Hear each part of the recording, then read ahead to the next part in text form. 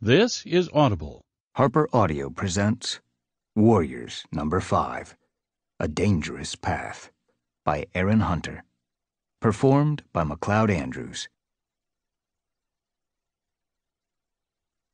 Prologue Inside the kennel that moves, everything was dark. The pack leader could hear the scrabbling of claws and feel the sleek pelt of the dog next to him, but he could see nothing. Dog scent filled his nostrils, and beyond that, the smell of the burned forest. The pack leader sat uncomfortably on the vibrating floor until the kennel that moves bounced to a halt. Outside, he could hear man voices. He understood some of the words Fire, keep watch, guard dogs. The pack leader picked up the men's fear scent along with the bittersweet smell of cut wood. He remembered coming here the night before, and the night before that, more than four paws worth of nights. He had prowled the compound with the rest of the pack, sifting through the scents for intruders, ready to drive them away. The dog snarled softly, his lips drawn back from sharp teeth. The pack was strong. They could run and kill they craved warm blood and the terror scent of prey before it died. But instead they were penned up. They ate the food the man threw to them, and they obeyed the man's orders. The dog rose to his powerful paws, rattling the doors as he butted them with his massive black and tan head. He lifted his voice in a bark that sounded all the louder in the confined space. Out! Pack out! Out now! The rest of the pack added their voices. Pack out! Pack run! As if in answer, the doors of the kennel that moves were flung open. In the twilight, the pack leader could see the man standing there, barking an order. The leader jumped down first, close to a pile of logs stacked in the middle of the compound. His paws threw up little puffs of ash and soot. The rest of the pack followed in a stream of black and brown bodies. Pack follow! Pack follow! They barked.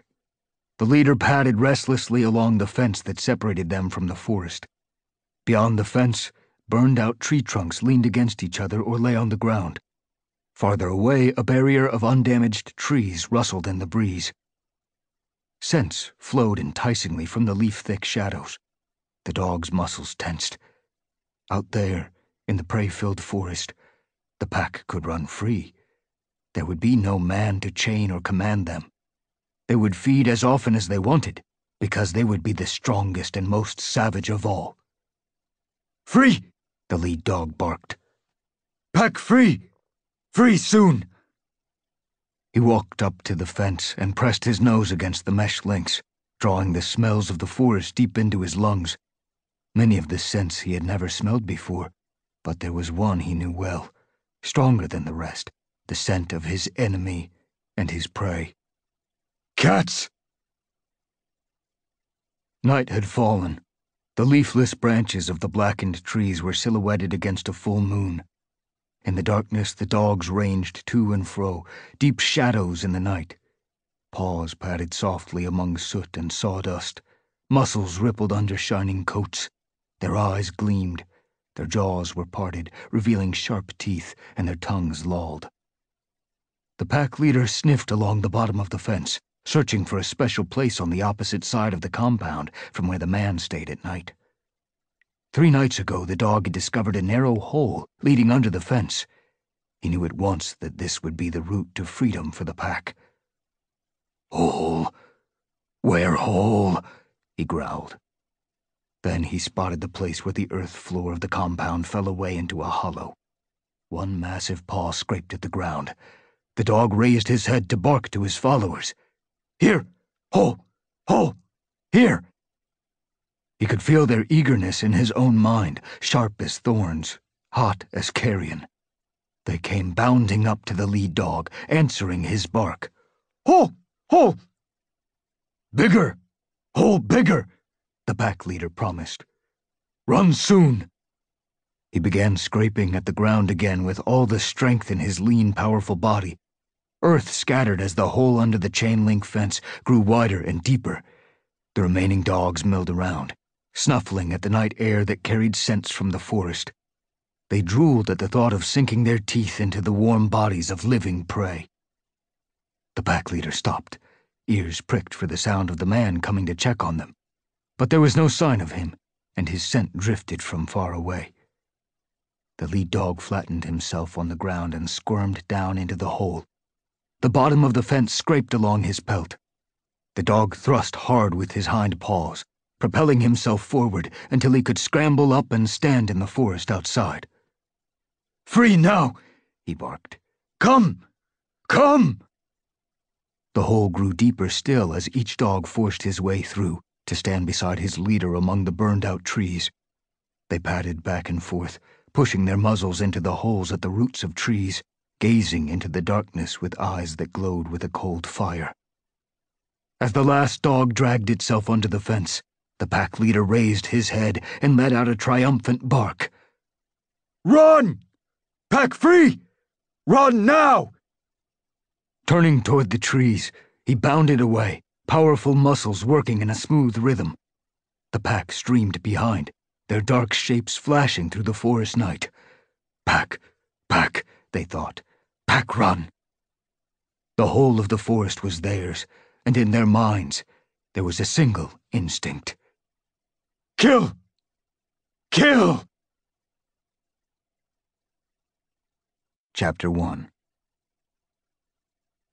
Fireheart's fur bristled with disbelief and fury as he gazed up at the new leader of Shadow Clan standing on the great rock. He watched as the cat swung his massive head from side to side. Muscles rippled under his gleaming pelt, and his amber eyes seemed to glow with triumph. Tiger Claw! Fireheart spat. His old enemy, the cat who had tried to kill him more than once, was now one of the most powerful cats in the forest. The full moon rode high above Four Trees, shedding its cold light over the cats of the four clans, assembled there for the gathering. They had all been shocked to learn of the death of Nightstar, the Shadow Clan leader. But no cat in the forest had expected that Shadow Clan's new leader would be Tiger Claw, the former Thunder Clan deputy. Beside Fireheart, Darkstripe was rigid with excitement, his eyes glittering. Fireheart wondered what thoughts were going through the mind of his black-pelted clanmate. When Tiger Claw had been banished from Thunder Clan, he had invited his old friend to go with him, but Darkstripe had refused. Was he regretting that decision now? Fireheart caught sight of Sandstorm, weaving her way toward him. What's going on? The pale ginger she-cat hissed as she came into earshot. Tiger Claw can't lead Shadow Clan. He's a traitor. For several heartbeats, Fireheart hesitated. Shortly after he had joined ThunderClan, Fireheart had discovered that Tiger Claw had murdered Redtail, the deputy. Once Tiger Claw became deputy himself, he had led rogue cats to attack the ThunderClan camp, trying to murder their leader, Bluestar, so that he could take her place. As punishment, he had been banished from their clan and the forest. It was hardly a noble history for a leader of any clan. But Shadow Clan doesn't know about all that, Fireheart reminded Sandstorm now, keeping his voice low. None of the other clans know. Then you should tell them. Fireheart glanced up at Tall Star and Crooked Star, the leaders of Wind Clan and River Clan, respectively, who stood beside Tiger Star on the great rock. Would they listen if he told them what he knew? Shadow Clan had suffered so much from Broken Tail's bloodthirsty leadership, followed by a devastating sickness, that they probably wouldn't care what their new leader had done as long as he could forge them into a strong clan again. Besides, Fireheart couldn't help feeling a guilty relief that Tiger Claw had satisfied his hunger for power in a different clan. Maybe now Thunder Clan could stop waiting for him to attack, and Fireheart could walk the forest without constantly glancing over his shoulder. Yet, as he struggled with his conflicting emotions, he knew that he would never forgive himself if he let Tiger Claw come to power without even making a protest. Fireheart! He turned to see Cloudpaw, his long-furred white apprentice, padding quickly toward him with the wiry brown warrior Mousefur just behind. Fireheart, are you just going to stand there and let that piece of fox dung take over? Quiet, Cloudpaw, Fireheart ordered. I know. I'll... He broke off as Tiger Claw paced to the front of the great rock. I am pleased to be here with you at the gathering this night. The huge tabby spoke with quiet authority. I stand before you as the new leader of Shadow Clan. Night Star died of the sickness that took so many of my clan, and Star Clan has named me as his successor. Tall Star, the black and white leader of Wind Clan, turned to him. Welcome, Tiger Star, he meowed, nodding respectfully. May Star Clan walk with you. Crooked Star meowed agreement as the new Shadow Clan leader dipped his head in acknowledgement. I thank you for your greetings, Tiger Star replied. It's an honor to stand here with you, although I wish the circumstances could have been different. Wait a moment, Tall Star interrupted him. There should be four of us here. He peered down at the crowd of cats below. Where's the leader of Thunder Clan? Go on. Fireheart felt a cat nudge him and glanced around to see that White Storm had joined the other Thunder Clan warriors. You're taking Blue Star's place, remember? Fireheart nodded to him, suddenly unable to speak. He bunched his muscles and got ready to spring. A heartbeat later, he was scrambling to the top of the great rock to stand beside the three leaders. For a moment, the unfamiliar viewpoint took his breath away. He seemed to be far above the hollow, watching the changing patterns of light and dark on the cats below as the moon shone through the branches of the four massive oak trees. Fireheart shivered as he caught the pale gleam reflected from countless pairs of eyes. Fireheart? He looked up as Tallstar spoke. Why are you here? Has something happened to Blue Star? Fireheart dipped his head respectfully. Our leader breathed smoke in the fire, and she's not yet well enough to travel. But she'll recover, he added hastily. It's nothing serious. Tall Star nodded, and Crooked Star broke in testily. Are we ever going to start? We're wasting moonlight. Without waiting for a reply, the pale tabby River Clan leader gave the yowl that signaled the beginning of the meeting. When the murmuring of the cats below had died away, he meowed, Cats of all clans, welcome to the gathering. Tonight we are joined by a new leader, Tiger Star. He beckoned to the massive warrior with a flick of his tail. Tiger Star, are you ready to speak now? Thanking him with a courteous nod, Tiger Star stepped forward to address the assembled cats. I stand here before you by the will of Star Clan. Night Star was a noble warrior, but he was old, and he did not have the strength to fight the sickness when it came. His deputy, Cinderfur, died too. Fireheart felt his fur prickling with unease as he listened. Clan leaders received nine lives when they went to share tongues with Star Clan at Mothermouth, and Nightstar had become leader only a few seasons ago. What had happened to his nine lives? Had Shadow Clan's sickness been so violent that it had taken all of them? Looking down, Fireheart caught sight of Running Nose, the Shadow Clan medicine cat, sitting with his head bowed. Fireheart could not see his face, but his hunched posture suggested that he was lost in misery. It must be hard for him, Fireheart thought, to know that all his skill had not been enough to save his leader. Star Clan brought me to Shadow Clan when its need was greatest, Tiger Star continued from on top of the great rock.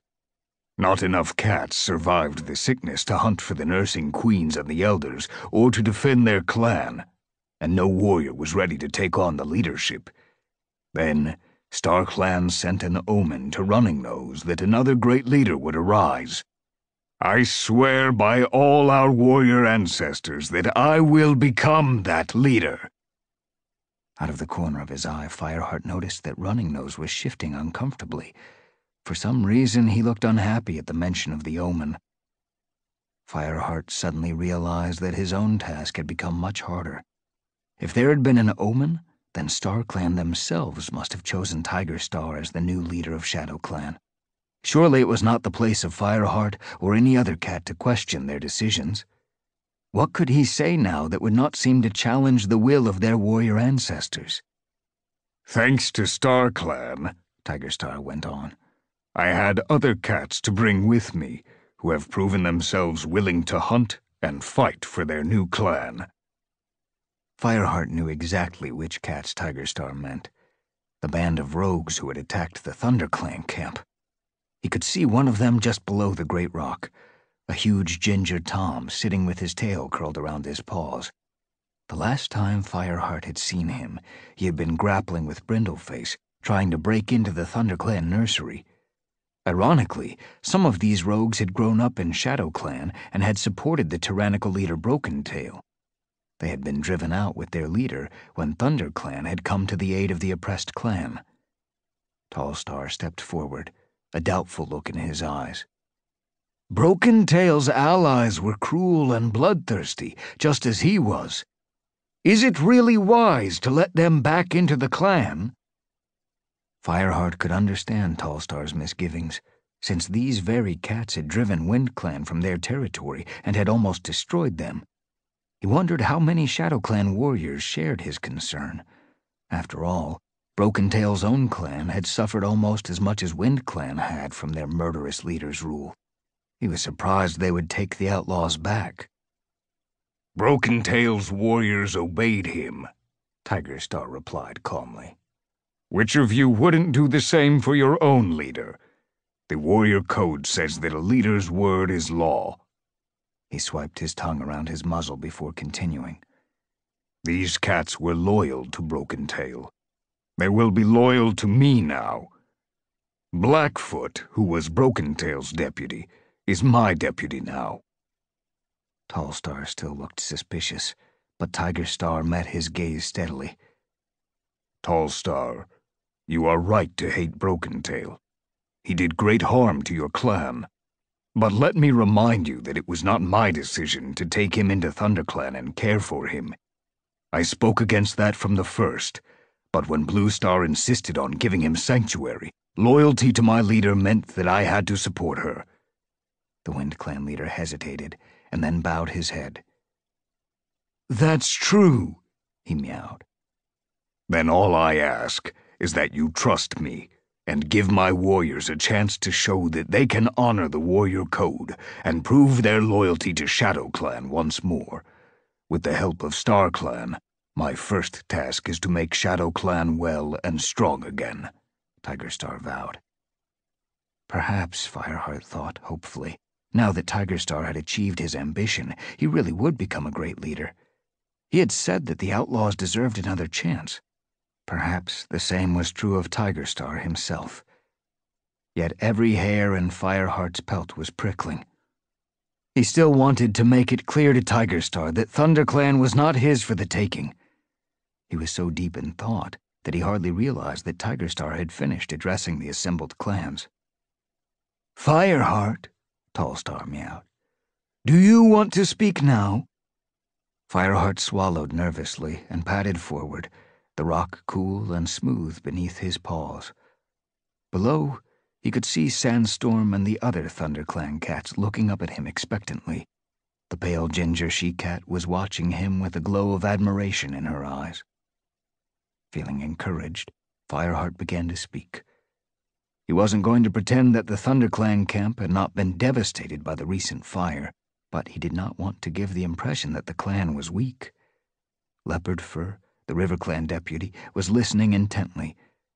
As Fireheart glanced at her, she narrowed her eyes as if she were measuring his words carefully. RiverClan had helped ThunderClan escape from the fire, and no cat knew better than Leopard Fur how vulnerable they were. A few dawns ago, Fireheart reported, a fire started in Treecut Place and swept through our camp. Halftail and Patchpelt died, and the clan honors them and we especially honor Yellowfang. She went back into the burning camp to rescue Halftail. He bowed his head, memories of the old medicine cat threatening to overwhelm him. I found her in her den, and I was with her when she died. Wails of dismay broke out among the listening cats. Not only ThunderClan had reason to grieve for Yellowfang's death.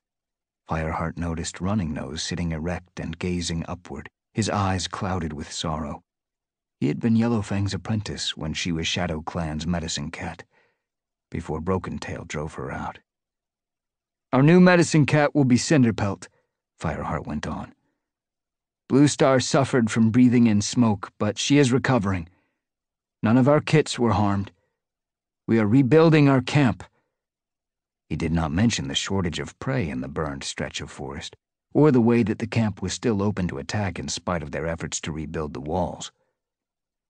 We must thank River Clan, he added, with a respectful glance at Crooked Star. They gave us shelter in their camp during the fire. Without their help, more of our cats might have died. As Crooked Star acknowledged his words with a nod, Fireheart couldn't resist glancing down at Leopard Fur again. The River Clan deputy hadn't shifted her amber gaze from him. Pausing to take a deep breath, Fireheart turned to Tiger Star. ThunderClan accepts that StarClan has approved your leadership, he meowed. As rogues, your followers stole from all four clans while they roamed the forest, so it is good that they have their own clan again. We trust that they will be bound by the warrior code and will keep to their own territory. He thought he could see a gleam of surprise in Tiger Star's eyes and continued firmly. But we will not tolerate any invasions into ThunderClan territory. In spite of the fire, we are strong enough to drive out any cat who sets a paw over our borders. We have no fear of Shadow Clan. One or two yowls of agreement rose from his own warriors below. Tiger Star gave a slight dip of his head and spoke in a low rumble that carried no farther than the other cats on top of the great rock. Brave words, Fireheart. You have nothing to fear from Shadow Clan. Fireheart wished that he could believe him. Bowing his head in acknowledgement, he stepped back again, his fur flattening in relief that his turn to speak was over, and listened while Tall Star and Crooked Star gave the news from their own clans. Word of new apprentices and warriors, and a warning of extra two legs by the river. When the formal part of the meeting was over, Fireheart sprang down to the group of ThunderClan warriors at the base of the rock. You spoke well, meowed Whitestorm. Sandstorm's eyes shone as she looked at Fireheart, and she pressed her muzzle against his neck. Fireheart gave her cheek a quick lick. It's time to go, he meowed. Say your goodbyes, and if any cat asks, tell them that ThunderClan is doing fine. Throughout the clearing, the groups of cats were breaking up as all four clans prepared to leave. Fireheart began looking around for the rest of his warriors. He caught sight of a familiar blue-gray shape and bounded across the hollow to join her. Hi, Mistyfoot, he meowed. How are you? How's Graystripe? I didn't see him here tonight. Graystripe had been Fireheart's first friend in ThunderClan. They had trained together as apprentices. But then Graystripe had fallen in love with Silverstream, a young RiverClan warrior, and she had died bearing his kits. Graystripe had left his own clan to go with them to RiverClan, and though seasons had passed, Fireheart still missed him. Graystripe didn't come. The RiverClan queen sat down and curled her tail neatly around her paws. Leopard Fur wouldn't let him. She was furious about the way he behaved during the fire. She says that in his heart, he's still loyal to ThunderClan. Fireheart had to admit that Leopard Fur was probably right. Graystripe had already asked Bluestar if he could come back to ThunderClan, but she had refused. So how is he?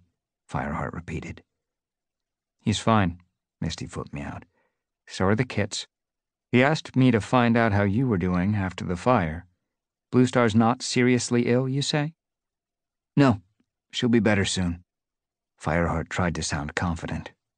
It was true that Blue Star was recovering from the effects of breathing smoke but for some moons now the ThunderClan's leader's mind had been clouded.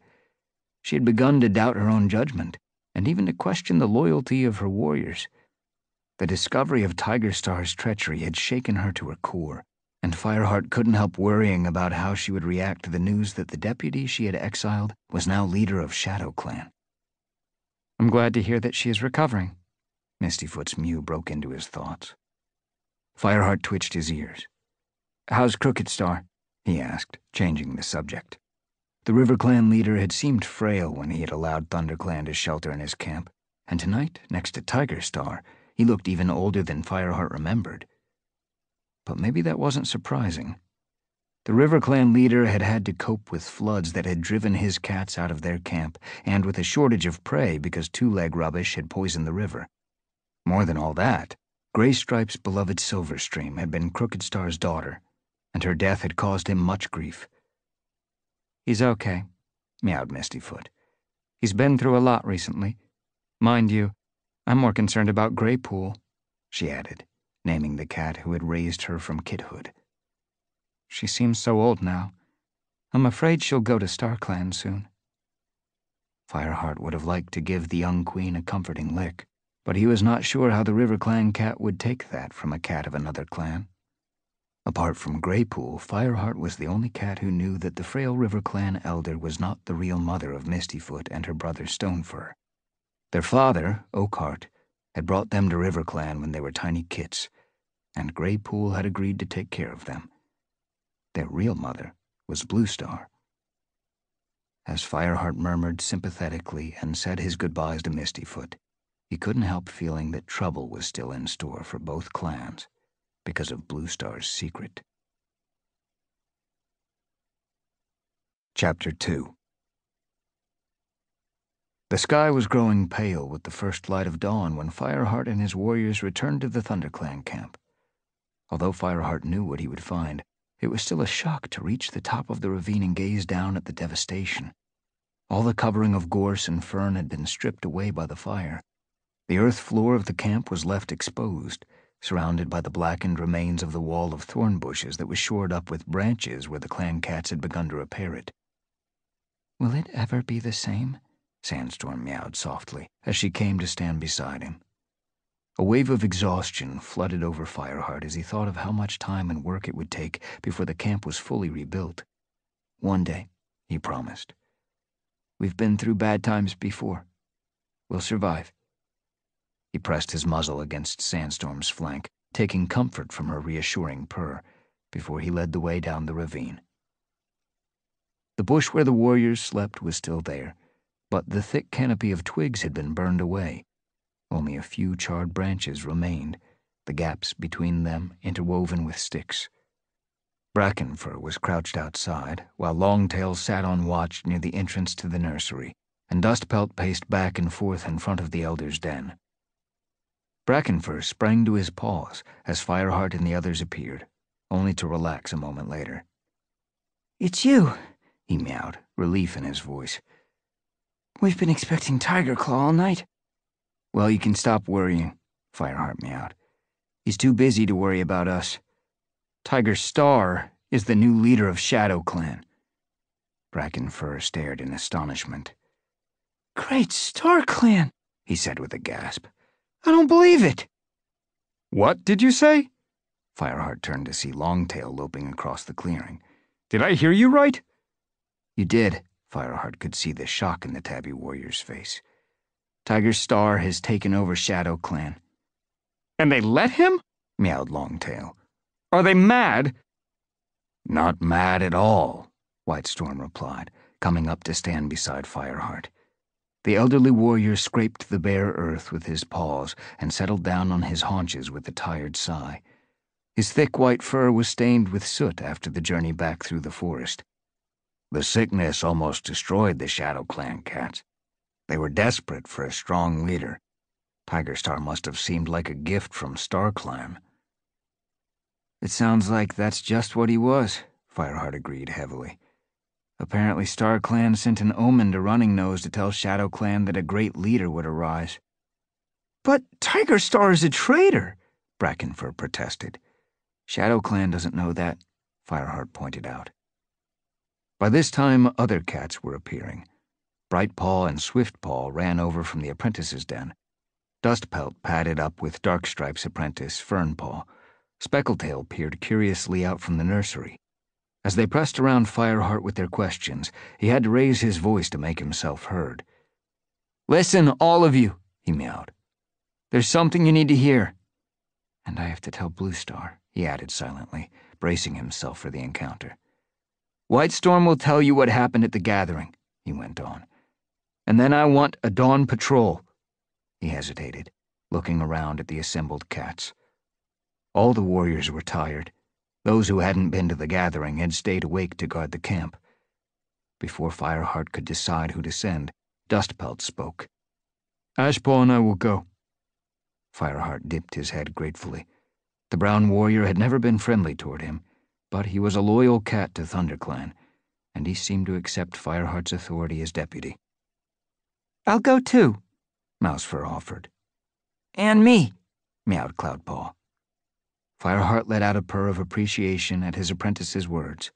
He was pleased that his sister's son was working harder for the clan and showing more commitment to clan life after the disastrous episode when he was taken away by Two Legs and had to be rescued. Dustpelt, Mousefur, Cloudpaw, and Ashpaw, then, he meowed. The rest of you get some sleep. We'll need hunting patrols later on. What about you? asked Darkstripe. Fireheart took a deep breath. I'm going to speak to Blue Star. The curtain of lichen had been burned away from the entrance to Blue Star's den at the base of the high rock. As Fireheart approached, Cinderpelt, ThunderClan's medicine cat, emerged into the clearing and paused to stretch.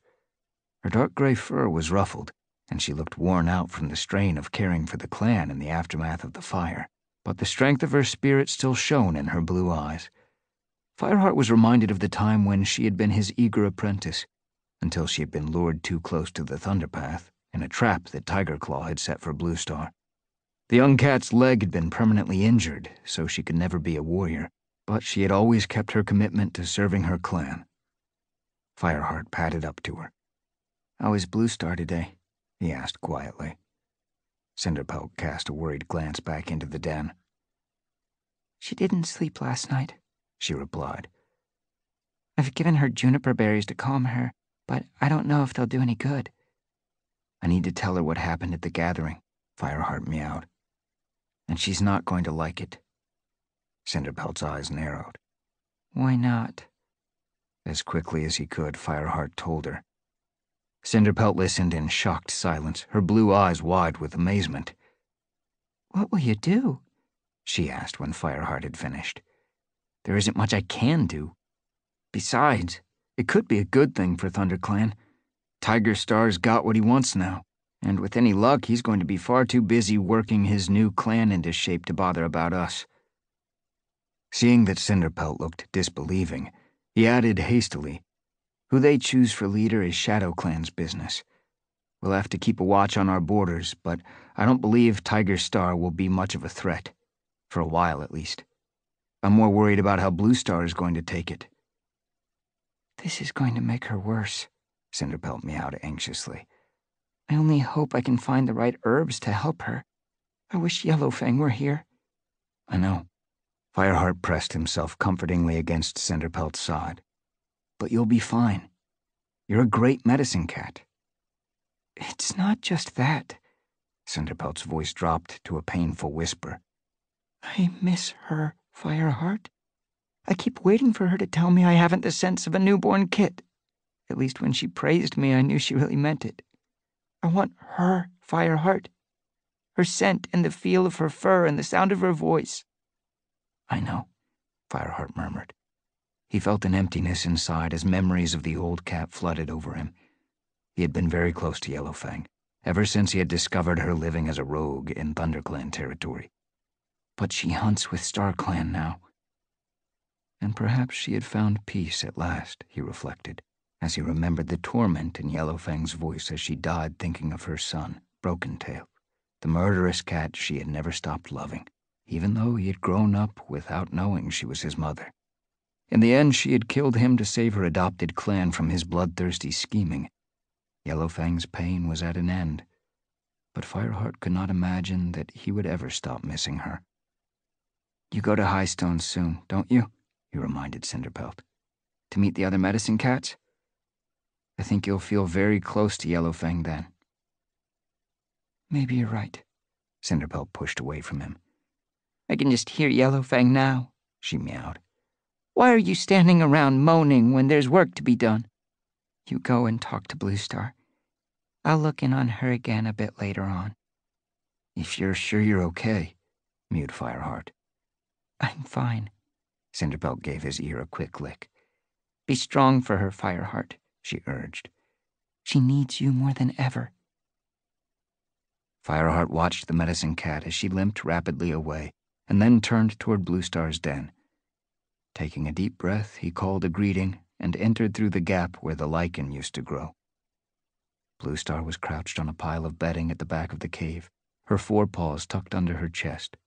Her head was raised, but she was not looking at Fireheart. Instead, her blue eyes were blank, fixed on something far away that only she could see. Her pelt was rough and unwashed, and she was so thin that Fireheart could see every rib. His heart twisted with pity for her and fear for the rest of his clan. Their leader had diminished into an old, sick cat, broken by trouble and unable to defend herself, let alone her clan. Bluestar? Fireheart meowed hesitantly. At first he thought that Blue Star had not heard him. Then, as he padded farther into the den, she turned her head, her cloudy blue gaze focused on him, and for a heartbeat she looked puzzled, as if she couldn't remember who he was. Then her ears pricked, and intelligence flooded back into her eyes. Fireheart? What do you want? Fireheart dipped his head respectfully.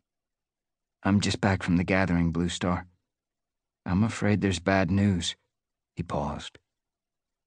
Well, Blue Star sounded irritable. What is it? Shadow Clan has a new leader, Fireheart meowed.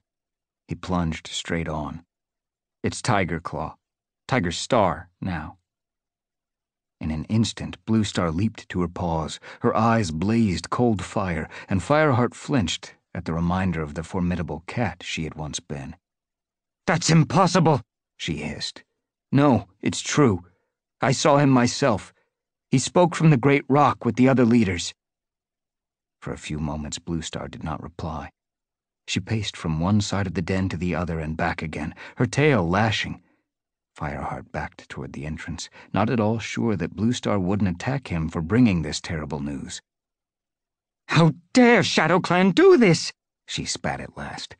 How dare they shelter the cat who tried to murder me and make him their leader? Blue Star, they don't know, Fireheart began, but the ThunderClan leader was not listening to him. And the other leaders? she demanded. What did they think? How could they let this happen? No cat knows what Tigerstar did to ThunderClan. Fireheart struggled to make Blue Star think logically. Crooked Star didn't say much, although Tall Star was unhappy at first that Tiger Star had taken Broken Tail's old followers back into the clan. Tall Star, Blue Star spat. We should know by now that we can't trust him. After all, it didn't take him long to forget what we did for his clan, after you and Graystripe risked your lives to find them and bring them home. Fireheart started to protest, but Blue Star ignored him. Star Clan has abandoned me, she went on still pacing furiously. They told me that fire would save the clan, but fire has almost destroyed us. How can I ever trust Star Clan again, especially now? They have granted a leader's nine lives to that traitor. They care nothing for me or for ThunderClan.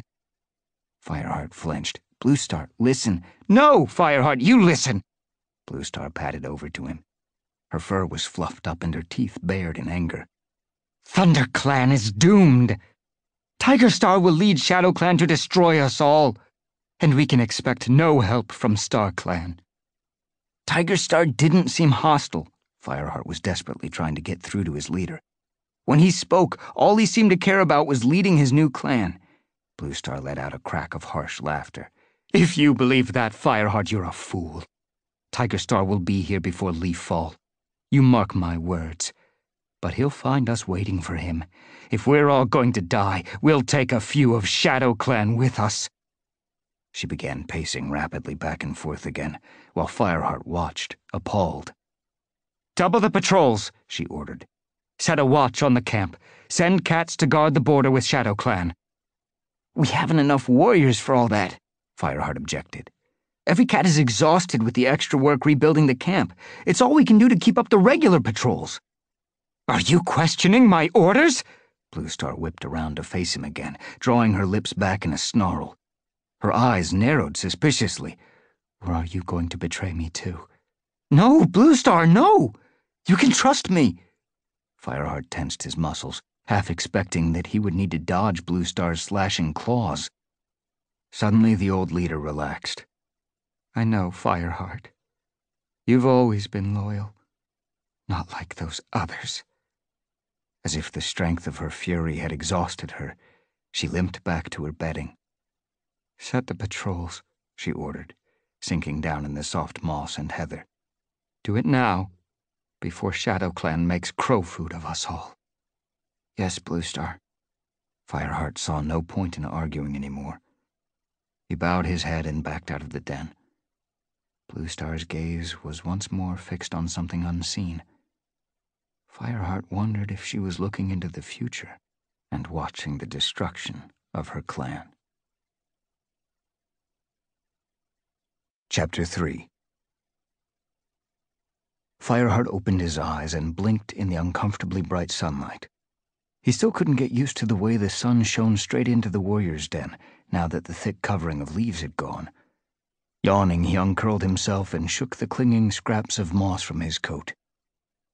Close beside him, Sandstorm was still asleep. Dustpelt and Darkstripe were curled up a little farther away. Fireheart padded out into the clearing.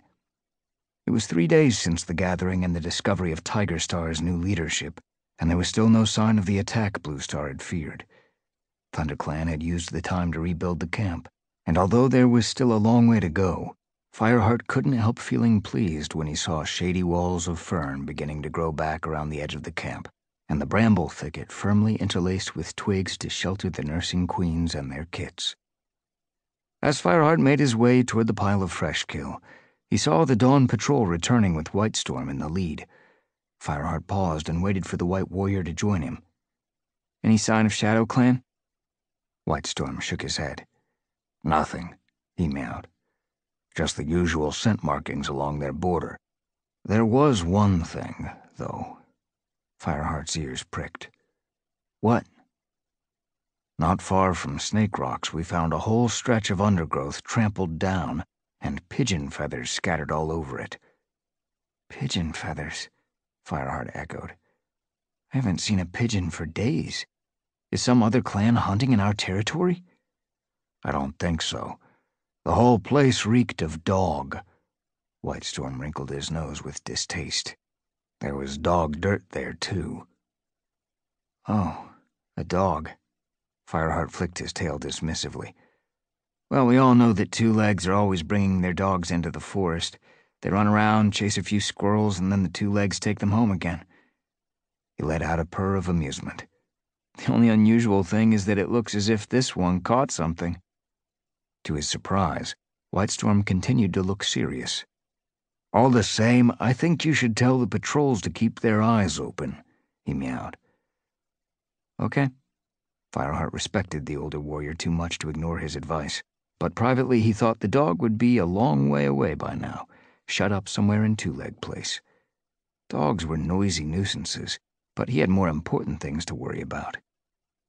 He was reminded of his anxiety about food supplies as he followed Whitestorm to the pile of fresh kill.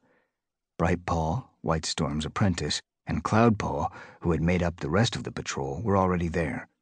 Look at this, Cloudpaw complained as Fireheart came up. He turned a vole over with one paw. There's hardly a decent mouthful on it. Prey is scarce, Fireheart reminded him, noticing there were only a few pieces of fresh kill on the pile. Any creatures that survived the fire can't find much to eat. We need to hunt again, Cloudpaw meowed. He bit into the vole and swallowed. I'll go as soon as I've finished this. You can come with me, mewed Fireheart, selecting a magpie for himself. I'm going to lead out a patrol later on. No, I can't wait, Cloudpaw mumbled through another mouthful. I'm so hungry I could eat you. Brightpaw, do you want to come with me? Brightpaw, who was neatly tucking into a mouse, glanced at her mentor for permission. When Whitestorm nodded, she sprang up. Ready when you are, she meowed. All right then, mewed Fireheart. He was slightly annoyed that Cloudpaw hadn't asked for his mentor's permission like Brightpaw, but the clan did need fresh kill, and both the apprentices were good hunters. Don't go too far from camp, he warned. But all the best prey is farther away, where the fire didn't reach, Cloudpaw objected. We'll be fine, Fireheart, he promised. We'll hunt for the elders first. Swallowing the last of his vole in one enormous gulp, he dashed off toward the camp entrance with Bright Paw racing after him. Stay away from Two Leg Place, Fireheart called after them, remembering how Cloudpaw had once been all too fond of visiting the Two Legs. The apprentice had paid a harsh price when they had taken him away to their nest on the far side of WindClan's territory. As Greenleaf drew to an end, with the prospect of a hungry leaf-bare to come, Fireheart hoped that his apprentice wouldn't be tempted back into his old ways. Apprentices, Whitestorm purred as he watched the two young cats bounding away. Dawn patrol, and now they're off hunting. I wish I had their energy. He dragged the blackbird a little way from the pile of fresh kill and crouched down to eat. As Fireheart finished his magpie, he saw Sandstorm padding across the warrior's den. The sun shone on her pale ginger coat, and Fireheart admired the ripple of her fur as she moved. Do you want to come and hunt with me? he asked as she approached. Looks as if we need it, Sandstorm replied, surveying the pitifully few pieces of fresh kill that remained. Let's go now. I can wait to eat until we catch something. Fireheart looked around for another cat to join them and noticed Longtail heading for the apprentice's den, calling for Swiftpaw. Hey, Longtail, he meowed as the two cats padded across the clearing. Come and join our hunting patrol. Longtail hesitated, as if he wasn't sure whether that was an order from his deputy or not. We were going to the training hollow, he explained. Swiftpaw needs to practice his defense moves. You can do that later, this time, Fireheart made it clear that he was giving an order. The clan needs fresh kill first. Longtail flicked his tail irritably but said nothing. Swiftpaw was looking more enthusiastic, his eyes bright. The young black and white Tom had grown almost as big as his mentor, Fireheart noticed. He was the oldest of the apprentices, and he could expect to be made a warrior soon. I must talk to Blue Star about his naming ceremony, Fireheart thought. Cloudpaw, too and Brightpaw and Thornpaw. The clan needs more warriors. Leaving Whitestorm to take a well earned rest, Fireheart led his hunting party out of the camp and up the ravine. At the top, he turned toward Sunning Rocks. Doing his best to carry out Bluestar's order about doubling the patrols, he had instructed all the hunting parties to do border duty as well, staying alert for other clans' scents or any other signs of an enemy presence. In particular, he had warned them to keep a careful watch on the Shadow Clan border, but privately, he resolved not to neglect River Clan. He had an uneasy feeling about their relationship with Thunder Clan. With Crooked Star growing old, his deputy, Leopardfur, would have more authority, and Fireheart still expected her to ask for something in return for River Clan's help on the night of the fire. As Fireheart led the way toward the river, he noticed plants pushing their way up through the blackened soil. New ferns were beginning to uncoil, and green tendrils spread out to cover the earth.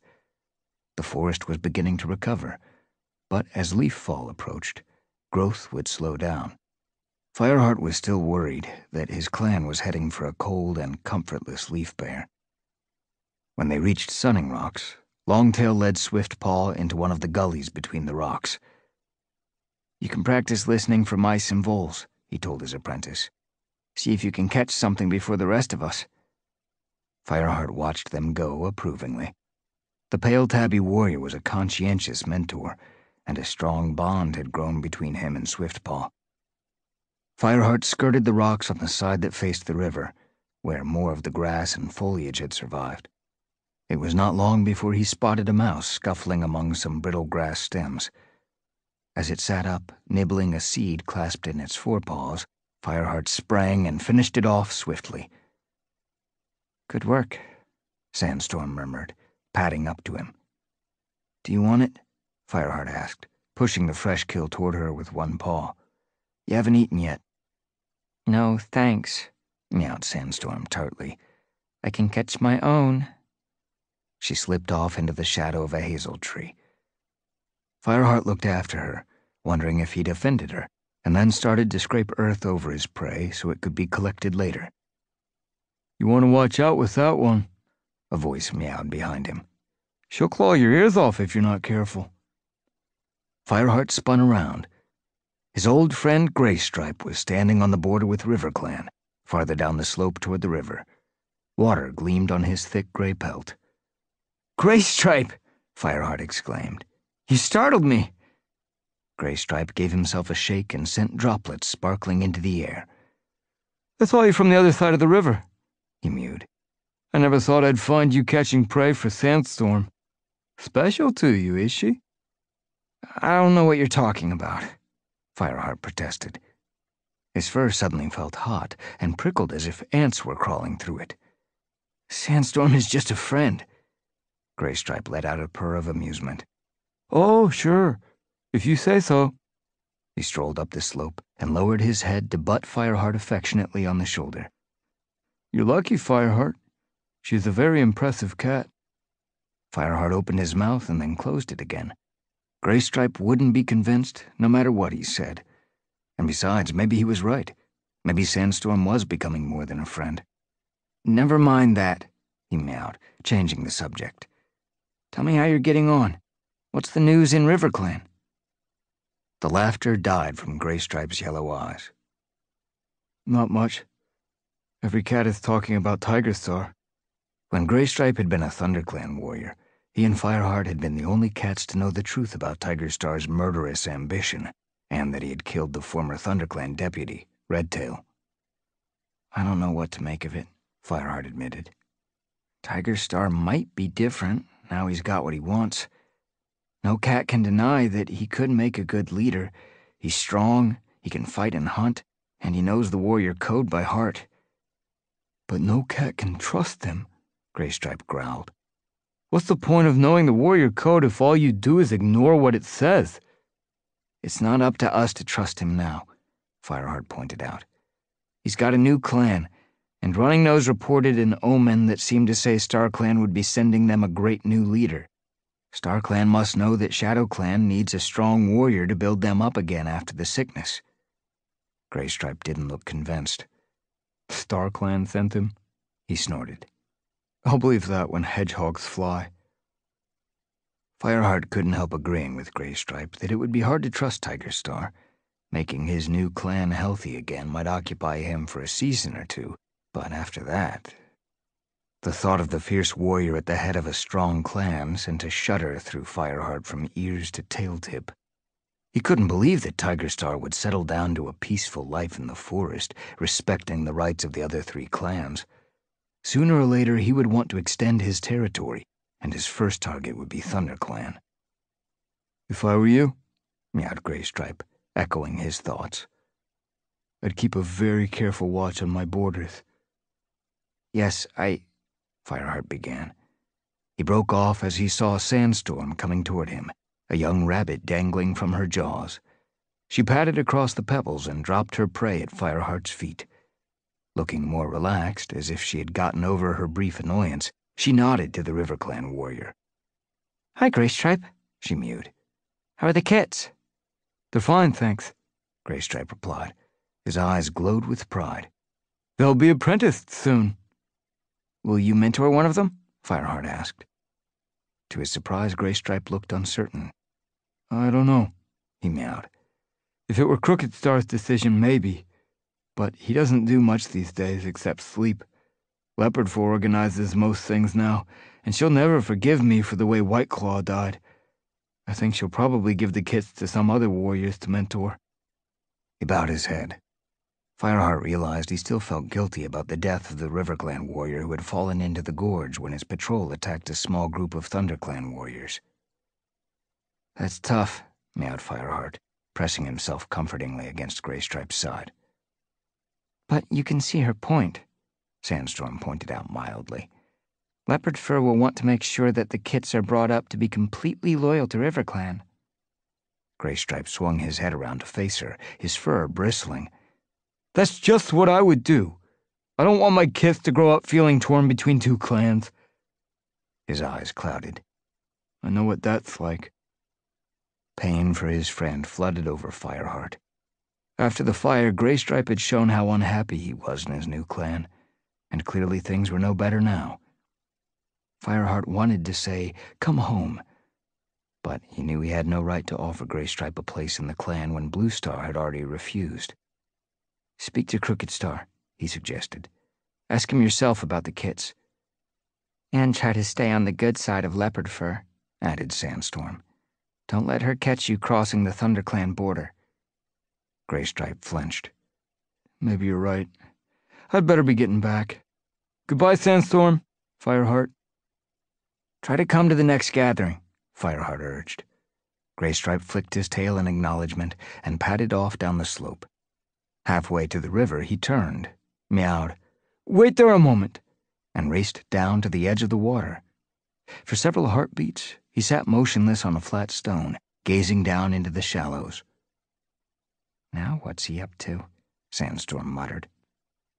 Before Fireheart could reply, Graystripe's paw darted out. A silver fish shot out of the stream and fell to the bank, where it lay flopping and wriggling. Graystripe finished it off with a single blow of his paw and dragged it back up the slope to where Fireheart and Sandstorm stood watching. Here, he meowed as he dropped it. I know prey must be scarce since the fire.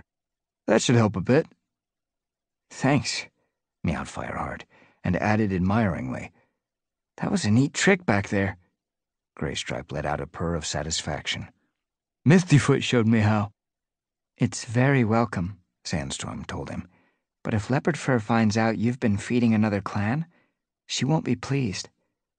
Leopard Fur can go chase her own tail, Graystripe growled. If she says anything, I'll remind her how Fireheart and I helped feed RiverClan during the floods last New Leaf. He turned away and bounded back to the river. Fireheart's heart ached as he watched his friend launch himself into the water and begin swimming strongly for the opposite bank. He would have given anything to have Graystripe back in ThunderClan, but he had to admit it seemed unlikely that the Grey Warrior could ever be accepted there again. Fireheart struggled to carry the slippery fish as the hunting patrol returned to camp, his mouth watering as the unfamiliar scent filled his nostrils. When he entered the camp, he saw that the pile of fresh kill already looked bigger. Cloudpaw and Brightpaw had returned, and were about to go out again with Mousefur and Thornpaw. We fed the elders, Fireheart, Cloudpaw called over his shoulder as he scampered up the ravine. And Cinderpelt? Fireheart called back. Not yet. Fireheart watched his young kin dash out of sight and then turned back to the pile of fresh kill. Perhaps Graystripe's fish would tempt Cinderpelt, he thought. He suspected that the young medicine cat wasn't eating enough, out of grief for Yellowfang and because she was so busy caring for the smoke-sick cats and Blue Star. Are you hungry, Fireheart? asked Sandstorm, dropping the last of her catch onto the pile. In the end, she had waited to eat until they brought the prey back to camp, and she was eyeing the fresh kill avidly. We could eat together if you like. Okay. The magpie Fireheart had eaten that morning seemed a long time ago now. I'll just take this to Cinderpelt. Don't be long, meowed Sandstorm. Fireheart gripped the fish in his jaws and walked toward Cinderpelt's den. Before the fire, a lush tunnel of ferns had separated it from the rest of the camp. Now just a few blackened stalks showed above the ground, and Fireheart could clearly see the cleft in the rock that was the entrance to the den. He stopped outside, dropped the fresh kill, and called, Cinderpelt! After a moment, the young medicine cat poked her head out of the opening. What? Oh, it's you, Fireheart. She padded out of the den to join him. Her fur was ruffled, and her eyes didn't have their usual lively sparkle. Instead, she seemed distracted and troubled. Fireheart guessed that her mind was on Yellowfang. I'm glad you're here, she mewed. There's something I want to tell you. Have something to eat first, Fireheart urged her. Look, Graystripe caught a fish for us. Thanks, Fireheart, Cinderpelt meowed. But this is urgent. StarClan sent a dream to me last night. Something about the way she spoke made Fireheart uneasy. He was still not used to the way that his former apprentice was growing into a true medicine cat, living without a mate or kits of her own, meeting secretly with other medicine cats and united with them through their bond with the warrior spirits of Star Clan. What was the dream about? he asked. He had experienced dreams like this more than once, warning him of things that were going to happen. That helped him to imagine, better than most clan cats, the mixture of awe and bewilderment that Cinderpelt must be feeling now. I'm not sure. Cinderpelt blinked in confusion. I thought I was standing in the forest, and I could hear something large crashing through the trees, but I couldn't see what it was. And I heard voices calling, harsh voices in a language that wasn't cat, but I could understand what they said. Her voice trailed off. She stood gazing into the distance, her eyes clouded, while her front paws kneaded the ground in front of her. What did they say? Fireheart prompted. Cinderpelt shivered. It was really strange.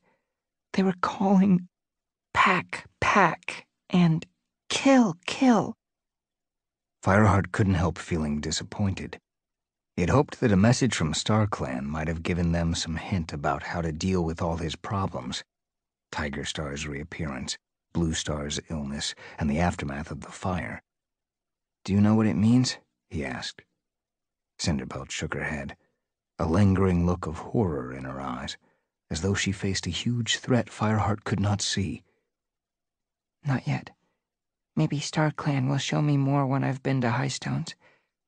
But it's something bad, Fireheart. I'm sure of it. As if we haven't enough to worry about, Fireheart muttered. To Cinderpelt he mewed. I don't know what I can do, unless we find out more. I need facts. Are you sure that's all the dream told you? Her blue eyes still wide with distress, Cinderpelt nodded. Fireheart gave her ear a comforting lick. Don't worry, Cinderpelt. If it's a warning about Shadow Clan, we're already watching out for them. Just tell me the moment you get any more details. He jumped as an irritated yowling sounded from behind him. Fireheart, are you going to be all day? Glancing around, he saw that Sandstorm was waiting for him at the entrance to the burned fern tunnel. I've got to go, he said to Cinderpelt. But. I'll think about it, okay? Fireheart interrupted her, his rumbling belly urging him to go and join Sandstorm. Let me know if you have any other dreams. Cinderpelt's ears twitched in annoyance. This is a message from StarClan, Fireheart, not just a root digging into my fur or a tough bit of fresh kill caught in my throat. It could affect the whole clan. We need to work out what it means. Well, you'll be better at that than I am, Fireheart told her, backing away from Cinderpelt's den and tossing the last words over his shoulder. Bounding across the clearing toward Sandstorm, he wondered briefly what the dream could have meant. It didn't sound like an attack from another clan, and he couldn't think of anything else that might be a threat. As he tucked into the vole that Sandstorm had saved for him, he managed to put Cinderpelt's dream out of his mind. Chapter 4 Fireheart's flanks heaved as he fought for breath, and his cheeks stung where claws had raked across it. As he staggered to his feet, Brightpaw took a couple of steps back. I haven't hurt you, have I? The ginger and white apprentice asked anxiously. No, I'm fine, Fireheart gasped.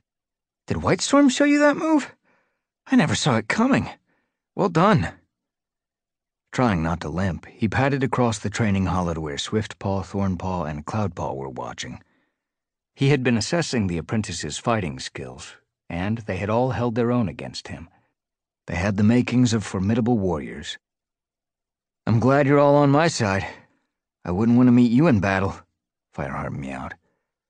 I've had a word with your mentors, and they think you're ready, so I'm going to ask Bluestar if you can be made warriors. Brightpaw, Thornpaw, and Swiftpaw exchanged excited glances. Cloudpaw tried to look nonchalant, but there was a gleam of anticipation in his eyes, too. Okay, Fireheart went on. Hunt on your way back to camp, and see that the elders and the queens are fed. Then you can eat. If there's anything left, mewed Swiftpaw. Fireheart flicked a glance at him Swiftpaw sometimes picked up discontented rumblings from his mentor, Longtail, who had once been a close ally of Tigerclaw. But on this occasion he seemed to be trying to make a joke. All four young cats sprang up and dashed out of the training hollow. Fireheart heard Brightpaw yowling to Cloudpaw, But I catch more prey than you. It seemed a long time since he had been that carefree, Fireheart reflected as he followed more slowly. Under the weight of his responsibilities as deputy, he sometimes felt older than the elders. The clan was surviving, managing to find food and rebuild the devastated camp, but all the warriors were overstretched. Fireheart was on his paws from dawn to sunset, and every night he went to his den with tasks still undone. How long can we go on? he asked himself. It'll get harder, not easier, when leaf-bare comes. Already the few leaves that the fire had left on the trees were turning red and gold. As Fireheart paused at the top of the hollow, he felt a chill breeze ruffle his fur, though the sun shone brightly. He slipped quietly back into camp and stood for a moment near the entrance, looking around.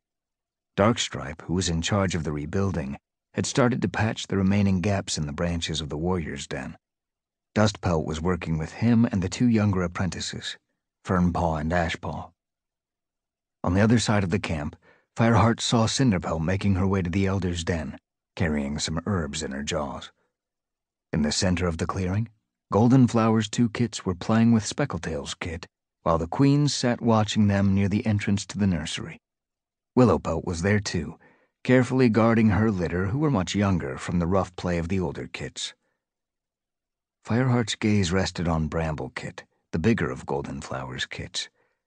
That strong, muscular body and dark brown pelt were disturbingly familiar. No cat who looked at the kit could doubt that Tigerstar was his father. The thought always made Fireheart uneasy, and he struggled to push it aside.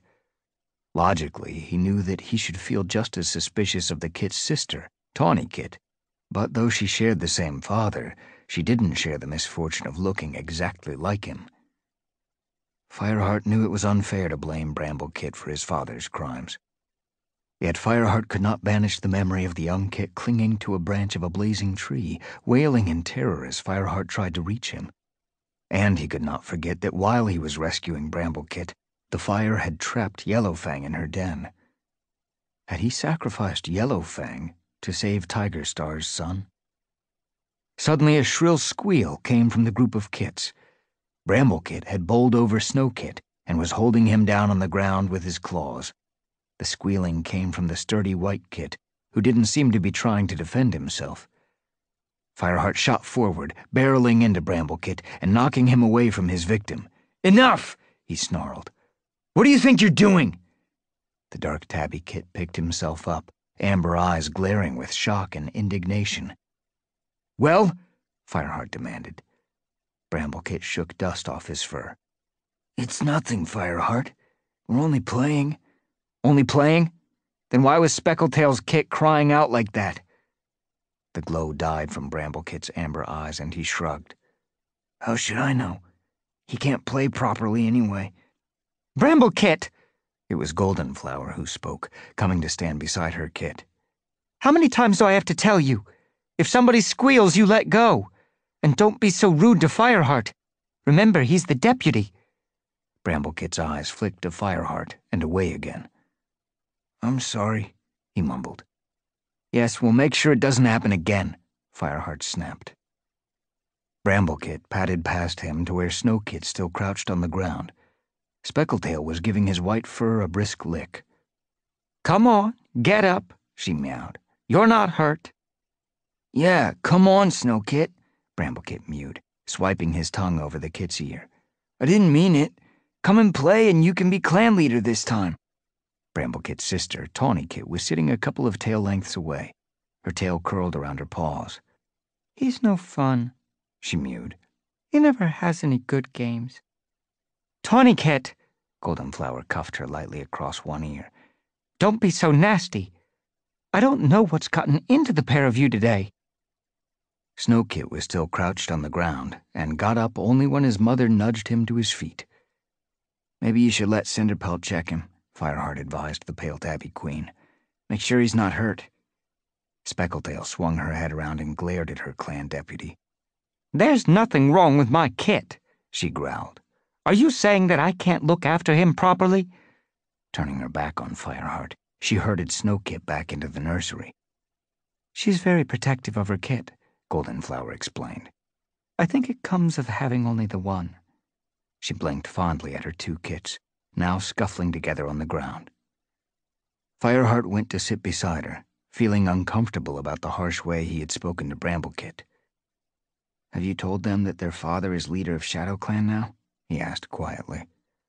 Goldenflower gave him a quick glance. No, not yet, she admitted. They would only boast about it, and then some cat would tell them the rest of the story. Sooner or later they'll find out, meowed Fireheart. The Ginger Queen vigorously washed her chest fur for a few moments. I've seen the way you look at them, she mewed at last, especially Bramblekit.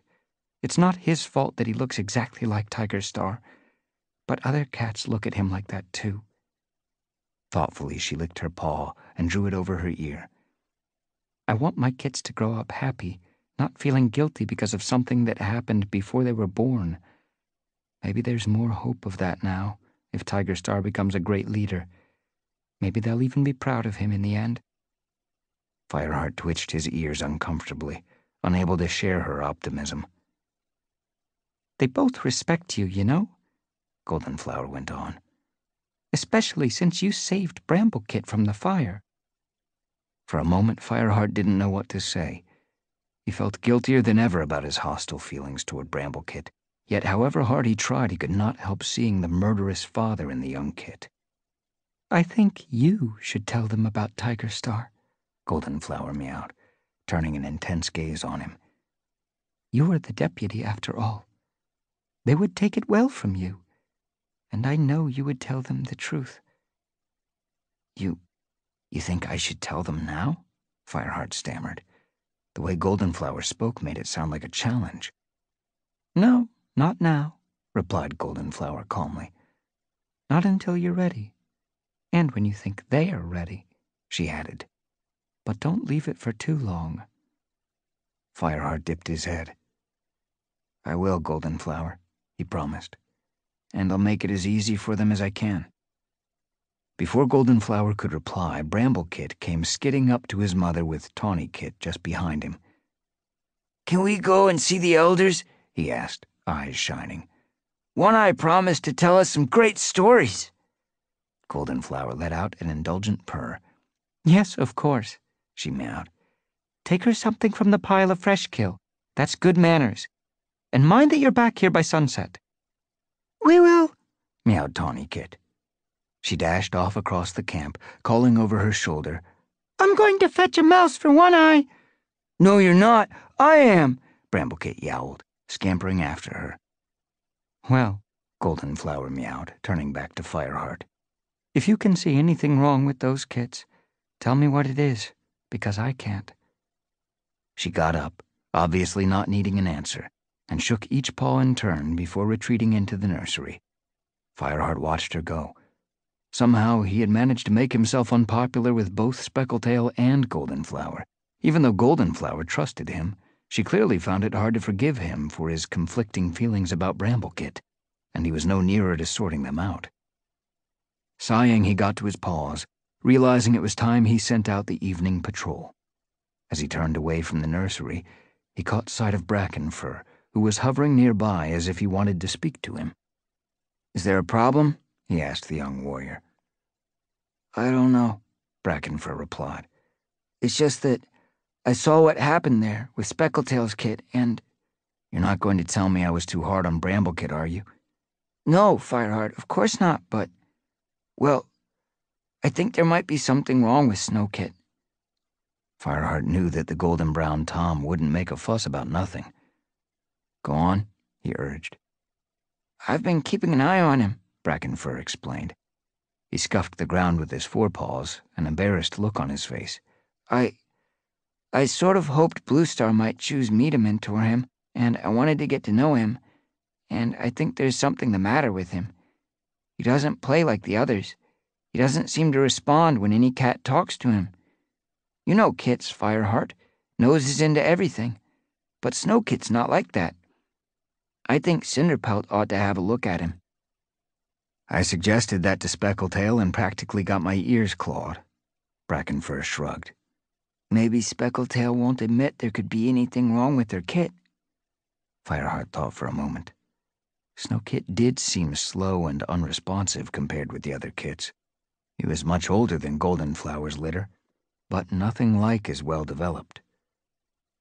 Leave it with me, he meowed. I'll have a word with Cinderpelt. She'll find a way of taking a look at the kit without upsetting Speckletail. Thanks, Fireheart. Brackenfur sounded relieved. Meanwhile, Fireheart mewed, can you lead the evening patrol? Ask Mousefur and Brindleface to go with you. Brackenfur straightened up. Sure, Fireheart, he replied. I'll go and look for them now. He set off across the camp with his tail held high. When he had gone a few fox lengths, Fireheart called him back. Oh, and Brackenfur, he mewed, pleased for once to impart good news. When Snowkit is ready, I'll speak to Bluestar about letting you mentor him. Before Fireheart went to find Cinderpelt, he visited Bluestar to tell her about the apprentice's assessment. The clan leader was seated outside her den in a patch of sunshine, and Fireheart thought hopefully that she might be feeling more like her old self. But her blue eyes looked tired as she blinked at him, and a piece of fresh kill lay beside her only half eaten. Well, Fireheart? she asked as he approached. What can I do for you? I've got good news, Bluestar.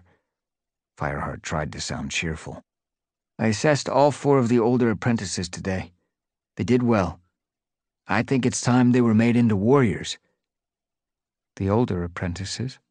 Bluestar's eyes clouded with confusion. That would be Brackenpaw and. and Cinderpaw? Fireheart's heart sank. Bluestar couldn't even remember which cats were apprentices. No, Bluestar, he mewed patiently. Cloudpaw, Brightpaw, Swiftpaw, and Thornpaw. Bluestar shifted a little. That's who I meant, she snapped. And you want them to be warriors? Just. just remind me who their mentors are, will you? I'm Cloudpaw's mentor, Fireheart began, trying to keep his increasing dismay out of his voice. The others are Longtail. Longtail, Bluestar interrupted.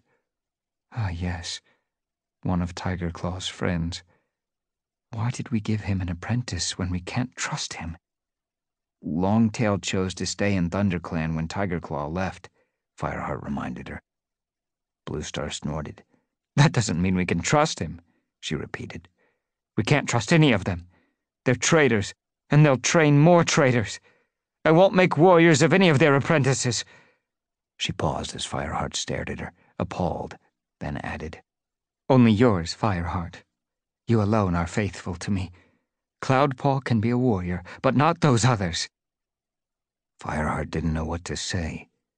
Even though the clan seemed happy to have Cloudpaw back after his escapade with the Twolegs, Fireheart could foresee trouble if his apprentice was made a warrior and the other apprentices were not. Besides, it wouldn't do Cloudpaw any good to be singled out for an honor that the others deserved just as much as he did. Fireheart fought with rising panic as he realized that meant none of the apprentices could be made into warriors yet. Even though the clan needed them so desperately, he knew there was no reasoning with Bluestar in this mood. Uh, thanks, Bluestar, he meowed at last, starting to back away. But maybe we'll wait a while longer. A bit more training won't hurt. He made his escape, leaving Bluestar looking after him with the same vague expression in her eyes. Chapter 5 The sun was going down, casting long shadows across the clearing by the time Fireheart went to look for Cinderpelt. He found the medicine cat in her den, checking her supplies of healing herbs, and sat just outside the entrance to talk to her. Speckletail's kit? she meowed when Fireheart had told her about Brackenfur's suspicions. She narrowed her eyes thoughtfully. Yes, I can see what he means. I'll take a look. You'll have to be careful of Speckletail, Fireheart warned her. When I suggested she might let you check Snowkit, she practically bit my nose off. I'm not surprised, remarked Cinderpelt. No queen wants to believe her kits aren't perfect. I'll deal with it, Fireheart. Don't worry. But not right away she added, patting her store of juniper berries into a neater pile. It's too late to disturb them tonight, and tomorrow I have to go to Highstones. So soon? Fireheart was surprised. He hadn't realized how quickly the days were slipping by. Tomorrow night is the new moon. All the other medicine cats will be there too. StarClan will give me my full powers. Cinderpelt hesitated and then added, Yellowfang should have come with me to present me to StarClan as a fully trained medicine cat. Now I'll have to go through the ceremony without her. Her eyes grew wide and remote as she spoke. Fireheart felt that she was moving far away from him, into a land of shadows and dreams where he could not follow her. You'll need to take a warrior with you, he meowed. Last time Bluestar tried to go to Highstones, WindClan wouldn't let her pass through their territory. Cinderpelt looked at him calmly. I'd like to see the patrol that would dare to stop a medicine cat. StarClan would never forgive that. Her expression changed, and her eyes glinted mischievously. You can come as far as Four Trees if you like, assuming you can spare the time from Sandstorm. Fireheart felt uncomfortable. I don't know what you mean, he muttered. But he remembered leaving to go and eat with Sandstorm while Cinderpelt was telling him about her dream, and he guessed that the medicine cat had felt unfairly dismissed. Sandstorm can lead the dawn patrol without me, he mewed out loud. I'll come with you to Four Trees. The next day dawned damp and misty. Tendrils of fog curled between the trees as Fireheart and Cinderpelt made their way to Four Trees. The clinging white clouds dampened the sound of their paw steps and beaded their fur with tiny droplets. In the silence, Fireheart jumped at the sudden alarm call of a bird above his head. He felt half afraid that they might lose their way in this eerily unfamiliar looking forest. But by the time they crossed the stream and began to climb the slope to Four Trees, the mist had begun to clear, and at the top of the hollow they emerged into bright sunlight. The four massive oaks stood straight ahead of them, their leaves turning red gold with the approach of leaf fall. Cinderpelt let out a noisy breath and shook the moisture from her fur. That feels good.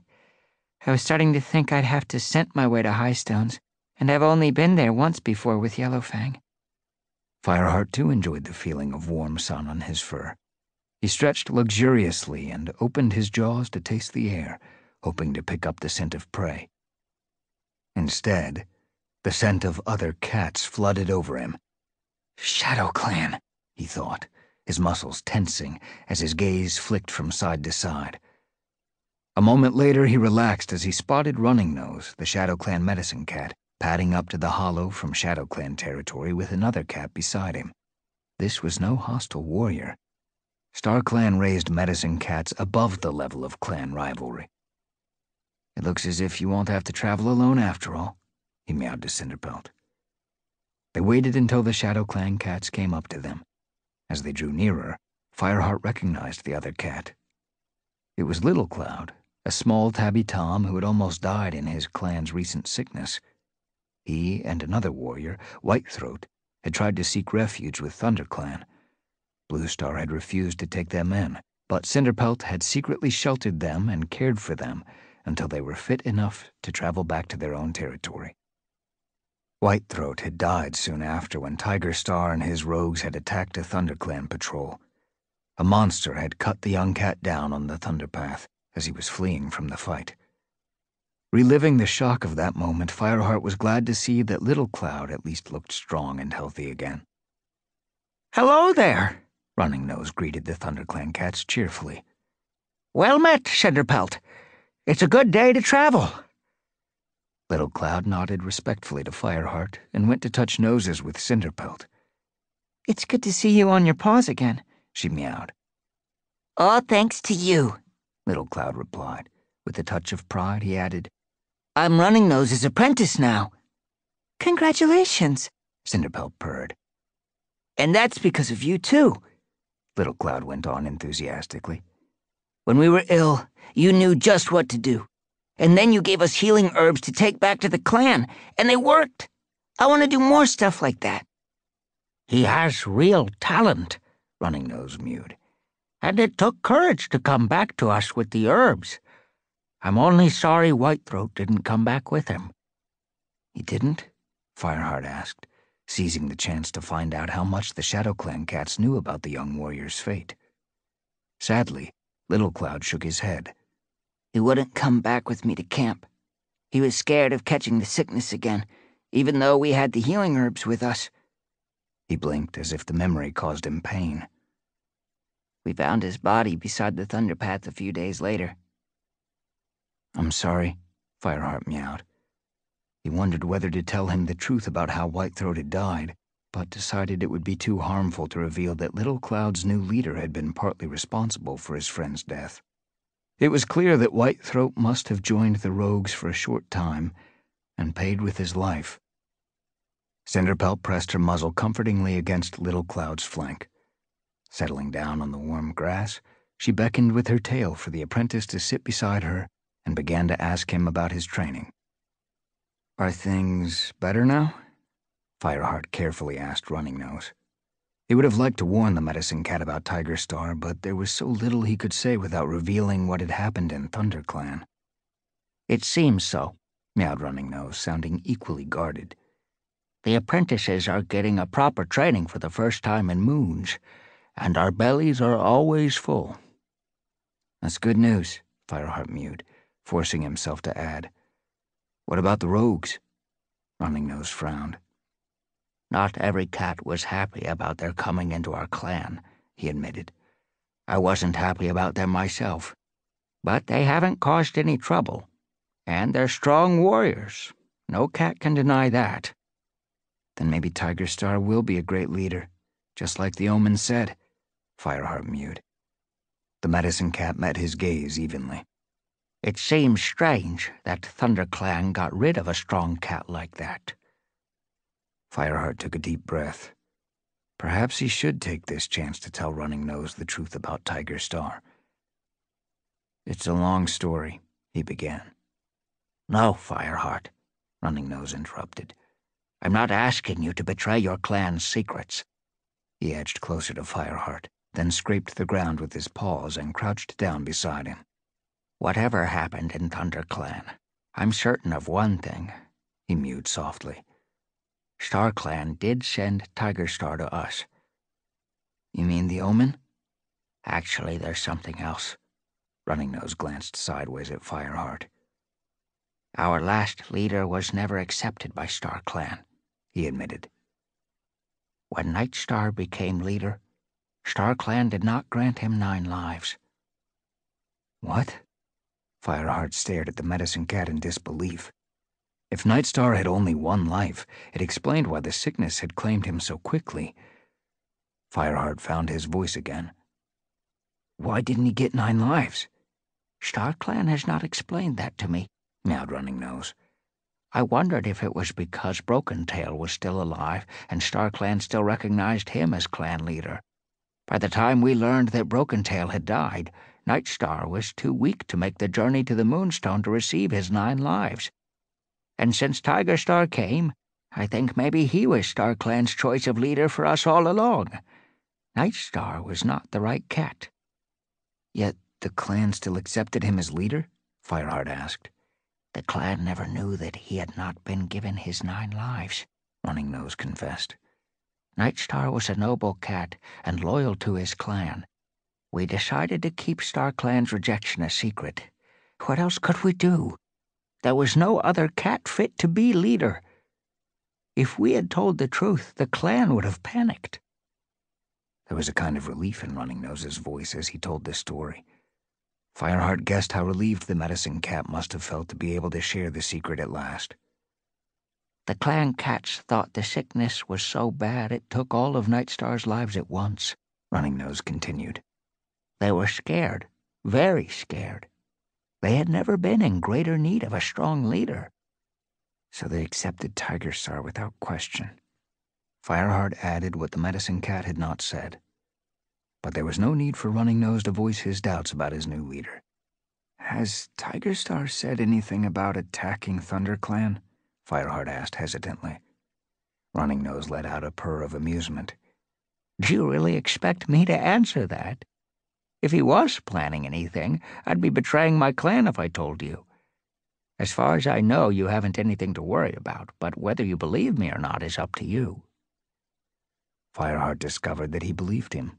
At least, he believed that Running Nose knew nothing about any plans that Tigerstar might be making. Whether the medicine cat was right was another question altogether. Fireheart, the voice was Cinderpelt's. She had risen to her paws and was gazing across the hollow to the swell of moorland beyond. This was the WindClan territory that the medicine cats would have to cross to reach Highstones for the ceremony. Are you and Running Nose going to sit there gossiping all day like a couple of elders? Her paws worked impatiently in the grass. Little Cloud was standing beside her, his head raised and his eyes shining eagerly. All right, Running Nose meowed, getting up and going to join them. We've got all day, you know. Highstones isn't going anywhere. The four cats padded around the top of the hollow until they reached the edge of the windswept moor. Cinderpelt paused and touched noses with Fireheart. I'll be fine from here, she meowed. Thanks for coming this far. I'll be back tomorrow night. Take care, Fireheart replied. He had stood here once before and said goodbye to Cinderpelt when she first went to face the mysteries of the Moonstone. A shiver ran through his fur as he thought of her plunging down through the underground tunnels to the glittering crystal for her silent communion with StarClan. He said nothing more, only gave the gray she-cat's ear a swift lick in farewell, and stood watching as she limped across the moorland turf with the two ShadowClan cats. Chapter 6 The forest was dark, no moon shone down that night, and when Fireheart looked up, he could see nothing but a faint pattern of branches against the sky. The trees looked taller than he remembered, hemming him in. Brambles and ivy tangled around his paws. Spottedleaf, he mewed. Spottedleaf, where are you? There was no answer to his cries, only the rush of water from somewhere ahead of him. He was afraid of stepping forward and finding nothing but black emptiness under his paws as the raging torrent swept him down with it. In some part of his mind, Fireheart knew he was dreaming. He had lain down in the warrior's den in the hope that he would be able to meet with Spottedleaf in sleep. When Fireheart had first come to ThunderClan, Spottedleaf had been the medicine cat, but she had been killed by one of Brokentail's vicious followers. Now she visited Fireheart in his dreams so that once again he could find in her gentle wisdom the answers to much that troubled him. But now, though he searched more and more desperately in the Black Forest, he could not find her. Spottedleaf! he cried again. This was not the first time in his recent dreams that she had been invisible to him. The last time, he had only heard her voice, and he fought with the terrible fear that she was drawing away from him. Spottedleaf, don't leave me, he begged. A heavy weight landed on him from behind. Fireheart writhed on the forest floor, trying to free himself. Then the scent of another cat was in his nostrils, and he opened his eyes to find himself scuffling in his mossy bedding with Dustpelt, cuffing him around the shoulders. What's the matter with you? Dustpelt growled. No cat can get a wink of sleep with you yowling like that. Leave him alone. Sandstorm put her head up from her nest, blinking sleep from her eyes. It was only a dream. It's not his fault. You would say that, Dustpelt sneered. He turned his back on them and made his way out through the overhanging branches. Fireheart sat up and began grooming scraps of moss out of his coat. Through the charred branches overhead, he could see that the sun was already up. Whitestorm must have left already with the dawn patrol. There were no other warriors sleeping in the den. The darkness of his dream was fading, but he could not forget it. Why had the forest seemed so black and terrifying? Why had Spottedleaf not come to him, not even as a scent or the sound of her voice? Are you all right? asked Sandstorm, anxiety showing in her green eyes. Fireheart shook himself. I'm fine, he meowed. Let's go and hunt. The day was bright, though the chill of leaf fall was in the air. Fireheart was relieved to see the grass and ferns were growing back thickly as the forest recovered. If only the fine weather would last.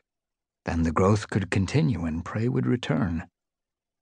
He led the way up the ravine and through the forest toward Tallpines. Since the fire, most cats had avoided this stretch of territory closest to Treecut Place, where the devastation was worst. The fire had started there, and whole stretches of the forest had been reduced to nothing but gray ash, dotted with tree stumps. Fireheart wondered if there was a chance of prey there yet, but as he and Sandstorm approached the edge of Tallpines, he guessed that he was going to be disappointed. The pines, charred to tapering trunks, were still a jumble, with fallen trees caught up against others that still stood. The few remaining branches stirred uneasily in the breeze. The ground was black, and no birds sang. It's useless here, Sandstorm meowed. Let's go and. She broke off as another cat appeared through the trees, a small tabby and white shape, stepping nervously over the debris of the fire. With a gasp of surprise, Fireheart recognized his sister, Princess. She spotted him at the same moment and bounded toward him, calling, Fireheart! Fireheart! Who's that? Sandstorm spat. She'll scare off all the prey between here and Fourtrees. Before Fireheart could reply, his sister came up to him. She was purring as if she would never stop, pressing her face against his and covering him with licks. Fireheart, you're alive, she mewed. I was so frightened when I saw the fire. I thought you and Cloudpaw were dead. Yes, well, I'm okay, Fireheart meowed awkwardly, giving Princess a quick lick in return and taking a step back, acutely conscious of Sandstorm's eyes on him. And Cloudpaw's fine too. Glancing at Sandstorm, he saw that a look of disgust had appeared on the ginger warrior's face, and her fur was fluffed out. That's a kitty pet, she snarled. She's got kitty pet scent all over her.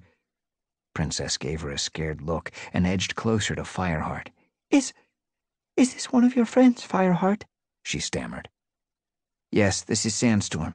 Sandstorm, this is my sister, Princess, Cloudpaw's mother. Sandstorm took a step or two away from them, though she let her fur lie flat on her neck again. Cloudpaw's mother, she repeated. She still sees you both then?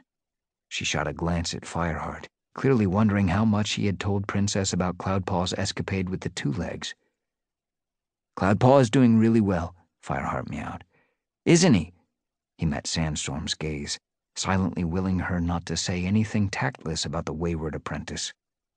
He hunts well, Sandstorm admitted. And he's got the makings of a fine fighter. Princess didn't realize how much Sandstorm was leaving unsaid. Her eyes glowed with pride, and she meowed, I know he'll be a good warrior with Fireheart to mentor him. But you haven't told me what you're doing out here, Fireheart mewed, eager to change the subject. You're a long way from your Twoleg nest. I was looking for you. I had to know what had happened to you and Cloudpaw, explained Princess. I saw the fire from my garden, and then you didn't come to see me, and I thought. I'm sorry, Fireheart meowed. I would have come, but we've been so busy since the fire. We have to rebuild the camp, and there's not much prey left in the forest. And I have more duties since I was made deputy. You're deputy now? Of the whole clan? Fireheart, that's marvelous! Fireheart felt hot with embarrassment as Princess gazed at him. Sandstorm gave a dry little cough. There's prey to be caught, Fireheart? Yes, you're right, Fireheart mewed. Princess, you're very brave to have come so far, but you'd better get home now. The forest can be dangerous if you're not used to it. Yes, I know, but I. The roar of a two legged monster interrupted her, and at the same moment Fireheart's nostrils were blasted with its harsh reek. The roaring grew louder, and a moment later the monster burst out of the trees, bouncing along the rutted track. Instinctively, Fireheart and Sandstorm crouched beneath a blackened tree trunk, waiting for the monster to pass. Princess merely sat watching it curiously. Get down! Sandstorm hissed at her. Princess looked puzzled, but she pressed herself obediently to the ground next to Fireheart. Instead of passing, the monster stopped. The roaring was abruptly cut off. Part of the monster unfolded, and three Twolegs jumped out of its belly. Fireheart exchanged a glance with Sandstorm and flattened himself even further. Princess might feel at home with the Twolegs and their monster, but they were too close for his liking, and the undergrowth was still not thick enough to provide decent cover. All Fireheart's instincts were to run, but curiosity kept him pinned to the ground. The Twolegs wore matching dark blue pelts. They had no Twoleg kits with them, or dogs, unlike most of the Twolegs who came to the forest. They spread out among the burned trees, yowling and stamping so that their paws threw up puffs of dust and ash. Sandstorm lowered her head and stifled a sneeze as one of them passed within a fox length of where the three cats were crouching. What are they doing? Fireheart murmured. Frightening off all the prey, hissed Sandstorm, spitting out dust. Honestly, Fireheart, who cares what Twolegs do? They're all mad. I don't know. Fireheart couldn't help feeling that these Twolegs had a purpose, even if he didn't understand what it was. The way they pointed with their paws and yowled at each other seemed to suggest they were moving deliberately through the forest. Another Twolegs stamped past. He had picked up a branch and was using it to poke into hollows and under clumps of charred undergrowth. It almost looked as if he were hunting for prey, except for the noise he was making, which would have scared away the deafest rabbit. Do you know what it's all about? Fireheart asked Princess. I'm not sure, his sister replied. I understand a bit of their Twoleg talk, but it's not words that my housefolk use. I think they're calling for somebody, but I don't know who. As Fireheart watched, the Twolegs threw the branch down. There was frustration in the movement. He yowled again, and the other Twolegs appeared from the trees. All three of them went back to the monster and climbed into its belly. The roar started up again, and the monster jerked into motion and vanished into the trees. Well, Sandstorm sat up and began licking fastidiously at her ash-stained fur. Thanks StarClan, they've gone. Fireheart got to his paws, keeping his gaze fixed on the place in the trees where the monster had disappeared. The sound had died away and the acrid smell was fading. I don't like it, he meowed. Oh, come on, Fireheart. Sandstorm patted to his side and gave him a nudge. Why are you bothering about Twolegs? They're weird, and that's all there is to it. No. I think they know what they're doing, even if it looks weird to us, Fireheart replied. They usually bring their kits or their dogs to the forest, but these Twolegs didn't. If Princess is right and they were looking for something, they didn't find it. I'd like to know what it was. He paused and then added, Besides, we don't normally see Twolegs in this part of the forest. They're too close to the camp for my liking. Sandstorm's impatient look softened, and she pressed her muzzle reassuringly against his shoulder. You can tell the patrols to keep a lookout, she reminded him. Yes, Fireheart nodded thoughtfully. I'll do that. As he said goodbye to Princess, he struggled to push his growing anxiety out of his mind. Something was going on in the forest that he didn't understand, and he could not help fearing that it meant danger for his clan. Cutting across the corner of Tallpines, Fireheart and Sandstorm made for the river and Sunning Rocks. There was no sign of prey anywhere among the scorched trees. The noise made by the Twolegs had seen to that. We'll follow the RiverClan border up toward Fourtrees, Fireheart decided. There might be something there worth catching. But as they came within sight of Sunning Rocks, Fireheart stopped at the sound of a familiar voice calling his name. He looked up to see Graystripe poised on top of the nearest rock.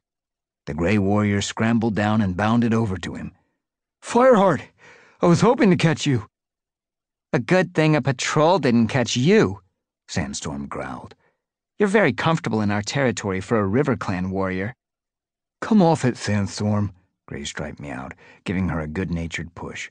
This is me, Graystripe, remember? Only too well, retorted Sandstorm. She sat down, licked a paw, and started washing her face. What's the problem, Graystripe? Fireheart asked, worried that his old friend wouldn't have ventured into ThunderClan territory without good reason. It's not exactly a problem, replied the Grey Warrior. At least I hope it isn't. Just something I thought you ought to know. Spit it out, then, meowed Sandstorm. Graystripe flicked his tail at her. Crookedstar had a visitor yesterday, he told Fireheart. He narrowed his amber eyes. It was Tigerstar. What? What did he want? Fireheart stammered. Graystripe shook his head. I don't know, but Crookedstar is very weak now. The whole clan knows he's on his last life.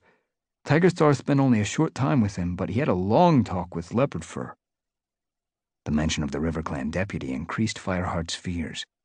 What did she and Tigerstar have to say to each other? Visions of an alliance between ShadowClan and RiverClan raced through his mind, with ThunderClan trapped between the two of them. Then he tried to tell himself he was worrying unnecessarily. He had no reason to think that the two cats were planning anything. It's not unknown for leaders to visit each other, he pointed out. If Crookedstar is dying, Tigerstar might want to pay his last respects. Maybe, Graystripe snorted. But then why spend so much time with Leopardfur?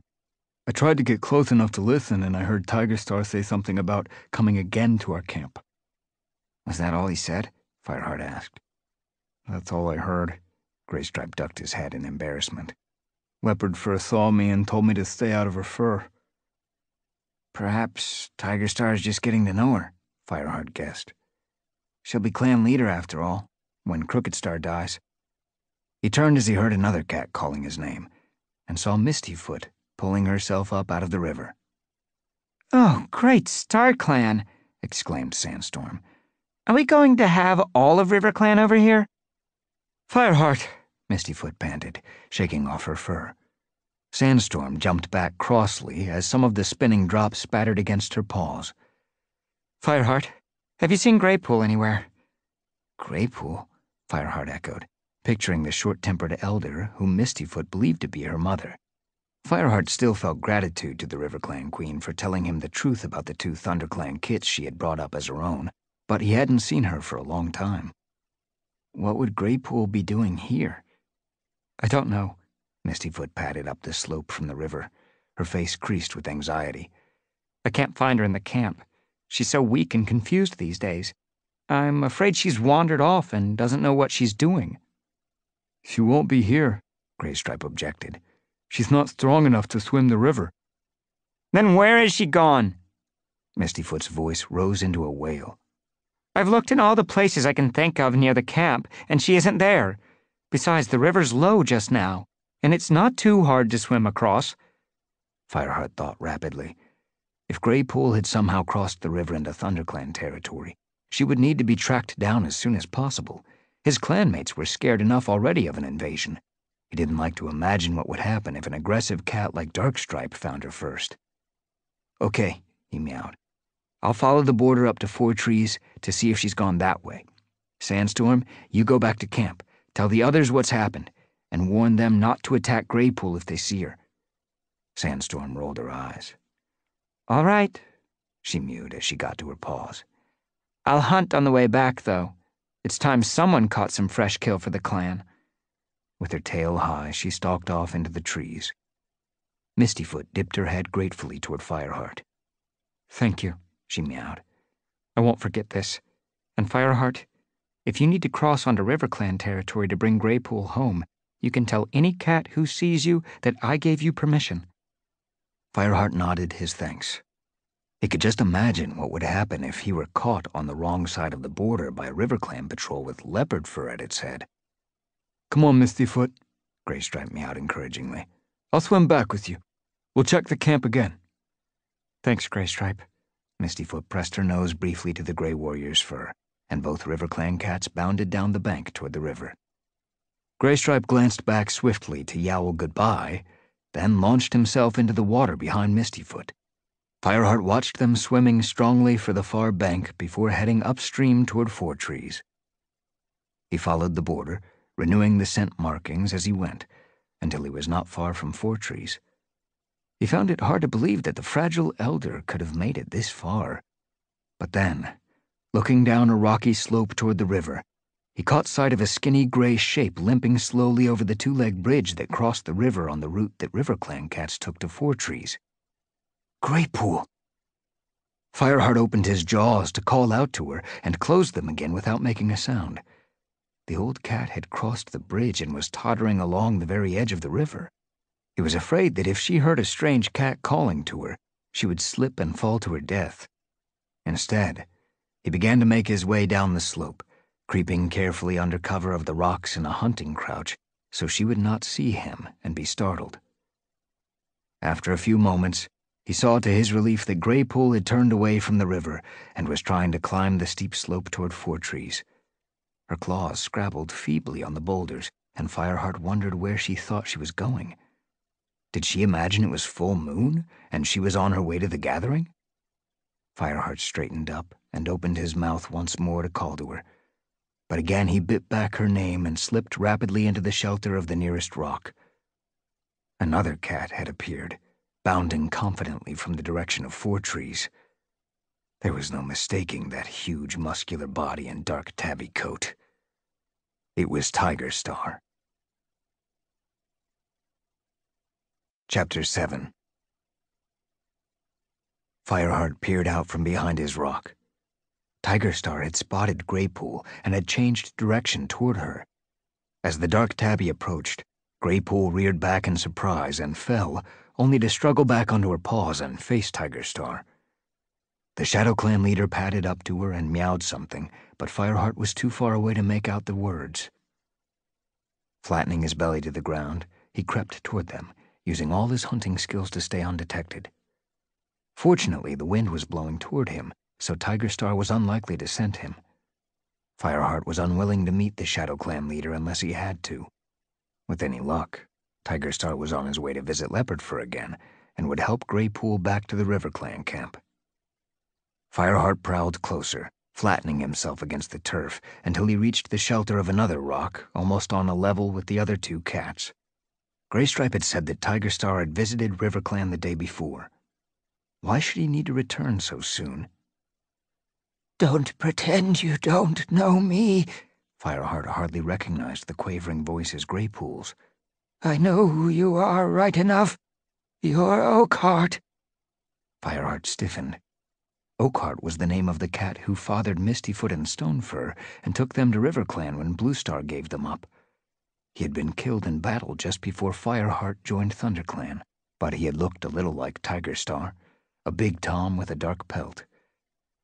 With infinite caution, Fireheart raised his head to peer over the rock where he was sheltering. Graypool was crouched on a sparse patch of grass just above an outcrop of stones.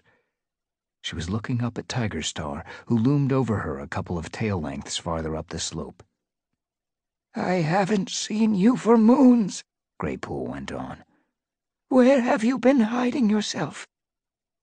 Tigerstar stared down at her with narrowed eyes. Fireheart waited for him to tell the elderly she cat that she had made a mistake. His blood ran cold when Tigerstar just meowed. Oh, here and there. What in StarClan's name is he playing at? Fireheart wondered. You might at least have come to see me, Graypool complained. Don't you want to know how those kits are doing? The massive Tom's ears pricked up and his amber eyes glowed with interest. What kits? What kits, he says. Graypool broke into rusty laughter.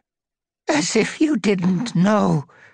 The two ThunderClan kits that you asked me to take care of. Fireheart froze.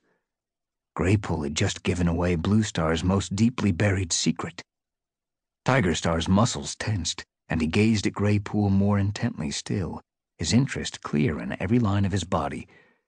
He thrust his head forward and meowed something so softly that Fireheart could not catch it. Seasons ago, replied Graypool, sounding puzzled. Don't tell me you've forgotten. You.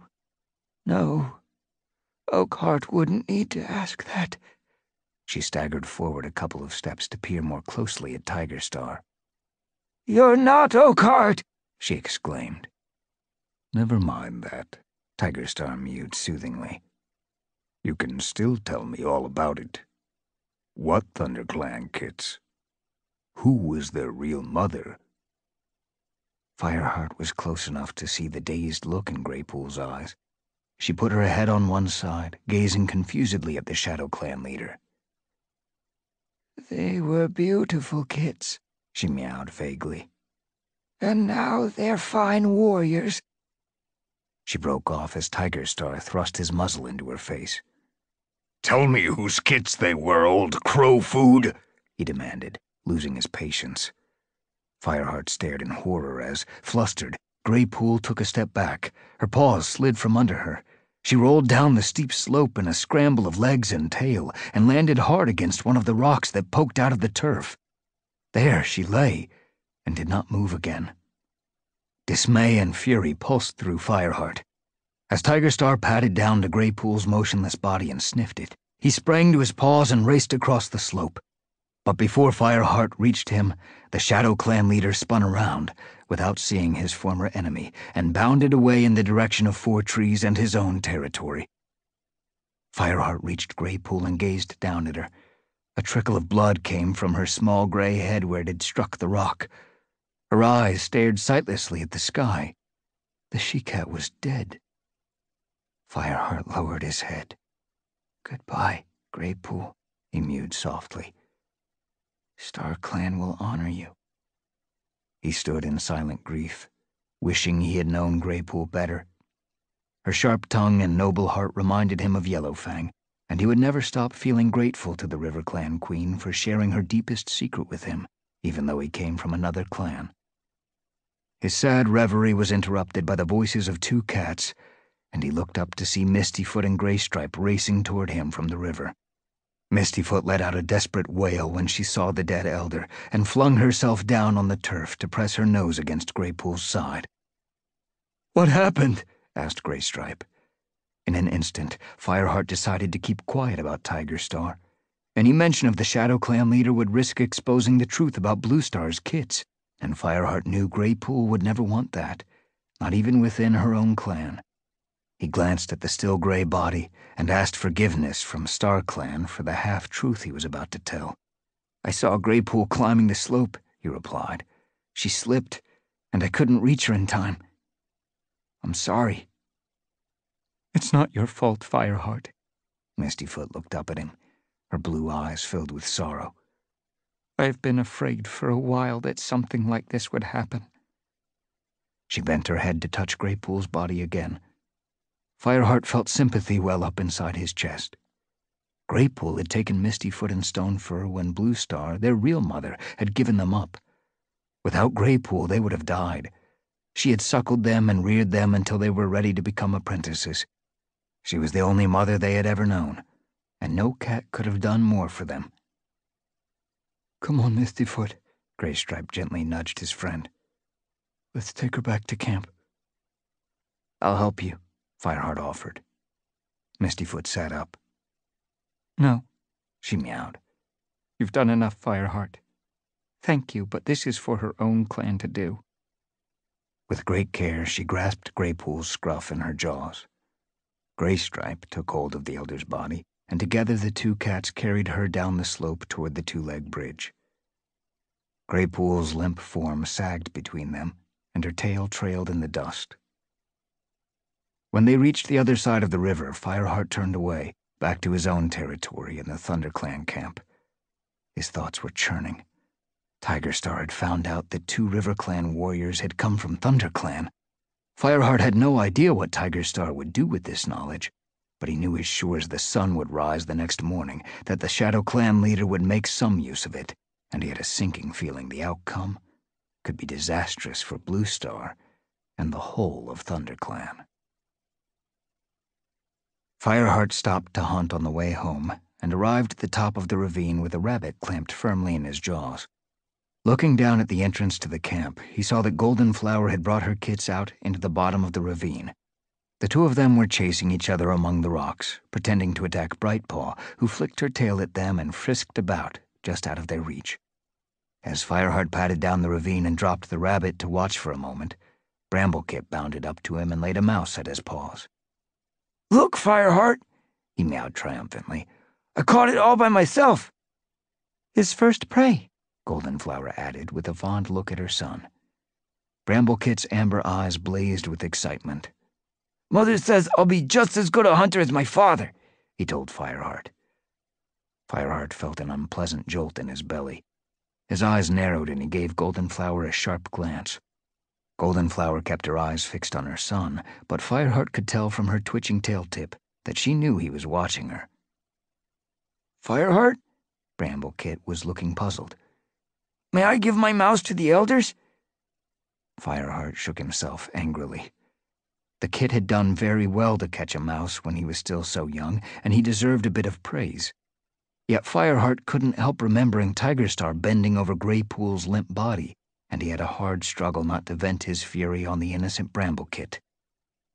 Yes, of course, he mewed. And well done for catching it. See if One Eye would like it.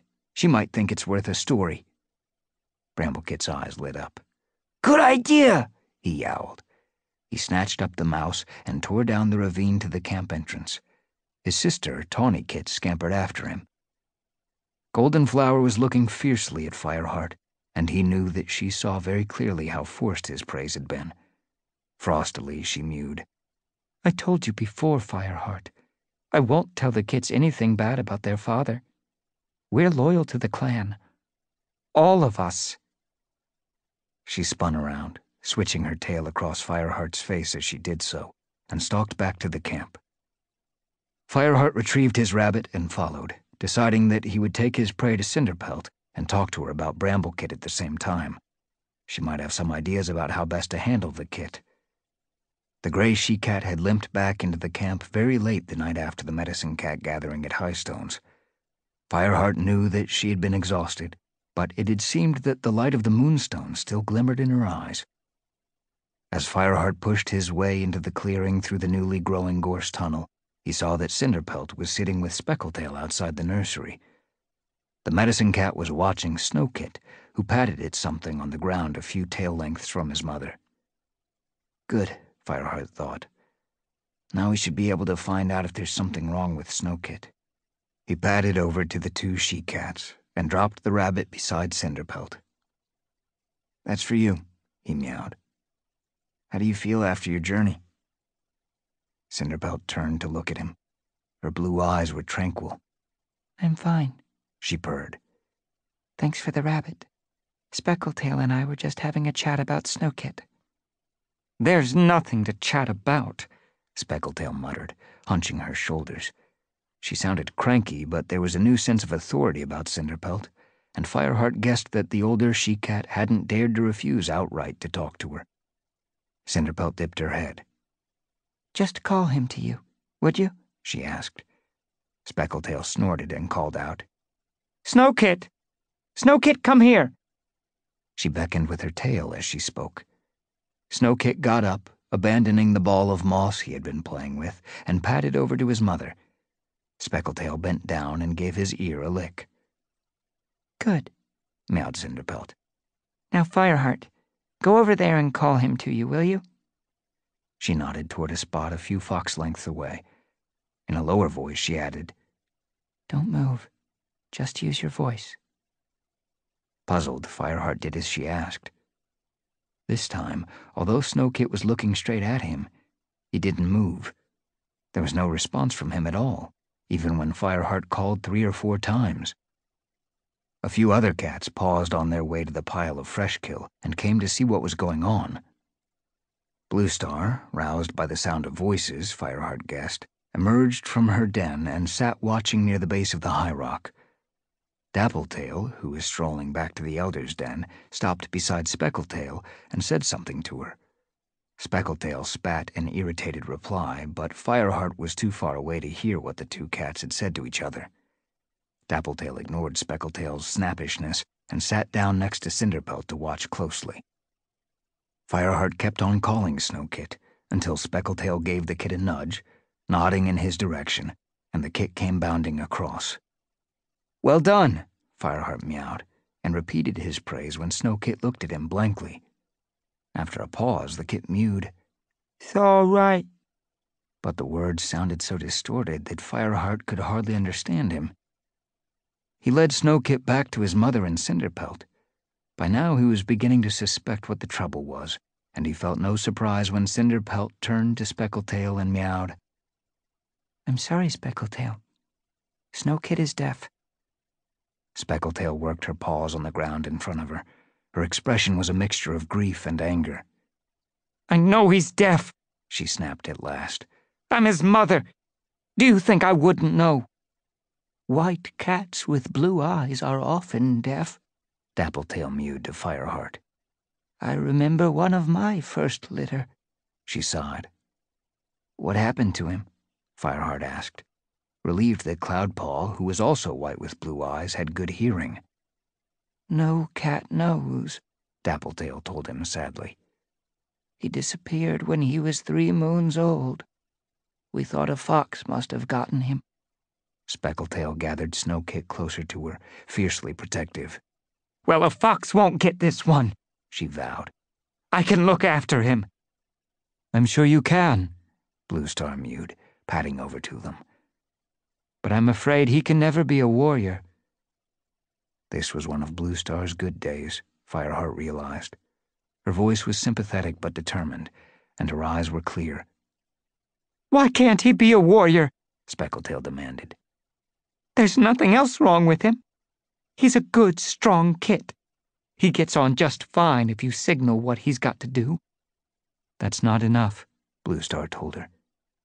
A mentor couldn't teach him to fight or hunt by signals. He couldn't hear commands in a battle. And how could he catch prey if he can't listen or hear the sound of his own paw steps? Speckletail leaped to her paws with her fur bristling, and for a few moments Fireheart thought she might spring at Bluestar. Then she whipped around, nudged Snowkit to his paws, and vanished with him inside the nursery. She's taking it badly, Dappletail remarked. How do you expect her to take it? asked Cinderpelt. She's getting old. This could well be her last kit. And now she learns he can't ever be a warrior. Cinderpelt, you must talk to her, Bluestar ordered. Make her see that the needs of the clan must come first. Yes, of course, Bluestar, Cinderpelt mewed, with a respectful nod to her leader. But I think it's best for her to have a little time alone with Snowkit first, to let her get used to the idea that the rest of the clan knows about his deafness. Bluestar grunted agreement and padded back toward her den.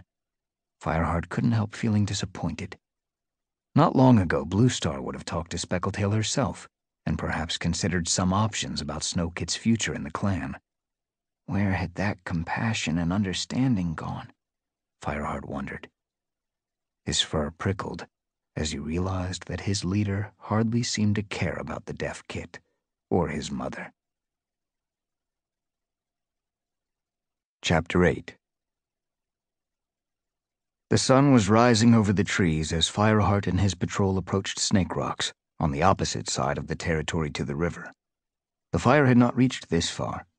The undergrowth was still lush and green, though leaves had begun to fall. Hold on, Fireheart meowed to Thornpaw as the apprentice dashed toward the rocks. Don't forget there are adders around here. Thornpaw skidded to a halt. Sorry, Fireheart. Since Bluestar had refused to make them warriors, Fireheart had made a point of spending time with all the apprentices in turn, including at least one of them in every patrol, in an attempt to show them that the clan still valued them. Swiftpaw's scowl suggested that he was resentful of the delay, but Thornpaw did not seem to mind waiting for full warrior status. Mousefur, Thornpaw's mentor, padded up to him. Tell me what you can smell. Thornpaw stood with his head raised and jaws parted, drinking in the air. Mouse, he mewed almost at once, swiping his tongue around his mouth. Yes, but we're not hunting now, Mousefur reminded him. What else? The Thunderpath over there, Thornpaw gestured with his tail. And dog. Fireheart, who had been lapping water from a hollow in the ground, pricked up his ears. Tasting the air, he realized that Thornpaw was right. There was a strong scent of dog, and it was fresh. That's odd, he commented. Unless the Twolegs were up very early, that scent should be stale. Last night at the latest. He remembered Whitestorm's report of finding trampled undergrowth and scattered pigeon feathers near Snake Rocks. The place had smelled of dog then, but that scent would not have survived for this long. We'd better take a good look around, he meowed. Ordering Thornpaw not to leave his mentor, Fireheart sent the other cats into the trees while he crept closer to the rocks. Before he reached them, he was called back by Mousefur. Come and look at this. Skirting a bramble thicket, Fireheart joined the brown warrior and looked down into a small, steep sided clearing. There was a stagnant pool of greenish water at the bottom, choked with fallen leaves. The sharp scent of crushed ferns reached Fireheart's scent glands, but it was barely noticeable under the overpowering stench of dog. Pigeon feathers were scattered all around, and scraps of fur that might have been squirrel or rabbit. A little way down the slope, Thornpaw sniffed at a pile of dog dung and recoiled with a snort of disgust. Fireheart forced himself to take in every detail of the scene. Two legged dogs didn't usually stay in the forest long enough to leave this many traces, trampling the undergrowth and scattering the remains of prey until the forest reeked like a fox's hole. Seeing it with his own eyes made him realize that something was definitely wrong. What do you think? asked Mousefur. I don't know. Fireheart was reluctant to voice his worries. It looks as if there might be a dog loose in the forest, free from the Twolegs. Was that what those Twolegs were looking for? He wondered, suddenly remembering the three who had come in the monster when he was hunting in Tallpines with Sandstorm. But that had been a long way from here, on the other side of ThunderClan territory. What are we going to do? Thornpaw piped up, looking unusually serious. I'll report it to Bluestar, Fireheart decided. If there is a dog wandering around in our territory, we'll need to do something about it. Maybe we can lead it away somehow. The dog was clearly taking prey that ThunderClan couldn't spare, and Fireheart didn't like to think of what might happen if it met one of the clan warriors face to face. As he turned away from the clearing and led the way back toward the camp, Fireheart could not help feeling that the forest around him had become strangely hostile. He knew every tree and stone, yet there was something in its depths.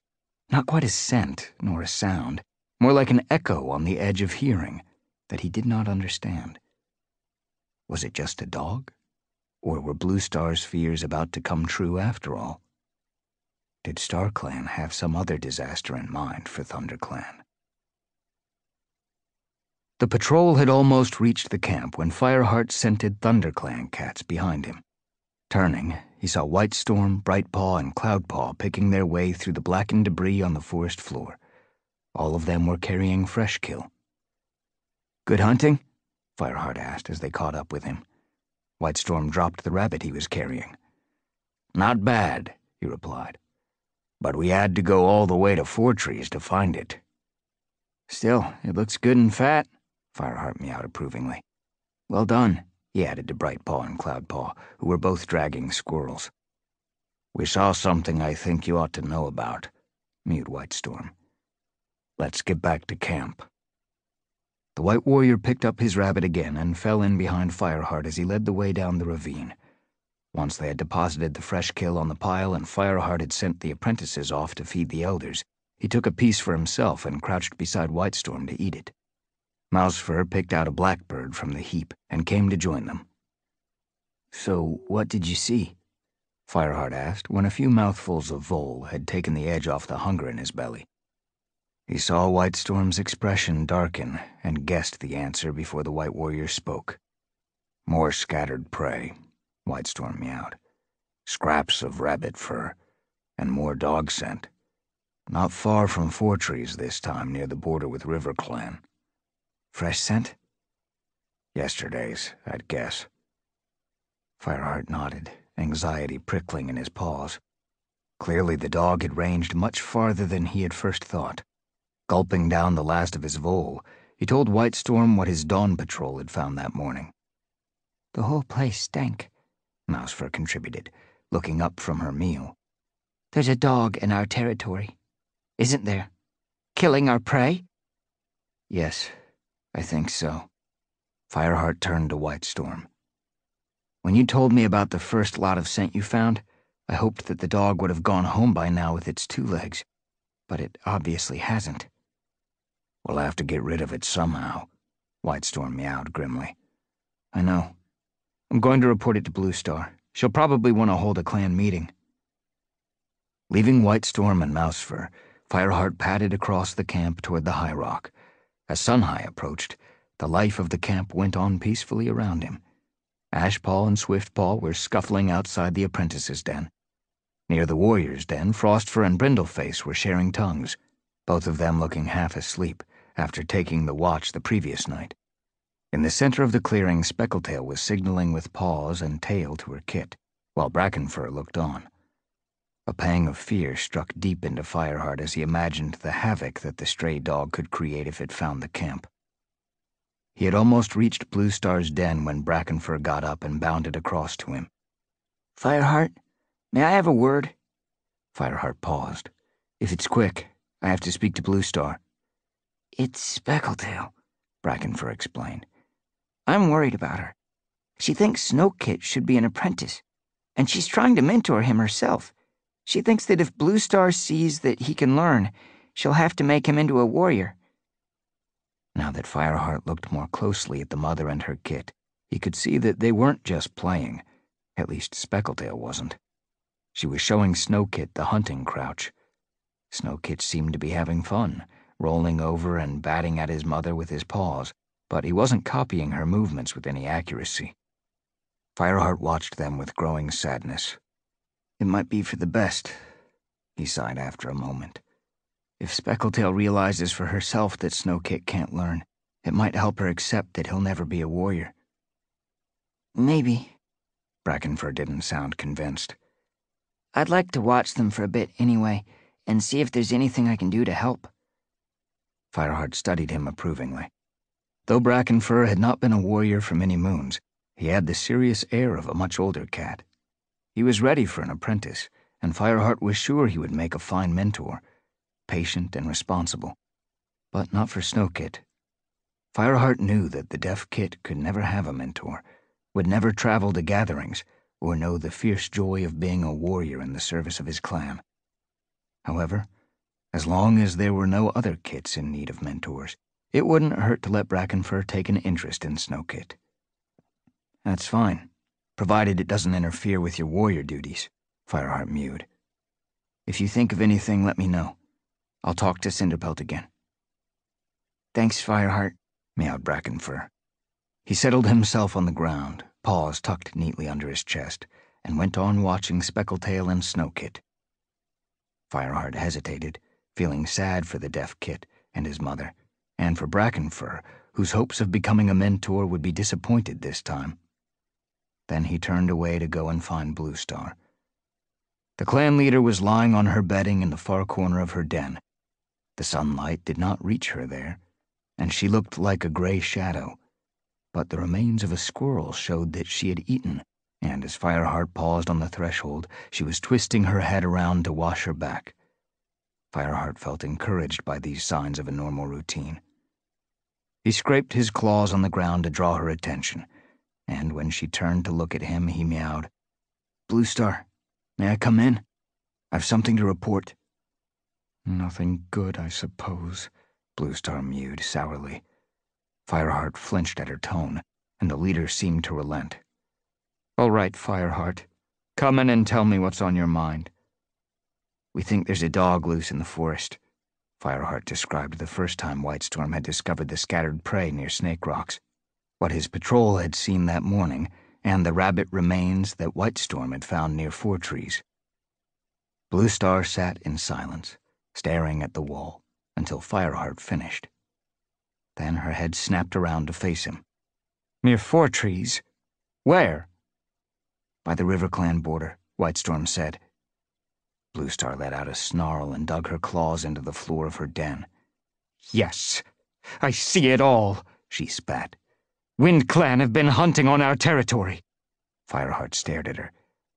I'm sorry, Bluestar, I don't understand. Then you're a fool, Bluestar growled. Suddenly she seemed to relax. No, Fireheart. You are a good and noble warrior. It's not your fault that you can't imagine the treachery of others. What does she mean? Fireheart thought. Has she forgotten that I was the one who told her about Tigerstar? His mind spinning, he realized that this wasn't one of Bluestar's good days. Her eyes were staring and her fur bristling as if rows of enemies stood in front of her. Perhaps, in her confusion, she thought they were. But Bluestar, Fireheart protested, everywhere we found the scraps of prey, we sent a dog. There's no reason to think that other clans are responsible. Mouse brain, Bluestar hissed, her tail lashing from side to side. Dogs don't behave like that. They come here with their Twolegs, and their Twolegs take them away again. Whoever heard of a dog roaming free in the forest? Just because it hasn't happened before doesn't mean it can't happen now, Fireheart meowed desperately. Why do you believe it was WindClan? Can't you see? Bluestar's voice was taut with fury. WindClan warriors were hunting rabbits, and the rabbits must have crossed the RiverClan border by Four Trees. RiverClan's territory is narrow there. The WindClan cats chased their prey across both borders into ThunderClan territory before they caught it and killed it. She spoke with absolute certainty, as if she had witnessed it herself. It's so obvious a kid could see it. Her paws started working again. Well, WindClan had better watch out. Fireheart's heart lurched. It sounded as if Bluestar were planning to attack WindClan. We can't bear any more trouble, he thought despairingly. An image popped into his head of Tigerstar on his way to visit Crookedstar and Leopardfur. With a possible alliance in the air between RiverClan and ShadowClan, the last thing they needed right now was a war with WindClan. You may be right, Bluestar, he admitted diplomatically. But we shouldn't blame WindClan without any real proof. It could have been RiverClan, couldn't it? Nonsense! Bluestar's voice was scornful. The cats of RiverClan would never cross a border in pursuit of prey. They know the warrior code better than that. Have you forgotten how they helped us in the fire? We would all have been burned or drowned if not for RiverClan. Yes, and Leopardfur won't let us forget it in a hurry, Fireheart added silently. He couldn't help thinking that RiverClan might believe a few rabbits were only the beginning of payment for their help. Fireheart shook his head to clear it. There was no point in trying to blame RiverClan. He knew what sense he had picked up. A dog was responsible for the scattered prey, and he had to make Bluestar see that. Bluestar, I really think, he began. Bluestar dismissed his words with a sweep of her tail. No, she insisted. It was you, Fireheart, who came to me after the last gathering and told me how Tallstar welcomed Tigerstar as leader of ShadowClan. Hardly welcomed, Fireheart tried to protest but Bluestar ignored him. Have you forgotten how WindClan warriors stopped me from traveling to Highstones? And how they attacked you when you brought Cloudpaw home? They show no gratitude, none, for what ThunderClan did for them when you and Graystripe brought them home from exile. Tallstar is working with StarClan against me. He has allied himself with my greatest enemy, and now he and his warriors invade my territory. He's a disgrace to the name of warrior. He. Her eyes were wild and her voice sank to a rough choking, as if she could hardly get the words out. Thoroughly alarmed, Fireheart started to back out of the den. Bluestar, don't, he begged. You've been ill. This is bad for you. I'm going to fetch Cinderpelt. But before he could leave, a loud yowling broke out from the clearing. It was the sound of many cats raising their voices in a terrible screech of fear. Fireheart spun around and raced out of Bluestar's den. The center of the clearing was almost deserted, bathed in bright light where the normally leafy cover had been burned away. Cats crouched around the edges in the scant shelter of the charred fern walls. Fireheart caught a glimpse of Goldenflower and Willowpelt pushing their kits into the nursery. Brackenfur was nudging a couple of the elders toward their den, urging them to hurry. The cats at the edge of the clearing were staring up at the sky their eyes huge with fear. As he looked upward, Fireheart heard the beating of wings and saw a hawk circling above the trees, its harsh cry drifting on the air. At the same time, he realized that one cat had not taken shelter. Snowkit was still tumbling and playing in the middle of the open space. Snowkit! Speckletail yowled desperately. She was just emerging from behind the nursery, the place where the queens went to make dirt and she darted toward her kit as soon as she realized what was happening. In the same heartbeat, the hawk plunged down toward the clearing. Snowkit screamed as the cruel talons fastened onto his back. The great wings flapped. Fireheart raced forward, but Speckletail was faster still. As the hawk lifted off, she sprang upward and snagged her claws in the white kit's fur. For a couple of agonizing moments, both cats dangled from the hawk's claws. Fireheart launched himself into the air, but they were too high. Then the hawk released the kit with one foot and scored its talons across Speckletail's face. The she cat lost her grip and fell back, landing heavily on the ground. Without her weight, the hawk mounted rapidly to treetop height and flew off toward Four Trees. Snowkit's terrified crying died away. No! Speckletail threw her head back and let out a yowl of pure desperation. My kit! Oh, my kit! Brackenfur dashed past Fireheart, leaping the camp wall at a place where the rebuilding had barely started, and vanished into the forest. Even though Fireheart knew the pursuit was hopeless, he swung around and caught the eye of the nearest cat. Swiftpaw, go with him! Swiftpaw opened his mouth to protest, clearly aware that the pursuit would be hopeless, then closed it again and took off after Brackenfur. The rest of the cats, stunned by shock, gradually crept out into the clearing again and formed a ragged circle around Speckletail. He couldn't hear, Sandstorm murmured, touching her nose to Fireheart's cheek. He couldn't hear the hawk, and he couldn't hear us when we tried to warn him. It's my fault, Speckletail wailed. I left him, and now he's gone. The hawk should have taken me instead. Sandstorm moved closer to the tabby queen, pressing herself comfortingly against her side, and Cinderpelt came up and gave her ears a gentle lick. Come to my den, she mewed softly. We'll look after you. We won't leave you. But Speckletail refused to be comforted. He's gone, and it's my fault, she whimpered. It's not your fault, meowed Bluestar. Fireheart turned to see his leader pacing toward them. The broad shouldered gray she cat looked strong and determined, more like a warrior than any of the other cats, crushed as they were by the tragedy of Snowkit's loss.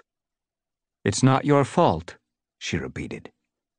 Whoever heard of a hawk that dared to swoop down and take a kit from the middle of a camp with so many other cats around? This is a sign from StarClan. I cannot deny the truth any longer. Bluestar gazed at her shocked assembled clan, and her voice vibrated with anger. StarClan is at war with ThunderClan. Chapter 9 As her clan stared at her in horror, Bluestar spun around and stalked away to her den. Fireheart took a pace after her, but without turning her head, she snapped, Leave me alone! There was so much venom in her voice that Fireheart stopped in his tracks. What am I supposed to do now? he asked himself. He could see that the clan was on the edge of panic. The shock of the Hawk's attack and Bluestar's interpretation of it was turning them into frightened kits. His own legs were shaking, but he pushed his fears away and sprang onto the high rock. Listen, he called. Gather around, all of you. Gradually, the cats obeyed him creeping into a huddle at the base of the rock. Several of them glanced fearfully up at the sky, as if they expected the hawk to return. Fireheart noticed Fernpaw pressing close to Dustpelt, and Longtail crouched on the ground as if he thought StarClan were going to start raining fire on them there and then. And then, Fireheart spotted Cloudpaw. The apprentice was gazing around in bewilderment. What's all the fuss about? he meowed to Brightpaw. Every cat knows StarClan is just a tale for kids. They can't really do anything to us. Brightpaw faced him with shock in her eyes. Cloudpaw, that's not true, she exclaimed. Come on. Cloudpaw gave her an affectionate flick with his tail. You don't really believe that load of thistledown, do you? He showed his indifference by sitting down and giving his paws a thorough wash. Fireheart stared down at his apprentice with cold dread chilling the blood in his veins. He had known for a long time that Cloudpaw had no respect for the warrior code, but he had not realized that his apprentice did not believe in StarClan at all. On the other side of the clearing, Cinderpelt and Brindleface were gently guiding Speckletail in the direction of Cinderpelt's den. Cinderpelt stopped, mewed something rapidly to Brindleface, and came limping back toward the rock. I think you might need me, Fireheart, she mewed. But make it quick. I have to take care of Speckletail. Fireheart nodded. Cats of ThunderClan, he began, raising his voice. We've just seen something terrible. No cat can deny that. but we have to be careful about what meaning we give to this tragedy. Cinderpelt, is Bluestar right? Does this mean that StarClan has abandoned us? Cinderpelt spoke up clearly from where she sat at the base of the rock. No, She meowed. StarClan hasn't shown me anything to suggest this. The camp is more exposed since the fire, so it's not surprising that the hawk could see its prey.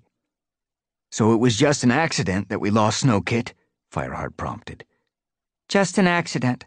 Cinderpelt repeated. Nothing to do with StarClan. Fireheart saw the clan begin to relax and realized that Cinderpelt's certainty had reassured them. The cats still looked shocked and grief stricken that Snowkit had been snatched away, but the wild stares of panic were fading. But along with his relief came the worry that once the clan had recovered from their shock, they would start asking themselves why Bluestar had gone so far as to declare war on their warrior ancestors in StarClan. Thank you, Cinderpelt, Fireheart meowed. Cinderpelt flicked her tail and limped quickly toward her den. Fireheart took a step forward on top of the rock and gazed down at the upturned faces. There's something else I need to tell you, he began. He wasn't at all sure he should be saying this since Bluestar insisted that WindClan was responsible for the dead rabbits, but with the safety of the clan at stake, he couldn't keep silent. We think there's a loose dog on ThunderClan territory. We haven't seen it, but we've scented it at Snake Rocks and near Fourtrees. An anxious murmur rose from the cats, and Sandstorm called out, What about the dogs at the farm beyond WindClan territory? Maybe it's one of those. Maybe, Fireheart agreed, remembering how the savage creatures had chased him and Sandstorm while they were searching for Cloudpaw. Until it goes away again, he went on, we all have to be especially careful. Apprentices mustn't go out without a warrior, and all cats who leave camp have an extra duty. Look for traces of this dog, scent, paw marks, scattered scraps of prey. And dung. Mousefur put in. The filthy creatures never think of burying it. Right, meowed Fireheart. If you come across anything like that, report it to me right away. We need to find out where the dog has made its den. As he gave his orders, he did his best to hide his growing sense of dread. He could not stifle the feeling that the forest was watching him, concealing a deadly enemy somewhere among the trees. At least the threat from Tigerstar was a straightforward fear of attack from a known enemy. This hidden dog was another matter, unseen and unpredictable. Dismissing the clan, Fireheart leaped down from the high rock and made his way toward Cinderpelt's den. On the way, he spotted Brackenfur limping back into the camp, with Swiftpaw just behind him. The ginger warrior's fur was torn where he had forced his way through briars and undergrowth in his pursuit of the hawk. One look at his lowered head and dejected expression told Fireheart all he needed to know, but he waited for Brackenfur to come up and make his report. I'm sorry, Fireheart. We tried to keep up, but we lost it. You did your best, Fireheart replied, pressing his head against the younger warrior's shoulder. There was never much hope. A waste of time and effort right from the start, Swiftpaw growled, though his eyes betrayed his frustration at their failure to save the kit. Where's Speckletail? asked Brackenfur. With Cinderpelt. I'm just going to check on her. You two help yourself to fresh kill, and then get some rest. He waited to see that the two cats obeyed his order before continuing to Cinderpelt's den. Sandstorm fell into step beside him. When they reached the clearing outside the medicine cat's den, they found Speckletail lying there with Brindleface crouched beside her, licking her gently. Cinderpelt emerged from the cleft in the rock, carrying a folded leaf in her mouth, which she set down on the ground in front of Speckletail. Poppy seeds, she mewed. Eat them, Speckletail, and they'll make you sleep. At first, Fireheart thought Speckletail had not hurt her. Then she half sat up, turned her head, and slowly licked up the poppy seeds from the leaf. I'll never have any more kids, she mewed, her voice hoarse. I'll be going to join the elders now, and they'll welcome you, Sandstorm murmured, crouching beside the older cat as the poppy seeds took effect and her head gradually lowered into sleep.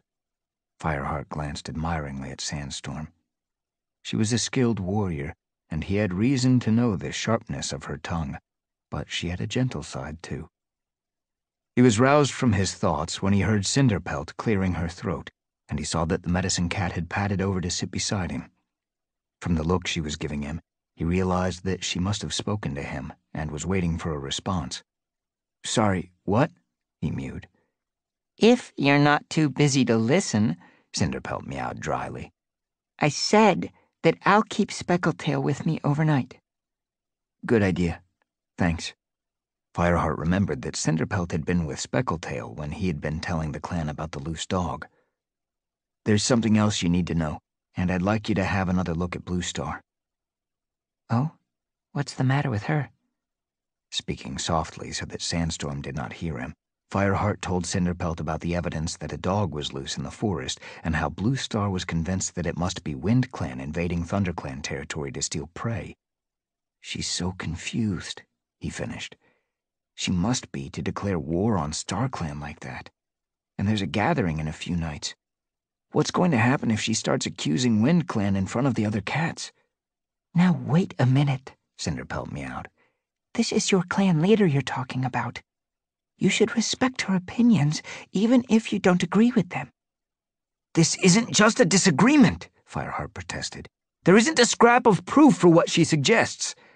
His raised voice made Sandstorm prick up her ears as she lay beside Speckletail, and he lowered it again as he added, Bluestar was a great leader.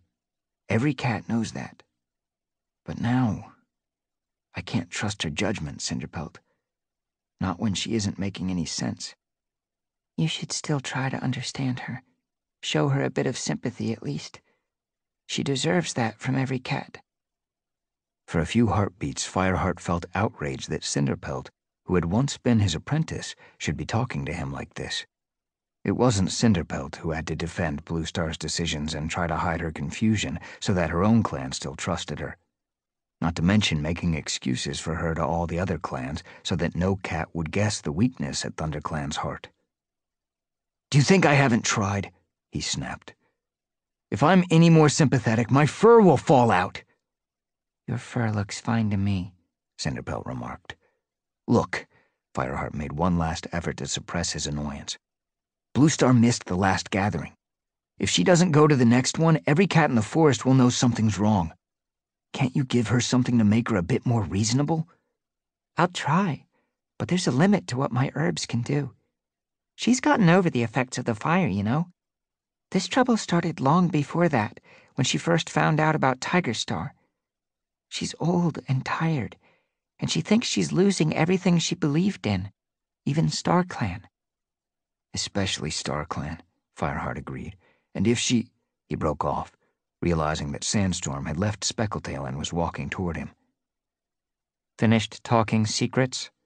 She mewed with an edge to her voice. Flicking her tail toward Speckletail, she added, She's asleep. I'll leave her to you, Cinderpelt. Thanks for your help, Sandstorm. Both she cats were being very polite to each other, but somehow Fireheart felt it wouldn't take much for them to unsheath their claws. He wondered why, then decided he didn't have time to worry about petty squabbles. We'll go and eat then, he meowed. And afterward, you need to rest, Sandstorm told him. You've been on your paws since dawn. She gave him a nudge, propelling him toward the main clearing. Before he had taken more than a couple of paces, Cinderpelt called after him. Send some fresh kill for me and Speckletail? If you've got time, that is. Of course I've got time. Fireheart felt completely baffled by the tension that had chilled the air. I'll see to it right away. Good. Cinderpelt gave him a curt nod, and Fireheart felt her blue gaze trained on his back all the way across the clearing. Chapter 10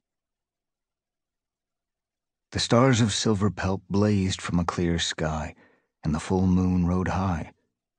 Fireheart crouched at the top of the hollow leading down to Fourtrees. Beneath the four great oaks, the ground was carpeted with fallen leaves glittering in the first frost of leaf fall. Black shapes of cats moved to and fro against the pale shimmer.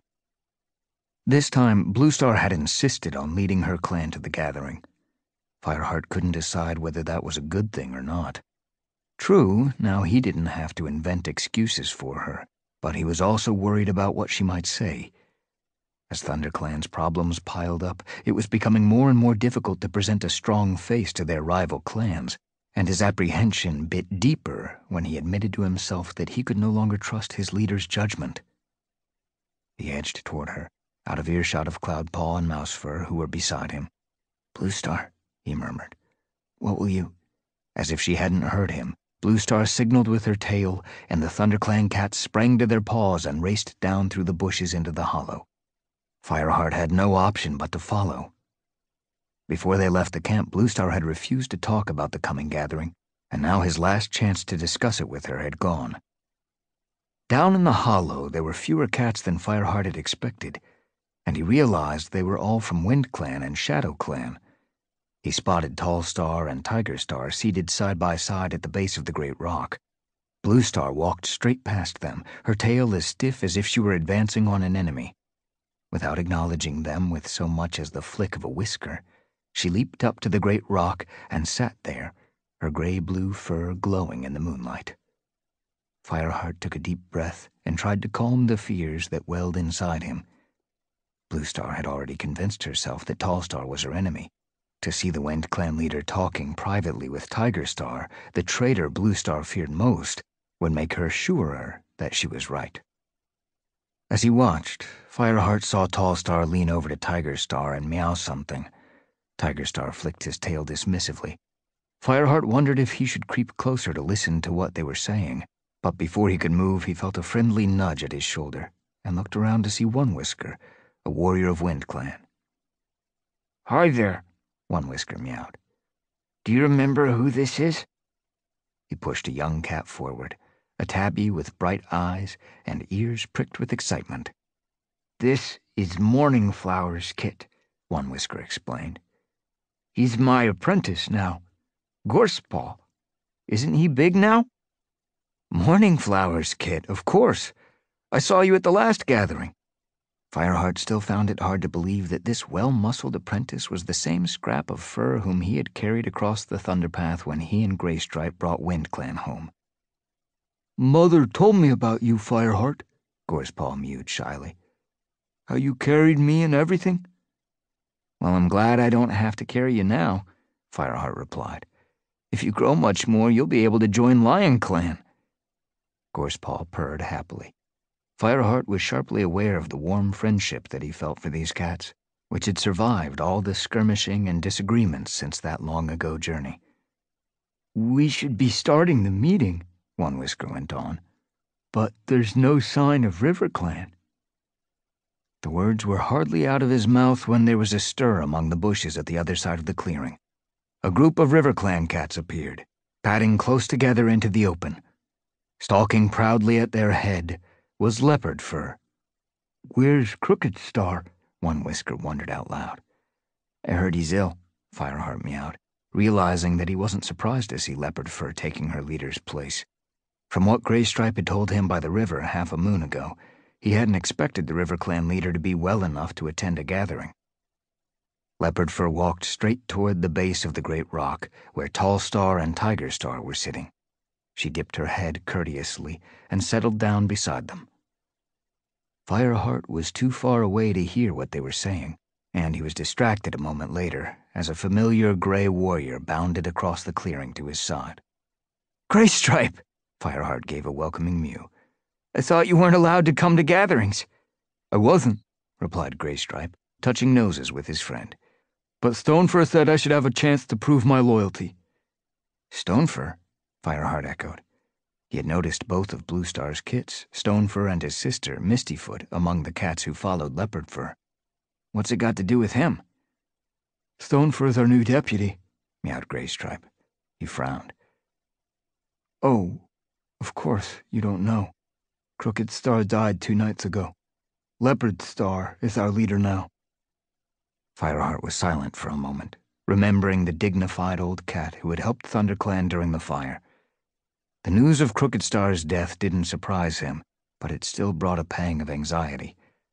Leopardstar would be a strong leader, good for RiverClan, but she had no love for ThunderClan. She's already started to reorganize the clan, even though it's barely a day since she went to the Moonstone to speak with StarClan. Graystripe went on, pulling a face. Supervising the apprentice training, ordering more patrols, and. He broke off, his paws working on the ground in front of him. Graystripe! Fireheart was alarmed at his friend's clear agitation. What's the matter? Graystripe lifted anguished yellow eyes to gaze at his friend. There's something you ought to know, Fireheart. He took a quick glance around to make sure no RiverClan cats were within earshot.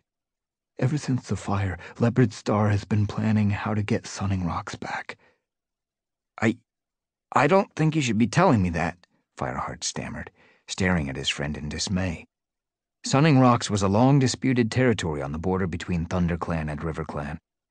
Oakheart and the former ThunderClan deputy Redtail had both died in battle over it.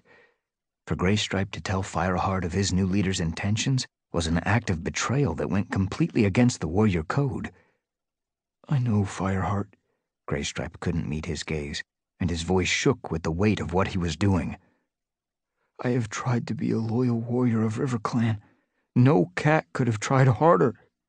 His voice was rising in desperation, but with a huge effort he managed to control himself and go on in a lower voice.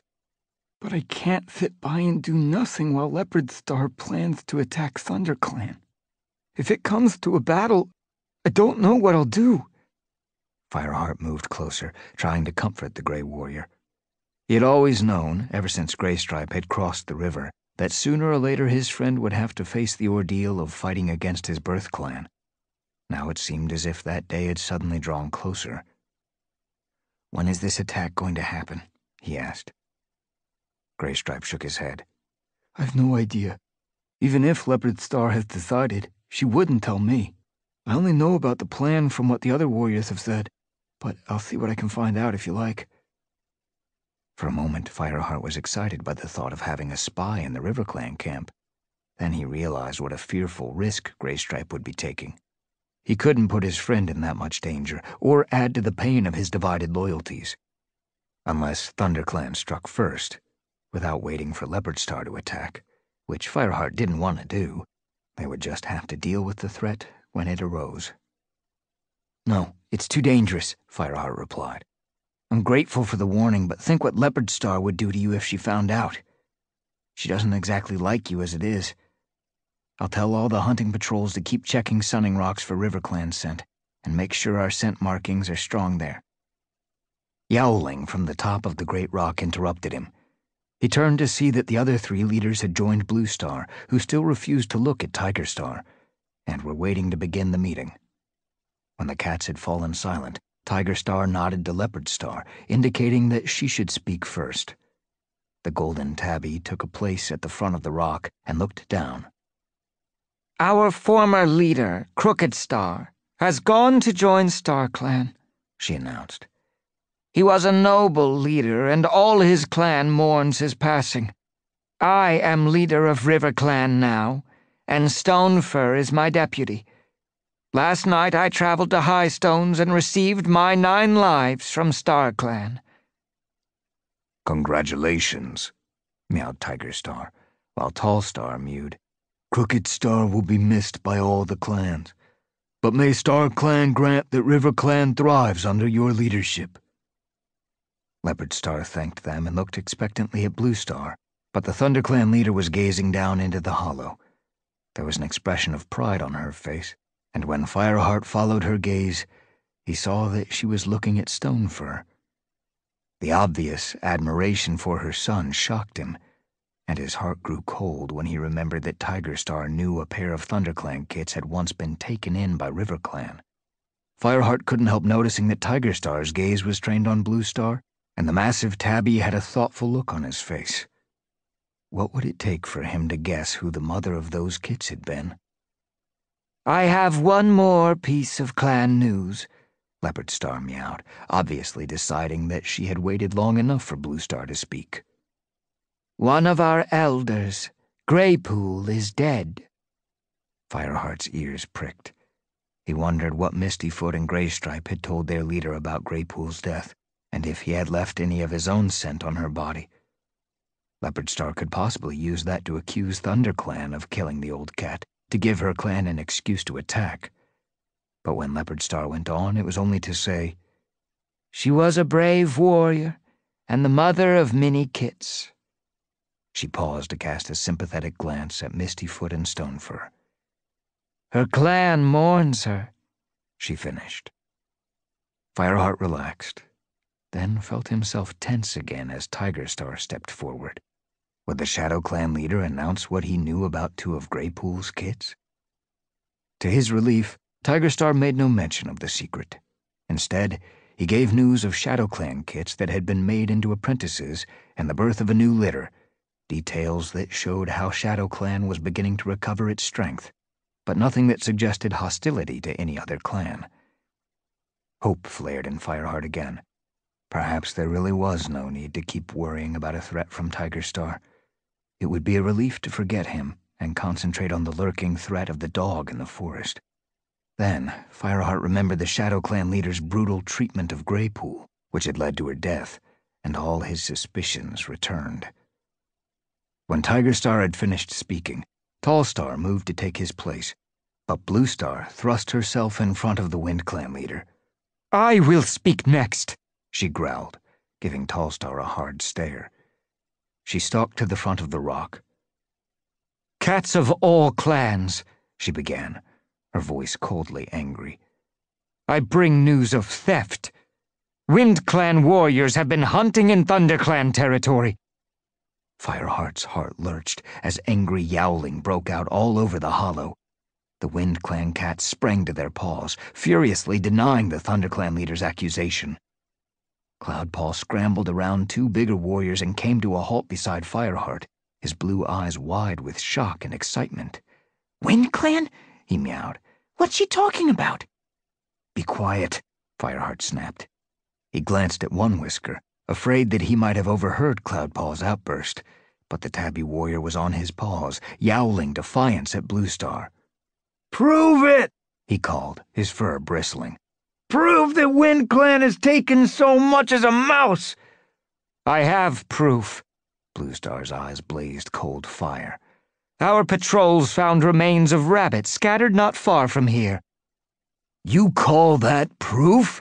Tallstar shouldered his way forward to stand nose to nose with Bluestar. Did you see my cats on your territory? Did your patrols find WindClan scent? I don't need to see or smell thieves to know what they have done, Bluestar retorted. Every cat knows that only WindClan hunts rabbits. Fireheart's muscles tensed, and he instinctively unsheathed his claws. All this is a pile of mouse dung, Tallstar insisted. His black and white fur was fluffed out, and his lips were drawn back in a snarl. WindClan has lost prey as well. We have found rabbit remains on our territory, too and there are far fewer rabbits than usual at this season. I accuse you, Bluestar, of letting your warriors hunt on our land and making false accusations to cover up the theft. That seems far more likely, Tigerstar put in, his amber eyes gleaming. Every cat knows that prey has been scarce on ThunderClan territory since the fire. Your clan is hungry, Bluestar, and some of your warriors know WindClan territory very well. Fireheart felt the ShadowClan leader's gaze rest on him, and knew Tigerstar meant him and Graystripe. Bluestar whipped around to face the ShadowClan leader. Silence! she hissed. Stay away from me and my clan. This is no business of yours. It is the business of every cat in the forest, Tigerstar replied calmly. The gathering is supposed to be a time of peace, if StarClan is angered, we will all suffer. StarClan! Bluestar spat back at him. StarClan has turned away from us, and I will fight them if I have to. I care only for feeding my clan, and I will not stand by while other cats steal our prey. Her speech was almost drowned by the shocked gasps of the cats listening below. Fireheart couldn't help glancing up to see if StarClan would show their fury by sending a cloud to cover the moon and end the gathering as they had done once before. But the sky remained clear. Did that mean StarClan had accepted Bluestar's declaration of war? Graystripe nudged him. What's the matter with Bluestar? Does she want to pick a fight with WindClan? And what's all this about fighting StarClan? I don't know what she wants, Fireheart muttered. I think she's right about the rabbits, and who cares what a stupid old tradition says about keeping the peace at the gatherings, meowed Cloudpaw. Let's face it, StarClan was just thought up by some leader to scare the other cats into being obedient. Fireheart shot his apprentice a disapproving glance, but there was no time to discuss his attitude toward their warrior ancestors. His heart thudded as if he were about to leap into battle. There was no way of hiding Bluestar's madness, and ThunderClan's vulnerability, from the other clans now. Tallstar bristled with fury. So far, Leopardstar had not joined in the argument, but she wore the expression of a cat who was about to sink her teeth into a juicy piece of fresh kill. When the noise in the hollow had died down, Tallstar made himself heard. Bluestar! I swear by StarClan that no cat from WindClan has hunted on your territory. His tail lashed from side to side. But if you insist on fighting with us, we will be ready. He retreated from the edge of the rock and turned his back on Bluestar, a pointed refusal to defend himself any further. Before Bluestar could retaliate, Leopardstar stepped forward. The fire was a terrible misfortune, she meowed. Every cat in the forest knows that, but yours is not the only clan to suffer recently. Your forest will grow back as rich in prey as it ever was. But Twolegs have invaded our territory, and they show no signs of leaving. Last leaf-bare, the river was poisoned, and cats who ate the fish fell ill. Who can guarantee it won't happen again? I cannot speak for WindClan's needs, but RiverClan needs better hunting ground, even more than ThunderClan. A few RiverClan cats yowled their agreement and Fireheart's fur bristled with apprehension. He shot a glance at Graystripe, remembering his friend's warning about Sunning Rocks. The new RiverClan leader meant to expand her territory, and the logical direction was across the river into ThunderClan land. The gorge cut her off from WindClan territory, and all her other borders were bounded by Twoleg farms. But Bluestar had not understood the veiled threat. When the RiverClan leader fell silent, she dipped her head graciously. You're right, Leopardstar, she meowed. RiverClan has endured hard times.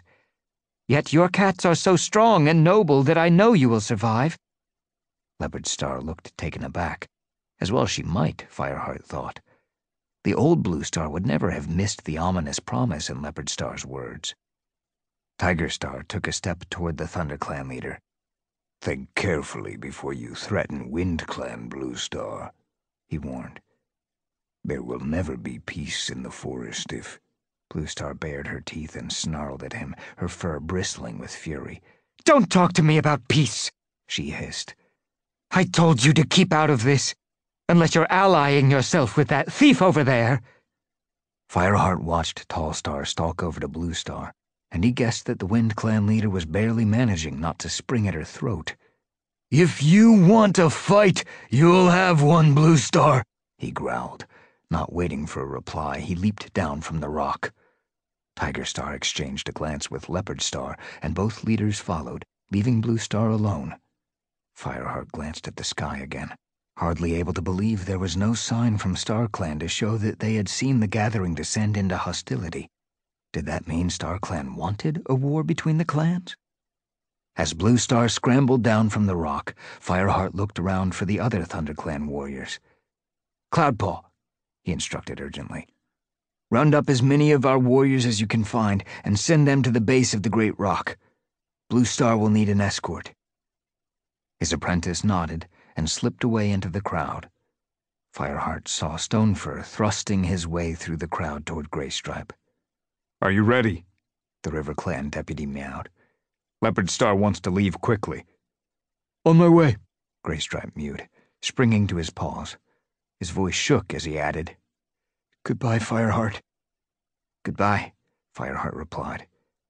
There was so much more he wanted to say, but once again he had to face the fact that his best friend belonged to another clan, and the next time they met could be in battle. Before the two RiverClan cats turned away, he sought desperately for the right words to speak to Stonefur. Congratulations, he stammered at last. I was glad to hear Leopardstar chose you as deputy. ThunderClan doesn't want trouble, you know. Stonefur met his eyes. Nor do I, he meowed. But sometimes trouble comes anyway. Fireheart watched them as they headed for the edge of the clearing, and noticed with a jolt that another cat had his gaze fixed on the RiverClan deputy. It was Tigerstar. Fireheart wondered what his thoughtful look meant. Was the ShadowClan leader sizing up a future ally? Or could he possibly suspect that the Tom was one of the kits Graypool had told him of, the kits that came from ThunderClan? After all, it was common knowledge that Stonefur and Mistyfoot had been raised by Graypool. If so, it wouldn't be long before Tigerstar realized who their real mother was. Both Stonefur and Mistyfoot looked very much like Bluestar. Fireheart was so preoccupied that it was a few moments before he realized that the cat sitting in the shadows beside Tigerstar was Darkstripe. He told himself that it was only natural for Tigerstar's oldest friend to seek him out at a gathering, but Fireheart didn't like it. He still wasn't sure of Darkstripe's loyalty. Springing to his paws, he pushed through the cats toward them. As he approached, he heard Tigerstar meow to his companion. Are my kits well? Very well, the ThunderClan warrior replied warmly. Growing big and strong, especially young Bramblekit. Darkstripe, Fireheart interrupted him. The gathering's over, or hadn't you noticed? Bluestar will want to leave shortly. Keep your fur on, Fireheart. Darkstripe's voice was an insolent drawl. I'm coming. Go on, Darkstripe. You mustn't keep your deputy waiting, meowed Tigerstar. He nodded to Fireheart. His amber gaze was carefully neutral. Fireheart padded across the clearing to join Bluestar with Darkstripe just behind him. The rest of her warriors were clustered around her, shielding her from the hostile glares and mutterings of WindClan. Her blue eyes still glowed with defiance, and Fireheart realized with a sinking heart that war between the two clans could not be far away. Chapter 11 the sun was rising over the trees as Fireheart emerged from the warrior's den.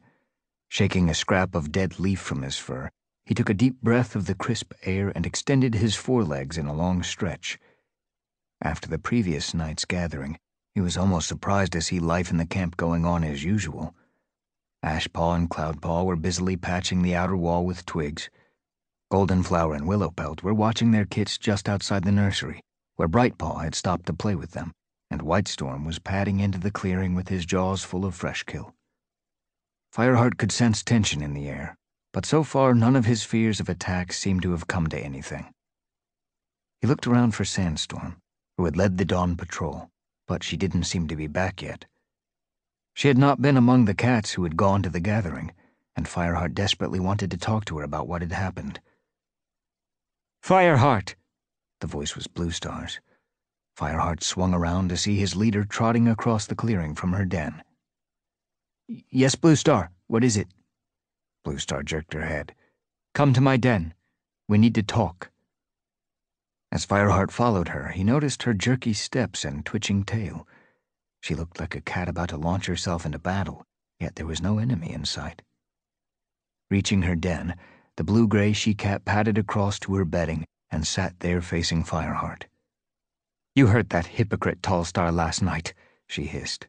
He refused to admit that his cats have been stealing our prey. So there's only one thing for ThunderClan to do. We must attack.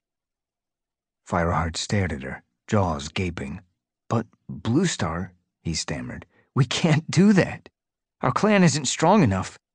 He couldn't help remembering that they would have had four extra warriors by now if Bluestar had agreed to promote the apprentices, but he didn't dare mention that to her. We can't afford to have warriors injured or maybe killed. Bluestar fixed her eyes on him in a look of fierce hostility. Are you saying that ThunderClan is too weak to defend itself? Defending ourselves is very different from launching an attack, Fireheart meowed desperately. Besides, there's no real proof that WindClan stole. Bluestar bared her teeth. Her fur bristled as she rose to her paws and took a threatening step toward Fireheart. Are you questioning me? she snarled. With an effort, Fireheart stood his ground. I don't want needless bloodshed, he told her quietly. All the signs tell us that there's a dog loose in the forest, and that's what has been taking the rabbits. And I tell you that dogs don't wander alone. They come and go with their Twolegs. Then where did the dog scent come from? Silence! Bluestar lashed out with one paw, barely missing Fireheart's nose. He forced himself to stand still. We will travel tonight and attack WindClan at dawn. Fireheart's heart lurched. It was an honor for a warrior to fight for his clan, but never before had he been faced with such an unjust battle. He did not want to shed ThunderClan or WindClan blood for no good reason. Did you hear me, Fireheart? Bluestar demanded. You will choose the warriors and give them their orders. They must be ready by moonset. Her eyes were blue flames. Fireheart almost felt they could sear him to ash, just as the fire had destroyed the forest. Yes, Bluestar, but, he began. Are you afraid of WindClan? The old leader spat. Or are you so used to cringing before StarClan that you won't defy them and fight for the rights of your clan? She paced to one side of her den, spun around and paced back again, thrusting out her muzzle toward her deputy. You disappoint me, you out of all my warriors. How can I believe you will fight with all your strength when you question my order like this? she hissed. You leave me no choice, Fireheart. I will lead this attack myself. Objections raced through Fireheart's mind. Bluestar was growing old and losing strength. She was on her last life. She wasn't thinking clearly. But in the face of her fury, he could voice none of them. Instead, he dipped his head respectfully. If you wish, Bluestar. Then go and do as I ordered. She kept that fiery gaze trained on him as he backed out of the den. You will come with us, but remember that I will be watching you, she growled after him. In the clearing outside, Fireheart shivered as if he had just dragged himself out of icy water. His duty was to choose the warriors for the attack on WindClan and tell them what Bluestar had ordered so that they would be ready to leave after moonset. Yet every hair on his pelt protested against this. A dog had stolen the rabbits, not WindClan. It could not be the will of StarClan to attack an innocent clan. Bluestar was simply wrong. Fireheart found that his paws were taking him to Cinderpelt's den. Perhaps she could advise him. The medicine cat's wisdom and her special bond with StarClan might help her to see the way forward more clearly than he could. But when he reached Cinderpelt's clearing and called out to her, there was no reply.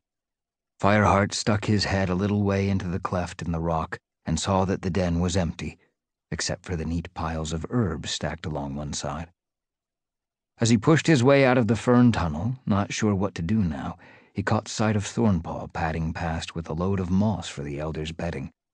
The apprentice dropped his burden when he saw the deputy and meowed. Cinderpelt's out collecting herbs, Fireheart. Where? Fireheart asked. If she was near the camp, he could go and find her. But Thornpaw shrugged. Dunno, sorry. He picked up the moss and went on. Fireheart stood motionless for a few moments, his head spinning with fear and confusion. He could not ask any of the other cats for advice, because a deputy should never question his leader's orders. He could not even talk to Sandstorm, much as he wanted to, because she was bound by the warrior code to obey her leader. There was only one hope left. Slowly he padded back to the warrior's den, meeting Brindleface on her way out.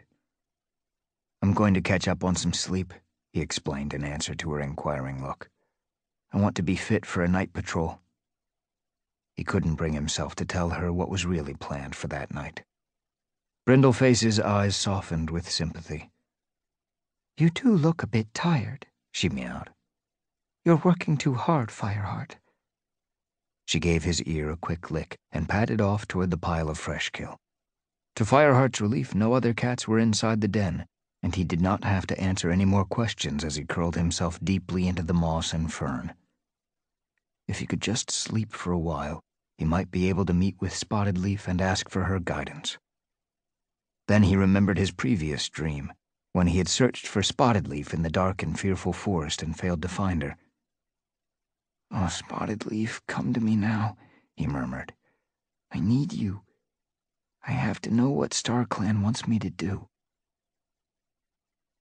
Fireheart found himself standing on the border of WindClan territory and looked across the stretch of bare moorland.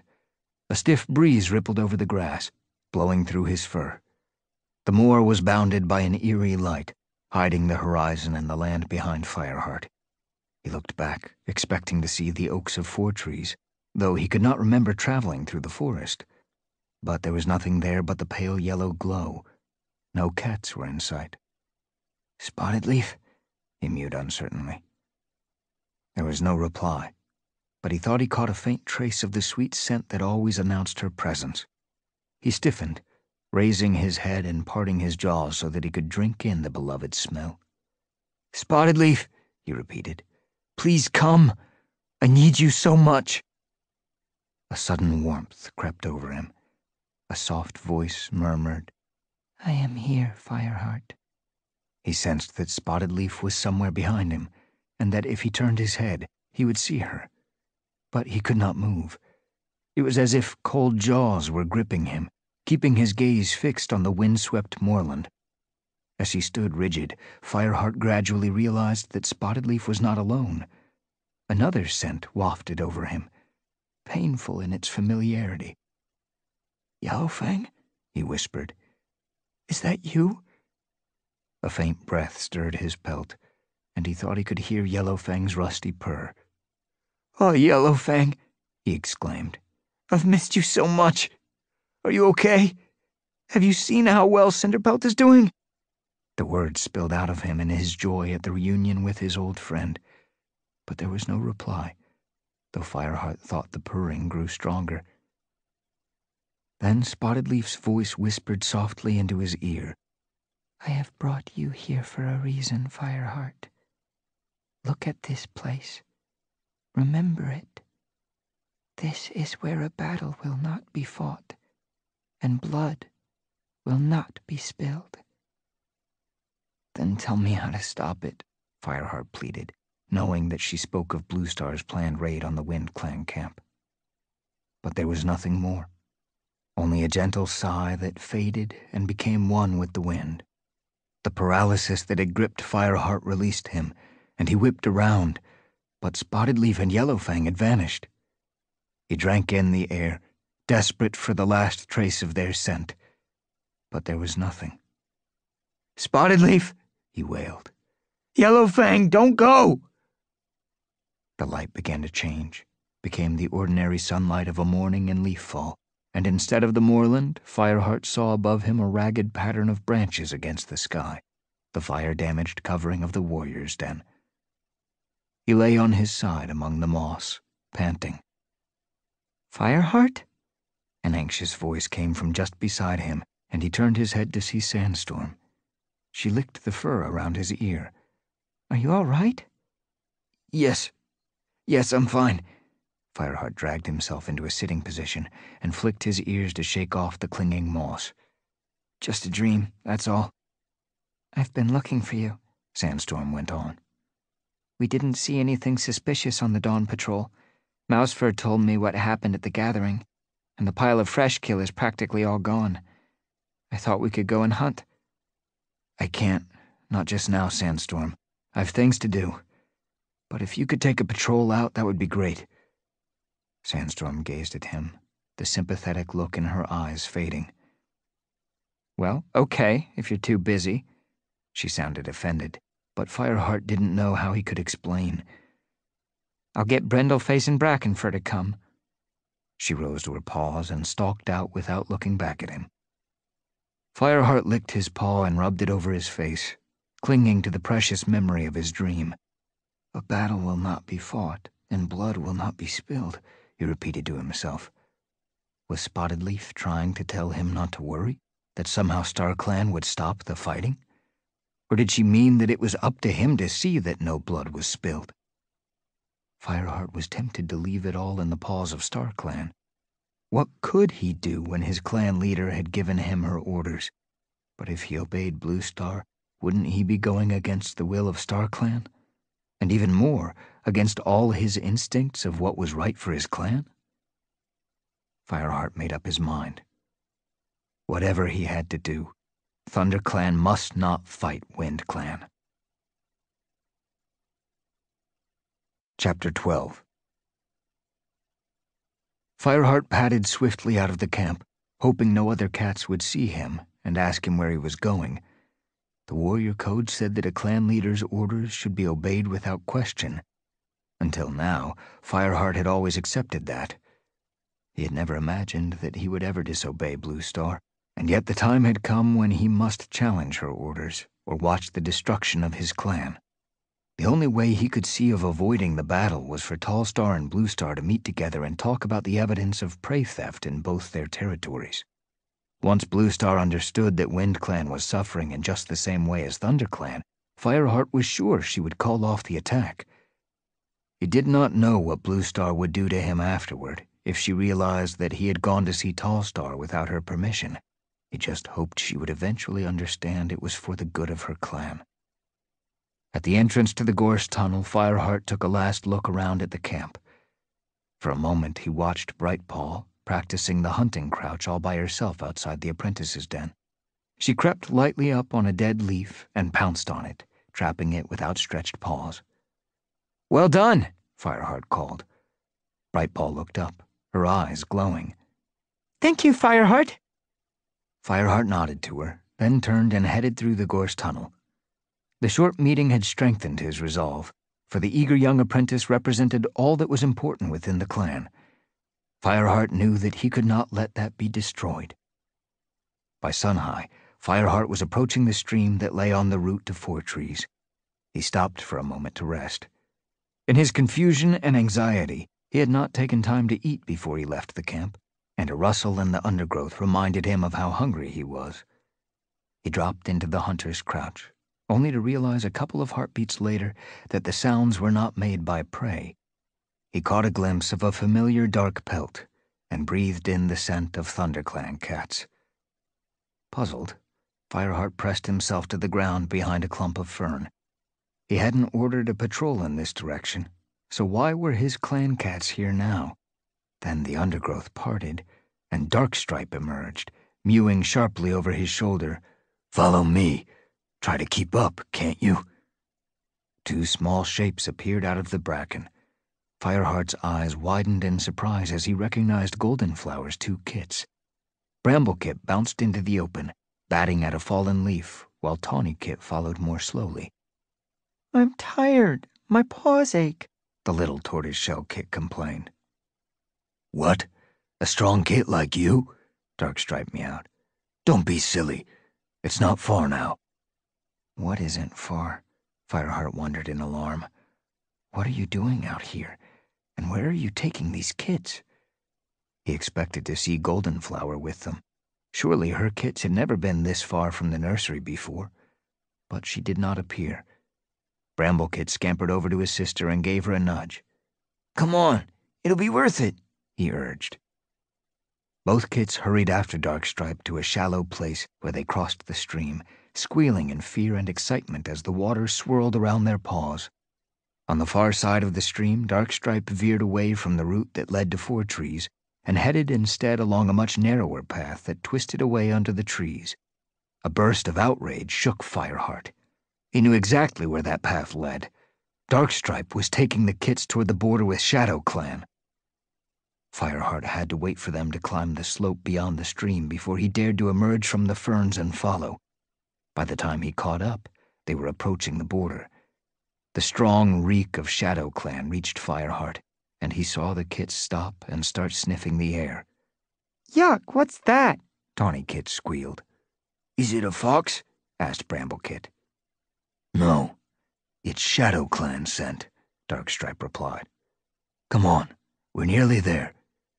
He led the kits across the border. Tawnykit complaining that she was getting the horrid scent all over her paws. Growing angrier still, Fireheart slid into the shelter of a hawthorn bush just on the ThunderClan's side, where he could watch without being seen. Close by, Darkstripe had come to a halt. The kits flopped down on the grass, exhausted, only to spring to their paws again a moment later when a clump of bracken rustled and another cat stepped into the open. The newcomer was Tigerstar. Fireheart froze. though he was hardly surprised. He had guessed that Darkstripe had been hoping to curry favor with Tigerstar by bringing his kits to see him, but the ShadowClan leader's prompt appearance suggested that this meeting had been arranged all along. Fireheart wondered if Goldenflower knew about this. She was not here with her kits, so perhaps she didn't even know that Darkstripe had taken them away. She might just think they had gone missing. She must be frantic, Fireheart thought. He tensed his muscles, ready to leap out and confront Darkstripe but he stayed in his hiding place and made himself concentrate on what was happening in front of him. Tigerstar padded forward, the muscles rippling under his dark tabby pelt, until he stood in front of his two kits. For a moment he inspected them, and then bent his head to touch noses, first with Bramblekit and then with Tawnykit.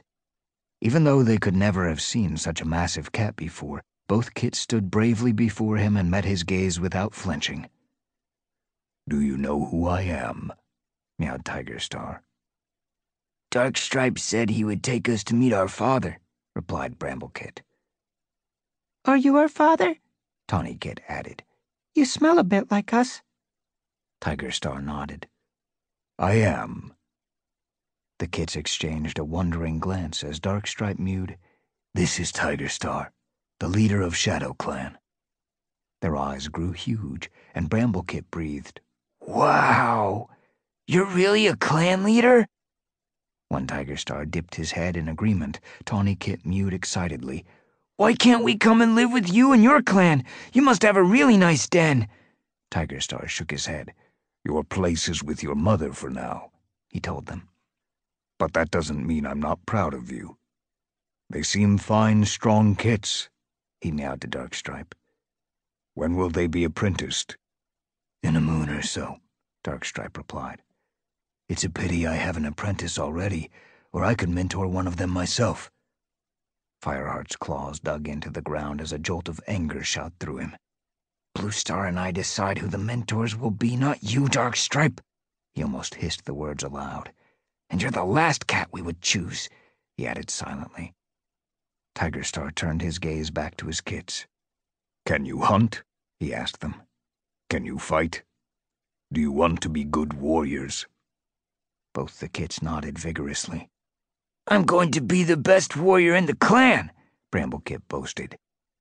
Tawnykit refused to be outdone. And I'll be the best hunter. Good. Good. Tigerstar gave each kit a quick lick on the head. Fireheart couldn't help remembering Graystripe and how his friend had left the clan of his birth so that he could stay with the kits he loved. Was it possible that Tigerstar was suffering just as much at being parted from Bramble Bramblekit and Tawnykit? Then Fireheart's blood ran cold as Bramble Bramblekit asked, Please, Tigerstar, why are you the leader of ShadowClan when our mother is a ThunderClan cat? They don't know? Tigerstar asked Darkstripe. The warrior shook his head. Well then, Tigerstar meowed, turning back to the kits. That's a long story. Sit down and I'll tell you. Fireheart realized this was the moment when he had to interrupt. The last thing he wanted was for Tigerstar to tell the kits a biased account of how he came to leave ThunderClan. One thing was certain. Tigerstar would never admit that he had been a murderer and a traitor Rising to his paws, Fireheart stepped out of the shelter of the hawthorn bush. Good day, Tigerstar, he meowed. You're a long way from your camp, and so are you, Darkstripe. His tone sharpened. What are you doing here with these kits? As he padded up to join them, he had the satisfaction of realizing that both Tigerstar and Darkstripe were dumbfounded by his appearance. For a heartbeat, they both gaped at him, while the kits bounced across the grass to meet him. This is our father, Tawnykit announced excitedly. We came all the way from camp to see him. Why did no cat tell us he was the leader of a clan? Bramblekit piped up. Fireheart did not want to answer that question. Instead, he confronted Darkstripe with his eyes narrowed. Well? How did you know we were here? Darkstripe blustered. I saw you crossing the stream. You were making enough racket to wake the whole forest. Fireheart. Tigerstar dipped his head, the courteous greeting of a leader to the deputy of another clan. There was no hostility in his tone. Blame me, not Darkstripe. I wanted to see my kits. You wouldn't deny me that, surely? That's all very well, Fireheart replied in confusion. But Darkstripe shouldn't have taken them without permission. It's dangerous to let kits wander so far away from their camp, especially with that dog loose in the forest, he added to himself. They're not wandering. They're with me, Darkstripe pointed out. What if a hawk attacked? There's still little cover in some parts of the forest. Have you forgotten Snowkit?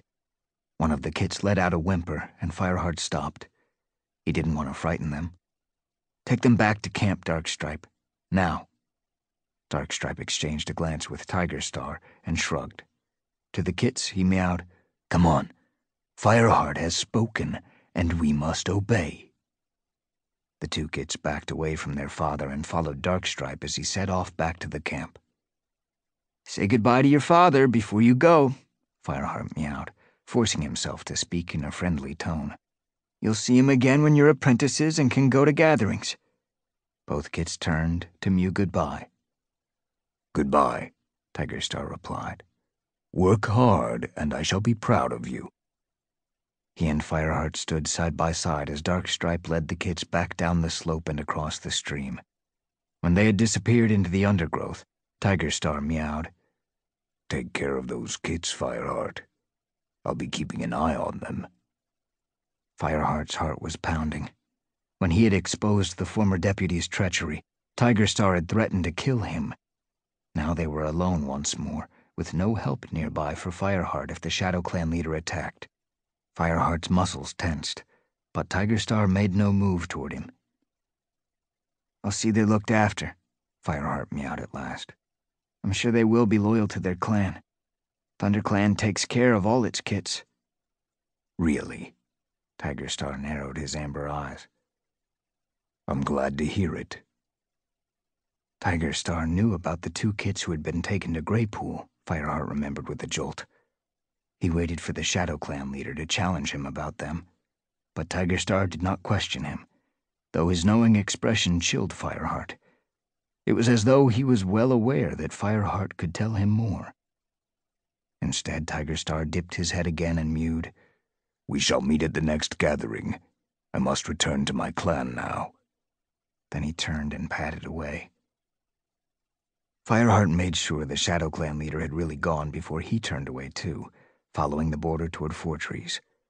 Much as he hated to admit it, he couldn't see that Darkstripe had done any real harm by taking the kits out of the nursery. Fireheart would have had to tell them eventually that their father was the leader of ShadowClan and Tigerstar himself had behaved with more restraint than Fireheart would have believed possible. Firmly, he put the episode out of his mind. Time was running out. Before sunset, Fireheart knew he must speak with Tallstar and find another way to solve the dispute over the stolen prey. Chapter 13 Fireheart darted from one clump of gorse to the next as he crossed the moor toward the WindClan camp. He ran with his belly brushing the turf, trying to stay out of sight and longing for the thick undergrowth of his own territory. The last time he had visited the camp, when ThunderClan helped WindClan in a battle against the other two clans, there had been no need to hide. Now he dared not show himself until he reached Tallstar, or at least met with one of the cats he could call his friends if any of them were still friendly after the recent disastrous gathering. WindClan patrols had attacked him on their territory before. They would be even more hostile now. The scent of WindClan was all around him, but so far he hadn't seen any cats. The sun had nearly finished crossing the sky. Fireheart tried not to think about that. He came close to panic when he remembered how little time was left before Bluestar would launch her attack. He was crossing one of the shallow moorland streams, bounding from rock to rock when a stronger scent of WindClan cats flooded over him, along with the scent of rabbit. Fireheart's belly growled in complaint, but he had to ignore it. There was no way he could take WindClan's prey now, and it smelled as if there was a hunting patrol not far behind anyway. Diving into a clump of bracken at the water's edge, he peered out cautiously to spot the source of the scent. Three cats were making their way upstream toward him. At the front of the patrol was his old friend Onewhisker, and Fireheart's heart lifted. Gorsepaw was with his mentor. They were both carrying rabbits. But to Fireheart's dismay, the third cat was Mudclaw, the dark, mottled warrior who had stopped Bluestar when she tried to cross WindClan territory to get to Highstones. This cat would never allow Fireheart to bring his message to Tallstar. But it seemed that luck, or the favor of StarClan, was on Fireheart's side. With their jaws full of prey, the WindClan cats were unable to pick up his ThunderClan scent, and they passed within a couple of tail lengths of him. Then Gorsepaw, who was struggling with a rabbit almost as big as he was, stopped to adjust his grip on it and fell behind the others. Fireheart spotted his chance. Gorsepaw! The young cat raised his head, ears pricked. Over here, in the bracken. Gorsepaw turned, and his eyes stretched wide when he saw Fireheart poking his head out of the rusty fronds. His mouth opened, but Fireheart urgently signaled to him to keep silent. Listen, Gorsepaw, he mewed. I want you to tell Onewhisker I'm here, but don't let Mudclaw know, okay? The apprentice hesitated, looking troubled, and Fireheart added urgently, I have to talk to him. It's important for both our clans. You've got to trust me. The desperation in his tone reached Gorsepaw, who paused a moment longer, and then gave a quick nod. All right, Fireheart. Wait here. He picked up his rabbit again and hurried to catch up to the two warriors. Fireheart crept deeper into the bracken and crouched there, waiting. Before long, he heard another cat approach his hiding place and murmur, Fireheart? Is that you? To his relief, Fireheart recognized Onewhisker's voice. He peered warily out of the shelter of the bracken and straightened up when he saw that his friend was alone. Thanks, StarClan, he exclaimed. I thought you weren't coming. This had better be good, Fireheart, Onewhisker meowed. He gave Fireheart a hard stare, with no trace of his usual friendliness. It took me a while to get rid of Mudclaw. If he knew you were on our territory, you'd be crow food, and you know it. He padded up to Fireheart. I'm sticking my neck out for you, he growled. I hope it's worth it. It is, I promise. I've come to tell you something. I've got to speak to Tallstar. It's important, he added, as Onewhisker went on staring at him. For a few heartbeats, he was afraid that his friend was going to refuse, or even attack him and drive him off WindClan territory.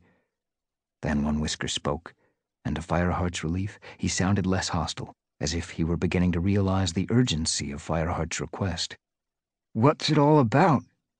Tallstar will have my fur off if I take a ThunderClan cat into camp without a very good reason. I can't tell you, Onewhisker. I can't tell any cat except Tallstar, but believe me, it's for the good of both our clans. Once again, Onewhisker hesitated. I wouldn't do this for any cat but you, Fireheart, he meowed at last. Spinning around, he beckoned with his tail and bounded off across the moor. Fireheart sprang after him. Onewhisker halted at the top of the slope, looking down into the WindClan camp. The rays of the dying sun cast long shadows over the gorse bushes that lined the sides of the hollow. As Fireheart and Onewhisker stood there, a patrol slipped past them. Fireheart was conscious of their stares, where curiosity mingled with antagonism. Come on, meowed Onewhisker. He led the way through the tough stems of gorse until they came to a sandy clearing in the middle of the bushes. As he emerged through a narrow gap in the thorns, Fireheart saw Tallstar crouched at one side of the clearing near a pile of fresh kill. More WindClan warriors clustered around him. It was the clan deputy, Deadfoot, who looked up first and then nudged his leader, mewing something rapidly into his ear. Tallstar rose and padded across the clearing to where Fireheart and Onewhisker waited. Deadfoot hovered at his shoulder, and other cats followed close behind. Fireheart recognized Barkface, the WindClan medicine cat, and Mudclaw, his lips drawn back in a snarl. Well, Onewhisker, Tallstar's voice was level, giving nothing away. Why have you brought Fireheart here? Onewhisker dipped his head. He says he has to talk to you. And that means he can just stroll into our camp? Mudclaw spat. He's from an enemy clan. Tallstar waved his tail at Mudclaw, a sign for silence, while his eyes looked deep into Fireheart's. I'm here, he mewed simply. Talk. Fireheart glanced around him. The crowd was growing larger as more WindClan cats heard about the intruder in their midst and came out to see what was going on. What I have to say is not for all ears, Tallstar, he stammered. For a heartbeat, he thought he heard a faint growl in Tallstar's throat, but then the WindClan leader nodded slowly. Very well. We will go to my den. Deadfoot, you come with us. And you, Onewhisker. Turning, he stalked toward the rock at the far end of the clearing, his long tail held high, while the two warriors herded Fireheart after him. The WindClan leader's den was sheltered under a deep overhang in the rock on the side away from the main camp. Tallstar entered and made himself comfortable in a nest of heather facing Fireheart. Well, he meowed. Shadows were gathering in the den, and Fireheart could feel rather than see the shapes of the cats who guarded him. Tension crackled between them, as if they were waiting for the tiniest excuse to attack him. During his journey across the moor, he had thought hard about what he would say, but he still didn't know whether he would manage to convince Tallstar that there was a way to avoid Bluestar's attack. You know that Bluestar is unhappy about the loss of prey, Fireheart began. Instantly, the fur on the WindClan leader's shoulders began to bristle. WindClan did not steal prey from ThunderClan, he snapped. We've found scattered remains, too, Deadfoot asserted, limping forward and thrusting his muzzle close to Fireheart's. Are you sure ThunderClan hasn't been stealing prey from us? Fireheart forced himself not to flinch. No, he protested. I don't believe any cats have stolen prey. What happened to it then? Onewhisker asked. I think there's a dog living in the forest. We've smelled it and found its dung. A dog? Onewhisker echoed, his eyes narrowed thoughtfully. What? Loose from its Twolegs? I'm certain of it, Fireheart meowed. Could be, mewed Tallstar. To Fireheart's relief, the fur on his shoulders was lying flat again. We've certainly scented dog in our territory recently, but then they're always up here with their Twolegs. Sounding more confident, he went on. Yes, it could be a dog killing the rabbits. I'll see that our patrols keep a lookout. But you didn't come all this way to tell us that, Deadfoot meowed. So what's on your mind, Fireheart? Fireheart took a deep breath. He didn't want to betray Bluestar by telling Tallstar of her plans to attack, but he wanted to suggest to the WindClan leader that future battle could be avoided if he would just talk to Bluestar about the prey theft. I can't convince Bluestar about the dog, he explained. She feels threatened by WindClan, and sooner or later this will all end in battle unless we can do something. He could not tell the WindClan warriors how much sooner the battle would take place if he failed now. Cats will be injured, killed even, for nothing. Then what do you expect me to do? Tallstar asked testily. She's your leader, Fireheart. This is your problem. Fireheart dared to take a couple of steps toward the WindClan leader. I've come to ask you to hold a meeting with Bluestar. If you could discuss things in private, you might be able to make peace. Bluestar wants a meeting? It was Deadfoot who spoke, sounding disbelieving. Last time we saw her, she looked as if she would like to claw our throats out. This isn't Bluestar's idea. It's mine, Fireheart confessed. All three WindClan cats stared at him.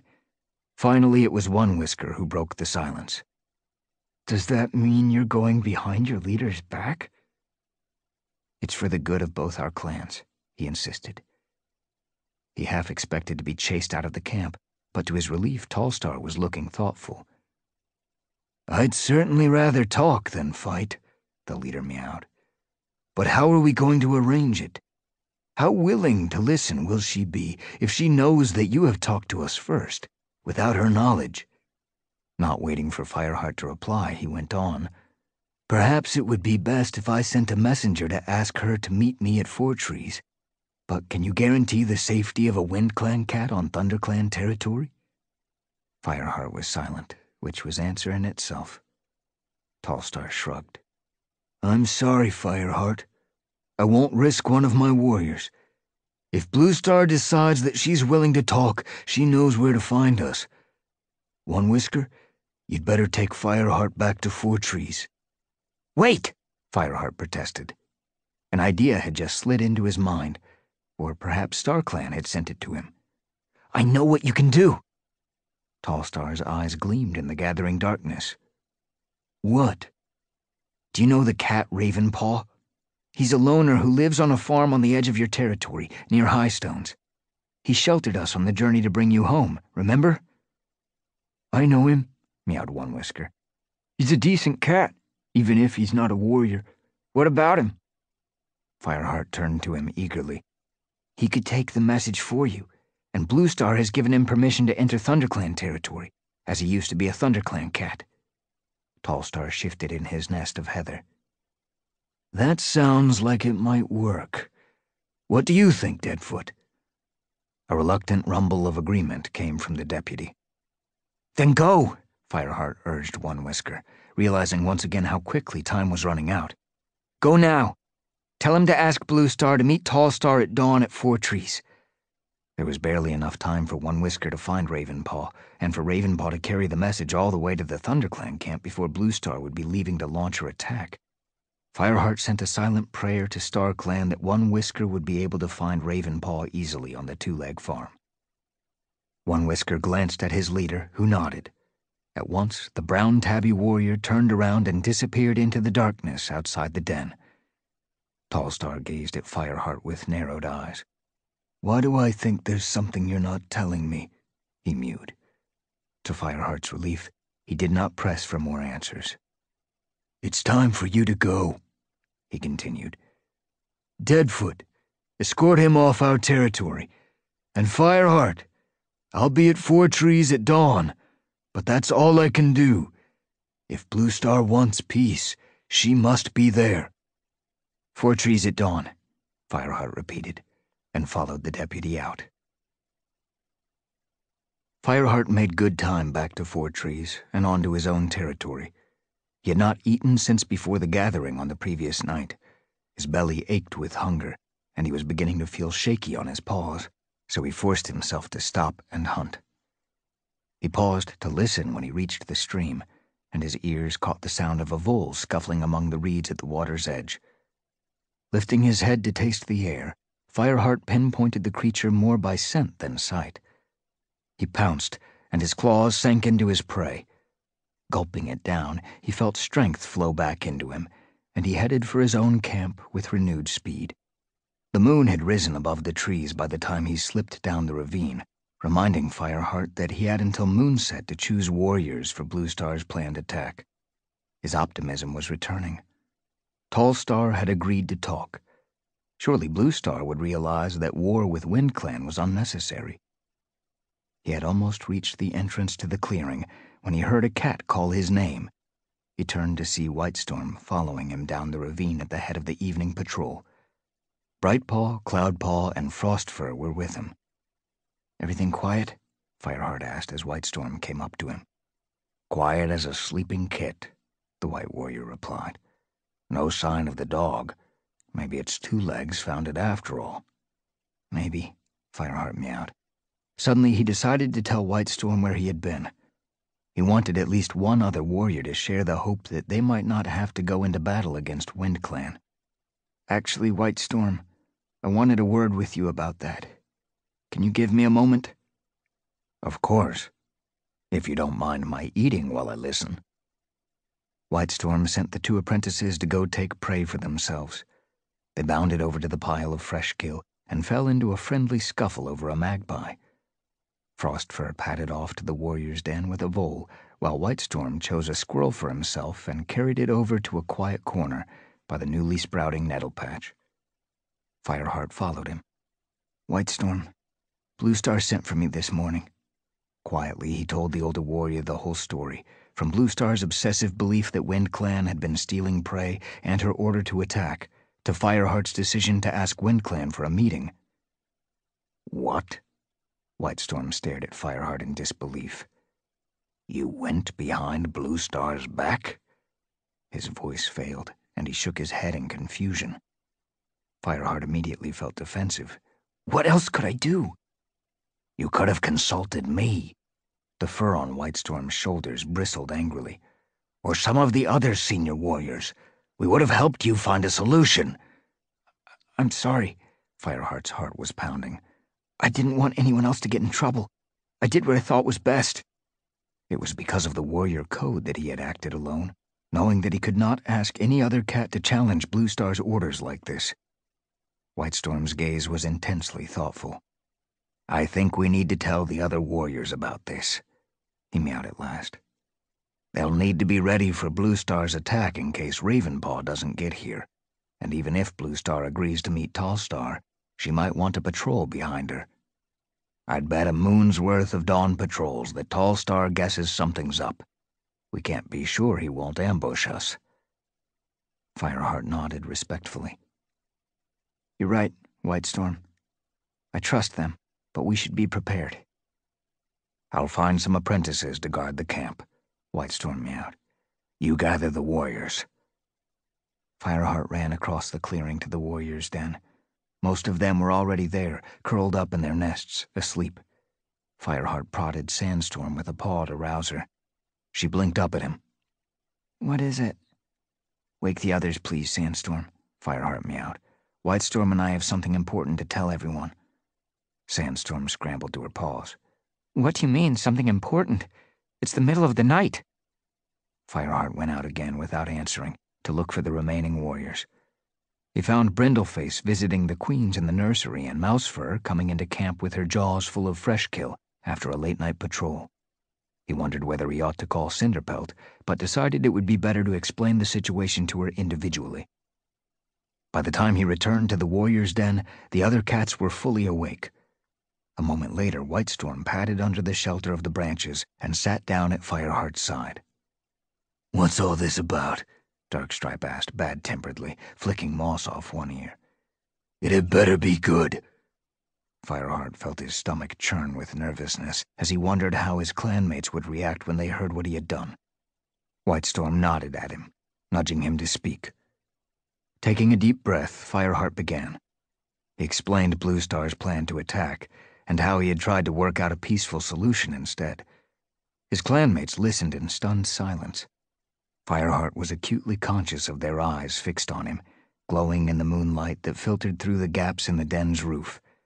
In particular, he was aware of Sandstorm's pale green gaze, where she sat crouched near the outer branches, but he could not bring himself to look directly at her. He just hoped that the warriors would understand he had done this for the best of reasons, to avoid battle and save lives. So Tallstar agreed to meet Bluestar at Fourtrees, he finished. Ravenpaw should be here any time now to tell her about the meeting. He braced himself for an outburst from the other warriors, but no cat seemed to know what to say. They merely looked at each other in bewilderment. Eventually, Mousefur asked, Whitestorm, do you agree with what Fireheart has done? Fireheart waited, his eyes fixed on his paws. He desperately needed Whitestorm's support because of the respect he commanded from the other warriors, but he knew that Whitestorm did not completely approve of his actions, however well intentioned. I wouldn't have done it, Whitestorm spoke with his usual quiet authority. But I think he's right about not attacking WindClan. I don't believe they have taken any of our prey. There is a dog loose. I've scented it myself.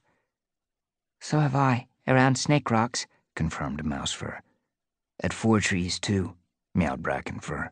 We can't blame WindClan for that. But you're asking us to keep secrets from Bluestar.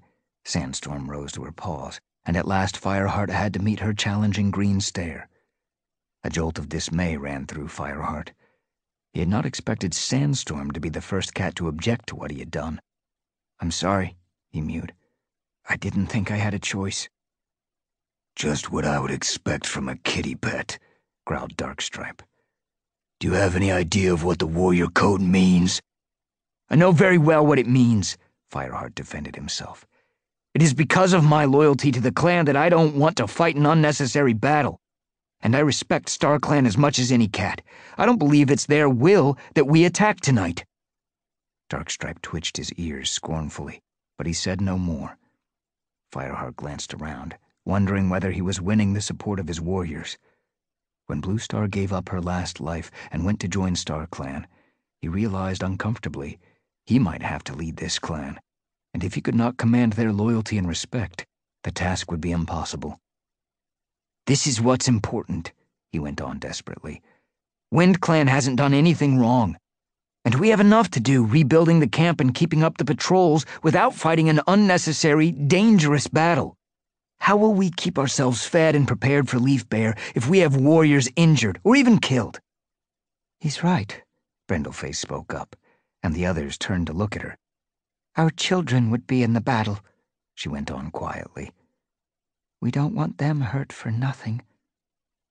Frostfur added her agreement, but the rest of the warriors were still murmuring among themselves. Again he was aware of Sandstorm and the distress in her pale green eyes. He could understand how torn she must feel now, between her loyalty to Bluestar and her commitment to him. Right now, Fireheart wanted nothing more than to press himself against her flank and forget all this in the sweet scent of her fur, but he had to go on standing in front of his warriors, waiting for their verdict on whether they would support him or not. So what do you want us to do? Longtail meowed at last. I'll need a party of warriors ready to go with Bluestar to Fourtrees, Fireheart replied. If Ravenpaw doesn't come, or if Bluestar doesn't agree to talk, then she'll lead us into battle. And if that happens, his voice failed. He swallowed. Yes, what then? Sandstorm demanded. Do you want us to disobey Bluestar's direct orders? Turn around and run away? Dustpelt, tell Fireheart what a mouse-brained idea that is. Dustpelt's ears pricked in surprise. Fireheart knew very well that part of the Brown Warrior's antagonism toward him was because Sandstorm so clearly preferred Fireheart now. He braced himself for more criticism, but Dustpelt meowed hesitantly. I don't know, Sandstorm. Fireheart's right that it's a bad time for a battle, and besides, no cat can seriously believe that WindClan is stealing our prey. If Bluestar thinks so, then. well. He broke off, scuffling his paws in confusion. It's understandable that Bluestar can't trust WindClan, Fireheart mewed, instinctively defending his leader. Not since they stopped her going to Highstones. And we've never known dogs loose in the forest before. But there's no evidence at all that WindClan took those rabbits, and plenty of evidence that a dog did. So what do you suggest if it comes to battle, Fireheart? asked Mousefur. Come back to the camp when Bluestar gives the order to attack? No, Fireheart replied. Tallstar seemed willing to meet Bluestar in peace, and if we're lucky, he'll have only one or two warriors with him. It won't come to a fight. That's a pretty big if, mewed Mousefur with a skeptical flick of her tail. What if WindClan assumes the same thing and sets an ambush for us? We'd be crow food. Fireheart winced as she voiced Whitestorm's own doubts about whether they could trust Tallstar. I'm not going, Longtail announced loudly. Let WindClan tear us apart? I'm not mouse-brained. Dustpelt, who was sitting next to him, turned his head and gave him a scorching look of contempt. No, you're a coward, he meowed. I'm not! Longtail's protest was shrill. I'm a loyal ThunderClan cat. Fine, Longtail, Fireheart broke in. We don't need every warrior to go. You can stay and guard the camp, and that goes for the rest of you, he added. If you don't want to be part of this, stay here. He waited tensely for his warrior's response, looking around at their troubled faces in the dim light of the den. I'll go, meowed Whitestorm at last. I think we can trust Tallstar not to fight, if there is an alternative. Fireheart shot him a grateful glance as the other warriors hesitated, murmuring to each other or shifting uncomfortably among the mossy bedding. I'll go too. Brackenfur sounded nervous to be the first to speak among so many older warriors. So will I, mewed Dustpelt, his tail lashed once in Fireheart's direction. But if WindClan attacks, I'll fight. I'm not going to be clawed apart for any cat. The rest of the warriors joined in. To Fireheart's surprise, Darkstripe agreed to go, while Mousefur refused. I'm sorry, Fireheart, she meowed. I think you're talking sense, but that's not the point.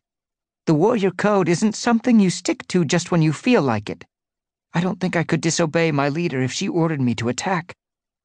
Well, I will go, Brindleface asserted. I don't want to see my kits torn to pieces in a battle we don't have to fight. I'll go too, meowed Frostfur. Her gaze swept over the warriors around her as she added, We don't raise kits to fight in unjust battles. At last, Fireheart had to face Sandstorm, who so far had said nothing. He could not imagine what he would do if she refused to support him. Sandstorm? he mewed hesitantly. Sandstorm crouched with her head down, not meeting his eyes. I'll go along with you, Fireheart, she muttered. I know you're right about the dogs, but I still hate lying to Bluestar. Fireheart moved to her side and gave her ear a quick lick, wanting to thank her, but she jerked her head away without looking at him. What about the apprentices? Darkstripe asked. Do you want them to come with us? Fernpaw's too young to get involved. I agree, Dustpelt mewed swiftly. For all his tension, Fireheart had to suppress a purr of amusement to hear Dustpelt betraying the soft spot he felt for Darkstripe's apprentice. I'd prefer to keep Brightpaw out of it, meowed Whitestorm. But won't Bluestar think there's something odd if we don't take any apprentices with us? asked Brackenfur. That's a good point. Fireheart nodded at the young warrior. Okay, we'll take Swiftpaw and Cloudpaw, but only if Bluestar wants to take that many cats with her. And we'll tell them what's going on after we leave. The news will be all around the camp otherwise.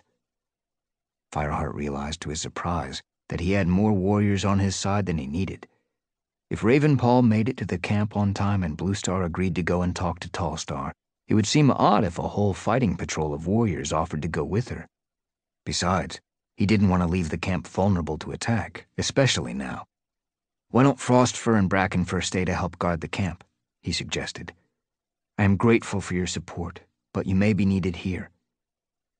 Brackenfur and Frostfur exchanged a glance and then nodded. Now the rest of you had better get some sleep, he continued. We leave at moonset. He watched the warriors settle down in their bedding, but he did not join them. He knew he had no chance of sleeping, and he wanted to tell Cinderpelt what was going on before she heard it from any other cat. If it weren't for his faith in Spottedleaf, he would have started to doubt long ago that he could stop this battle. There seemed to be so much that could go wrong. Ravenpaw might not bring the message in time. Bluestar might refuse to talk to Tallstar. WindClan might ambush them at Fourtrees. Giving himself a shake, Fireheart emerged into the clearing. He glanced around for any sign of Ravenpaw, but the camp lay silent in the moonlight. A pair of eyes gleamed from the entrance to the gorse tunnel, and as Fireheart padded closer, he made out the pale shape of Ashpaw on guard. Do you know who Ravenpaw is? he asked, and when the apprentice nodded, he went on. He hasn't been here tonight, has he? Looking puzzled, Ashpaw shook his head. If he comes, Fireheart instructed him, let him in, and take him straight to Bluestar, okay? Okay, Fireheart. Ashpaw was clearly bursting with curiosity, but he didn't ask any questions. Fireheart nodded to him and went off to find Cinderpelt. Padding up to the medicine cat's den, he saw her sitting outside, deep in conversation with Mousefur. Both cats looked around at his approach. Fireheart, Cinderpelt meowed, rising slowly to her paws. What's all this Mousefur is telling me? Why wasn't I invited to the meeting? Her blue eyes blazed with annoyance. It was just for the warriors, Fireheart replied, though the explanation sounded feeble even to him. Oh, right, mewed Cinderpelt dryly. You thought I wouldn't be interested in keeping secrets from Bluestar? It's not like that, Fireheart protested. I was coming to tell you now. Mousefur, he added, giving the she-cat a hostile glance. Aren't you supposed to be resting? Mousefur returned his glare, then spun around and vanished into the darkness. Well, prompted Cinderpelt. It sounds as if Mousefur has told you already. I don't like this situation any more than you, but what choice is there? Do you really think that StarClan wants war in the forest, especially an unjust war? StarClan has shown me nothing about any battles, Cinderpelt admitted. And I don't want bloodshed, but is this the only way to stop it? If you can think of a better idea, tell me. Cinderpelt shook her head. Moonlight shone on her gray fur, giving her a ghostly appearance, as if she were already halfway into the world of StarClan. Whatever you do, Fireheart, be careful of Bluestar. Be gentle with her. She was a great leader, and she might be again.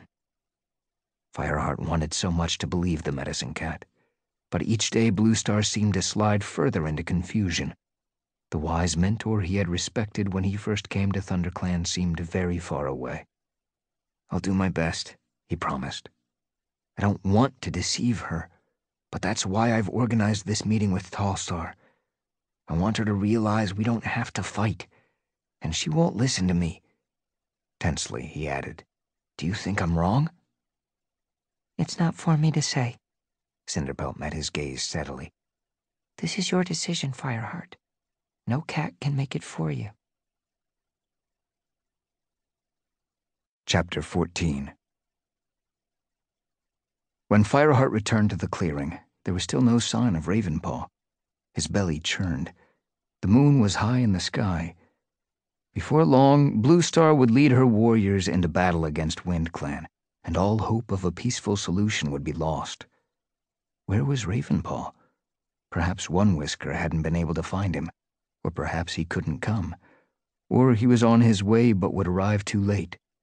Fireheart wanted to dash out into the forest and look for him, but he knew that would serve no purpose. Then he saw a flicker of movement at the entrance to the camp and heard a mewed challenge from Ashpaw. Another cat answered, and Fireheart shivered with relief as he recognized Ravenpaw's voice. Springing forward, he bounded across the clearing. Okay, Ashpaw, he meowed to the apprentice. I'll look after Ravenpaw. You stay on guard. He touched noses with the sleek cat who emerged from the gorse tunnel. It's good to see you, Ravenpaw. How are you? Even as he asked the question, he could see that the former apprentice was looking well. His black pelt shone in the moonlight, and his strong muscles rippled beneath the fur. I'm fine, Ravenpaw replied. He looked around the clearing, his amber eyes very wide. It seems strange to be here again, Fireheart. I'm sorry to hear you're having trouble with WindClan. Onewhisker told me everything, and he swore they haven't been stealing prey. Try convincing Bluestar of that, Fireheart meowed grimly. Look, I hate to rush you. I know you must have run like the wind to get here so fast, but we don't have much time. Follow me. He led the way to Bluestar's den. The ThunderClan leader was curled in her nest, but when Fireheart looked closely at her, he could see a gleam of moonlight reflected from her narrowed eyes. She was not asleep. What's the matter, Fireheart? she asked, sounding annoyed. It's not time to go yet. And who's that with you? It's Ravenpaw, Bluestar, the loner meowed, stepping forward. I've come with a message from WindClan. WindClan? Bluestar sprang to her paws.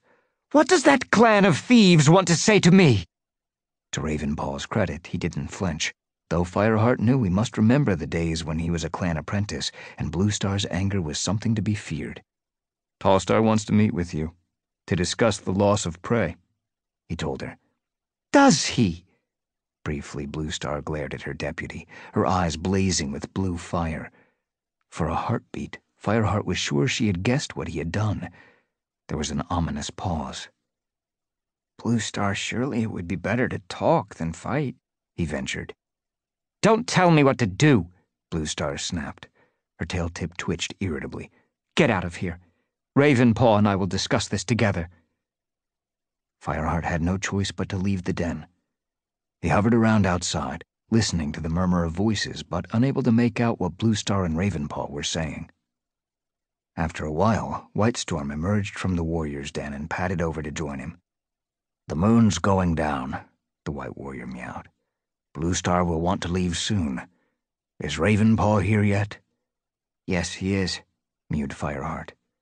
But I don't know whether. He broke off at a movement from inside the den. A heartbeat later, Bluestar stalked out with Ravenpaw behind her.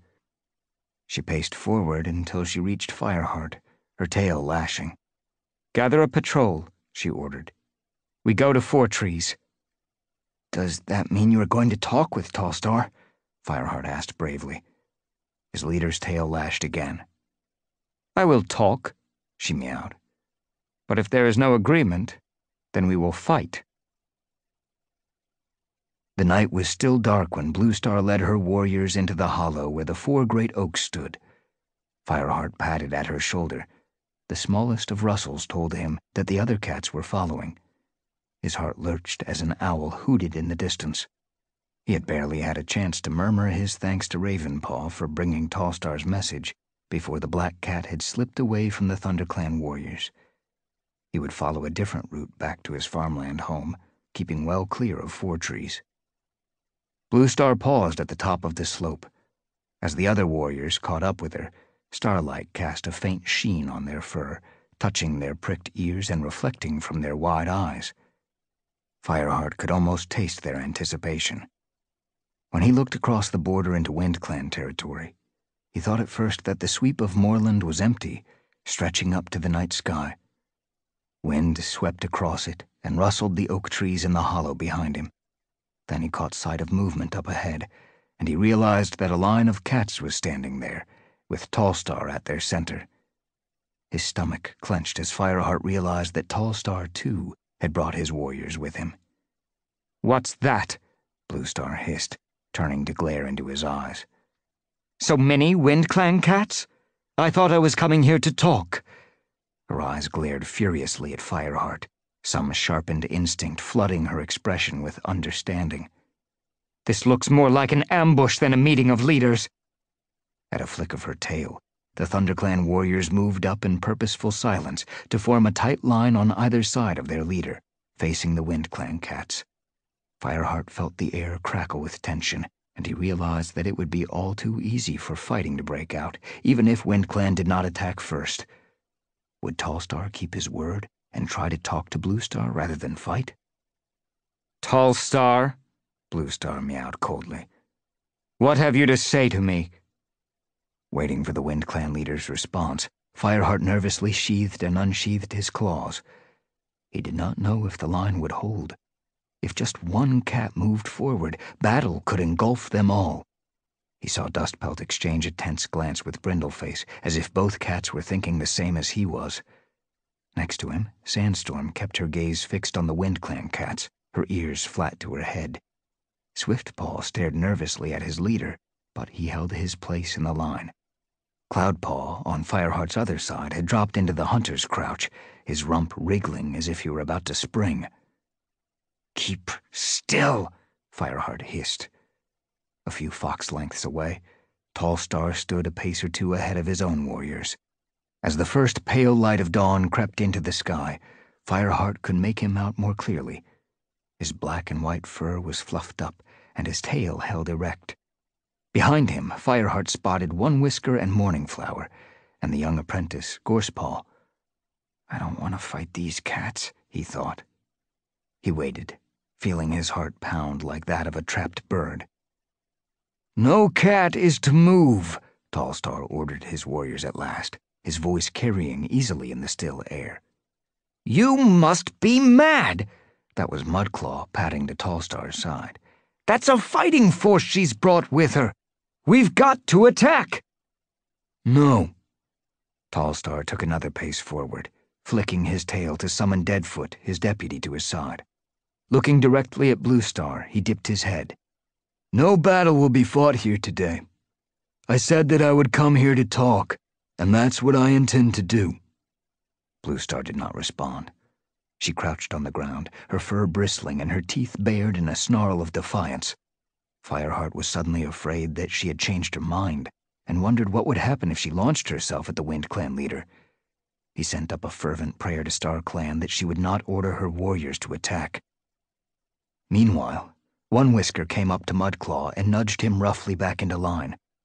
For a moment that seemed to Fireheart to last several moons, the two lines of cats faced each other their fur blowing in the wind, their eyes gleaming with a tension that teetered on the brink of breaking out into squalling, biting rage.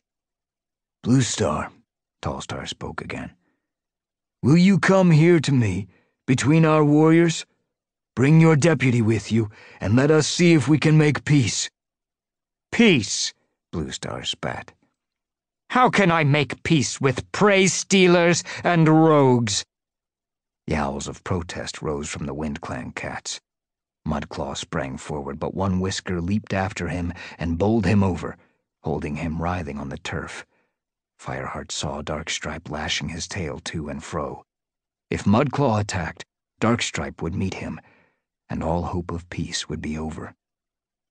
Do as Tallstar says, Fireheart mewed desperately to Bluestar. That's why we're here. WindClan has suffered from stolen prey just like ThunderClan. Bluestar rounded on him, a look of venomous hatred blazing in her blue eyes. It seems we have no choice, she hissed at him. But there'll be a reckoning for this, Fireheart. You can be sure of that. Stiff legged, her fur bristling, she paced forward until she stood in front of Tallstar, right on the border of WindClan territory. Fireheart followed, murmuring to Sandstorm, Keep an eye on Darkstripe, as he left the line of warriors. Tallstar watched Bluestar coolly as she approached.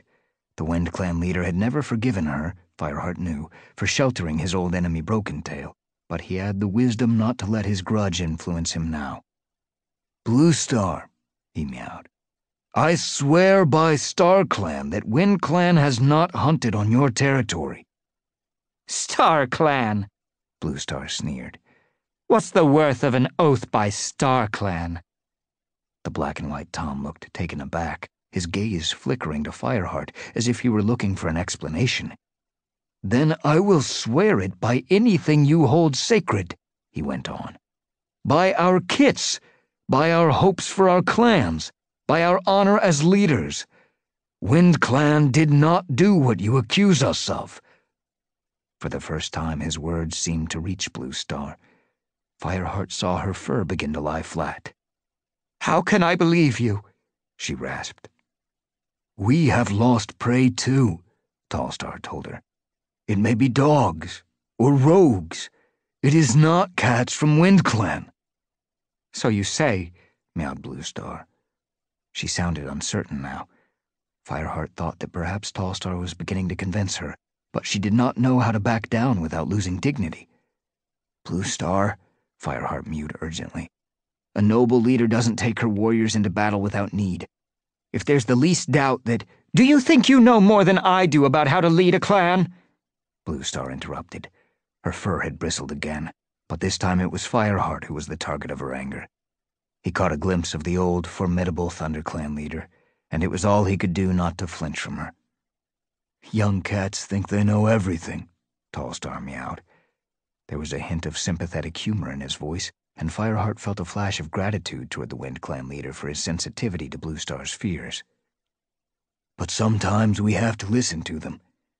There is no need for this battle. Bluestar's ears twitched irritably. Very well, she mewed reluctantly. I accept your word, for now. But if my patrols sent WindClan one tail length over our border... She whipped around and called to the ThunderClan cats. Back to camp, she ordered, leaping ahead of them. As Fireheart turned to follow her, Tallstar dipped his head to him.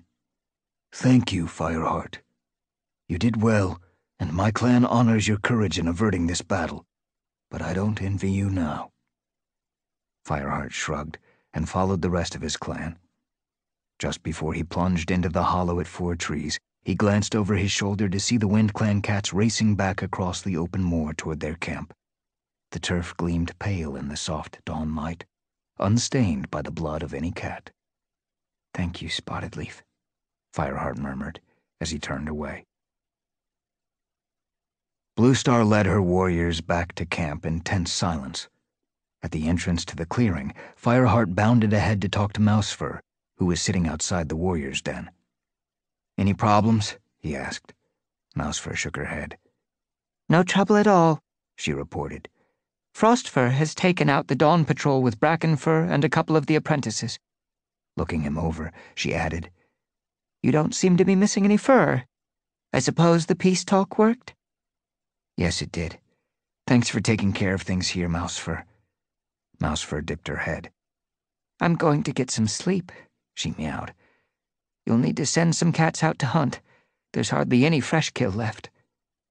I'll lead a hunting party, Fireheart promised. No, you won't. Bluestar came padding up behind him. Her eyes were chips of blue ice. I want to see you in my den, Fireheart. Now. She stalked across the clearing without looking back to see if he was following. Fireheart's fur prickled with dread. He had expected some sort of recrimination from his leader, but that didn't make it any easier now that it was about to happen.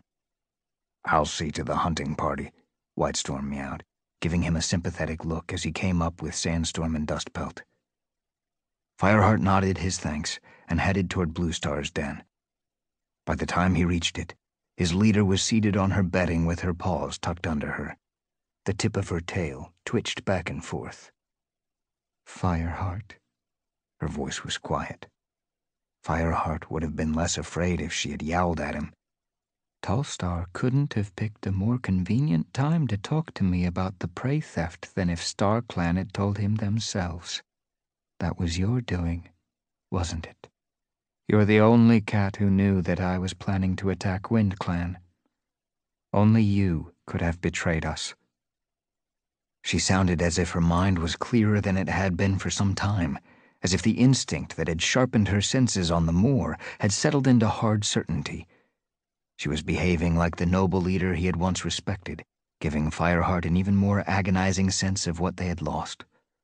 He still believed that he had not betrayed his clan, but he had given away the advantage of surprise because Tallstar had been wise enough to realize that battle must be close.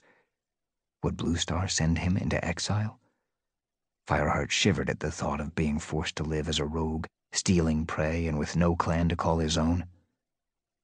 He came to stand in front of Bluestar and dipped his head. I thought it was the right thing to do, he meowed quietly. Neither of the clans needed to fight this battle. I trusted you, Fireheart, Bluestar rasped. You, out of all my warriors. Fireheart forced himself to meet her flinty gaze. I did it for the good of the clan, Bluestar, And I didn't tell him about the attack. I only asked him to try making peace. I thought. Silence! Bluestar hissed, lashing her tail. That is no excuse. And why should I care if the whole clan had been slaughtered? Why should I care what happens to traitors? A wild light was growing in her eyes again, and Fireheart realized that the moment's clarity had gone. If only I'd kept my kids, she whispered. Mistyfoot and Stonefur are noble cats, far nobler than any of this ragtag bunch and ThunderClan. My children would never have betrayed me. Bluestar! Fireheart tried to interrupt, but she ignored him.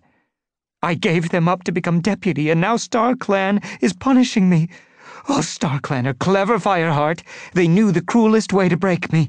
They made me leader and then let my cats betray me. What is it worth now to be leader of ThunderClan? Nothing. It's all empty, all. Her paws worked furiously among the moss. Her eyes were glazed, staring at nothing, and her mouth gaped in a soundless wail. Fireheart shuddered in dismay.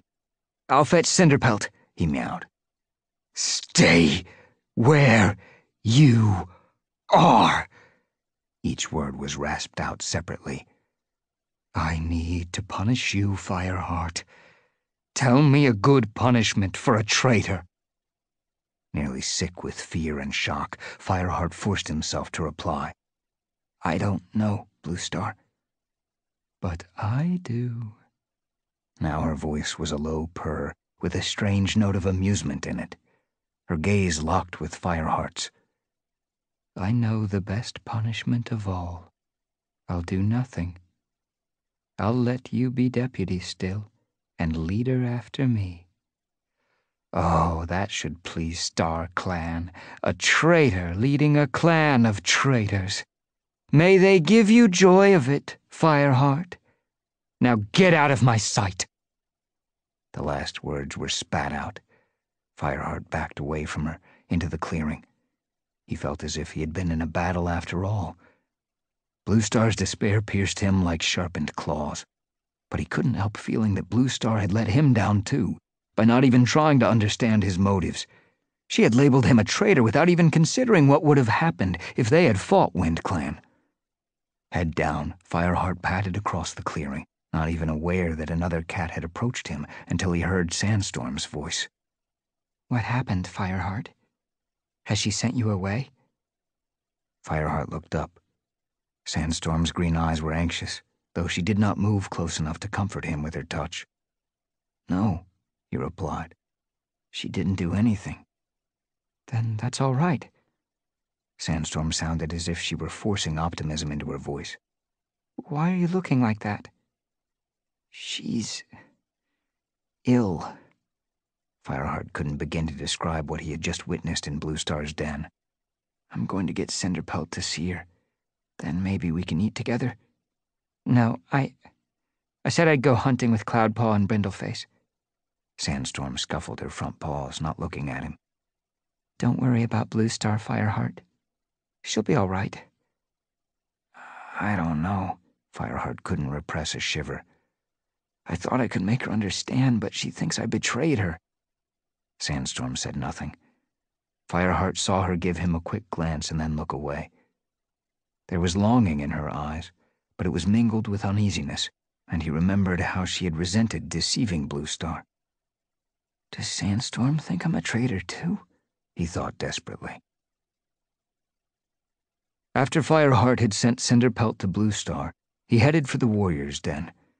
He felt as if his legs could hardly hold him up, and he could think of nothing except sinking into the soft darkness of sleep. His heart sank when he saw Longtail stalking across the clearing toward him. I want a word with you, Fireheart, he growled. Fireheart sat down. What is it? You ordered my apprentice to go with you this morning. Yes, and I told you why. He didn't like it, but he did his duty. Longtail meowed harshly. That was true, Fireheart reflected. He had admired the apprentice's courage in a tough situation, but he wasn't sure why Longtail was making such a fuss now. I think it's time he was made a warrior, Longtail went on. In fact, Fireheart, he should have been a warrior long ago. Yes, I know, Fireheart replied. You're right, Longtail. He should. Longtail looked taken aback at his ready agreement. So what are you going to do about it? he blustered. Right now, nothing, Fireheart meowed. Don't flatten your ears at me, Longtail. Just think, will you? Bluestar is distressed at the moment. She didn't like what happened this morning, and she won't want to think about promoting apprentices. No, wait. He flicked his tail to silence Longtail as the pale warrior opened his mouth to protest. Leave it with me. Sooner or later, Bluestar has to realize that what happened was for the best. Then I'll talk to her about making Swiftpaw a warrior, I promise. Longtail sniffed. Fireheart could see he wasn't happy, but he couldn't think of any reason to object. All right, the pale tabby warrior mewed. But it had better be soon. He stalked off again, leaving Fireheart to head for his nest. As he curled into the soft moss, shutting his eyes tight against the early morning light, he couldn't help worrying about the four older apprentices. Cloudpaw, Brightpaw, and Thornpaw all deserved to be warriors as well as Swiftpaw, and the clan desperately needed them to take on full warrior duties. But in her present mood, convinced that she was surrounded by traitors, Bluestar would never agree to give them warrior status. Fireheart's dreams were dark and confused, and he woke to find that a cat was nudging him. A voice meowed. Wake up, Fireheart! Blinking, he focused his eyes on Cinderpelt's face. Her gray fur was ruffled and her eyes wide with anxiety. Fireheart was awake in a heartbeat. What's the matter? It's Bluestar, Cinderpelt replied. I can't find her anywhere. Chapter 15 Fireheart sprang to his paws. Tell me what happened. When I saw her earlier this morning, I took her poppy seeds to calm her down, Cinderpelt explained. But when I went to her den just now, she wasn't there, and she hadn't eaten the poppy seeds. I tried the elder's den and the nursery, but she isn't there either. She isn't anywhere in camp, Fireheart. Did anyone see her leave? I haven't asked yet. I came to tell you first. Then I'll get the apprentices to search and find out if. Bluestar's not a kit, you know. The interruption came from Whitestorm, who had padded into the warrior's den in time to hear Cinderpelt's news. She might have gone on patrol. For all you know, other cats are with her. He spoke calmly as he bared his teeth in a yawn and settled into his nest. Fireheart nodded uncertainly. What Whitestorm said was sensible, but he would have liked to be sure. After the state Bluestar had been in that morning, she could be anywhere in the forest. She might even have gone to RiverClan in search of her kits. There's probably no need to worry, Fireheart reassured Cinderpelt, hoping he sounded more confident than he felt. But we'll look anyway and find out if any cat has seen her. Leaving the den, he spotted Fernpaw and Ashpaw sharing tongues near the blackened remains of the tree stump outside the apprentice's den. Quickly, Fireheart explained that he had a message for Bluestar, but he wasn't sure where she was. The two apprentices dashed off willingly to look for her. You go and ask if any cat has seen her, he suggested to Cinderpelt, who had followed him out of the den. I'll go up the ravine and see if I can pick up her scent. I might be able to track her. Privately, he didn't have much hope. While he had slept, clouds had covered the sky and a thin rain was drizzling down. It was not good weather for following scent. Before he could leave, Fireheart noticed that Sandstorm was just returning to camp, along with Cloudpaw and Brindleface. All three of them carried fresh kill, which they went over to drop on the pile. Fireheart raced up to them, with Cinderpelt limping behind. Sandstorm, he meowed. Have you seen Bluestar? Sandstorm swiped her tongue around her mouth to remove the prey juices. No. Why? She isn't here, mewed Cinderpelt. Sandstorm's eyes widened. Are you surprised? After what happened this morning? She must feel like she's losing control of her clan. That was so close to the truth that Fireheart didn't know how to answer.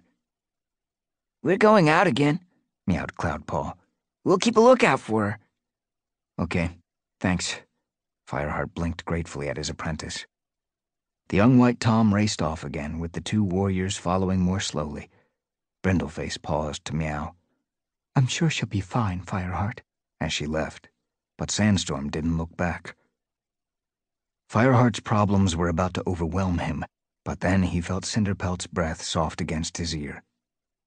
Don't worry, Fireheart, she murmured. Sandstorm's still your friend. You need to accept that she doesn't always see things the way you do. You don't either, Fireheart sighed.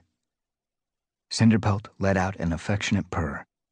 I'm still your friend, too, she told him. And I know you've done what you believe to be right.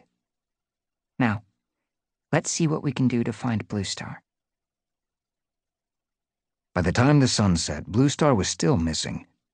Fireheart had tracked her as far as the top of the ravine, but after that, with the rain coming down more heavily, the scent was lost among the tang of charred branches and the musty smell of fallen leaves. Too anxious to sleep, Fireheart put himself on watch. The night was far gone, and the moon was setting when he spotted movement by the camp entrance. The last rays of moonlight picked out a silver gray coat as Bluestar limped back into the camp. Her fur was soaked, plastered to her body, and her head was low. She looked old, exhausted, defeated. Fireheart hurried across to her.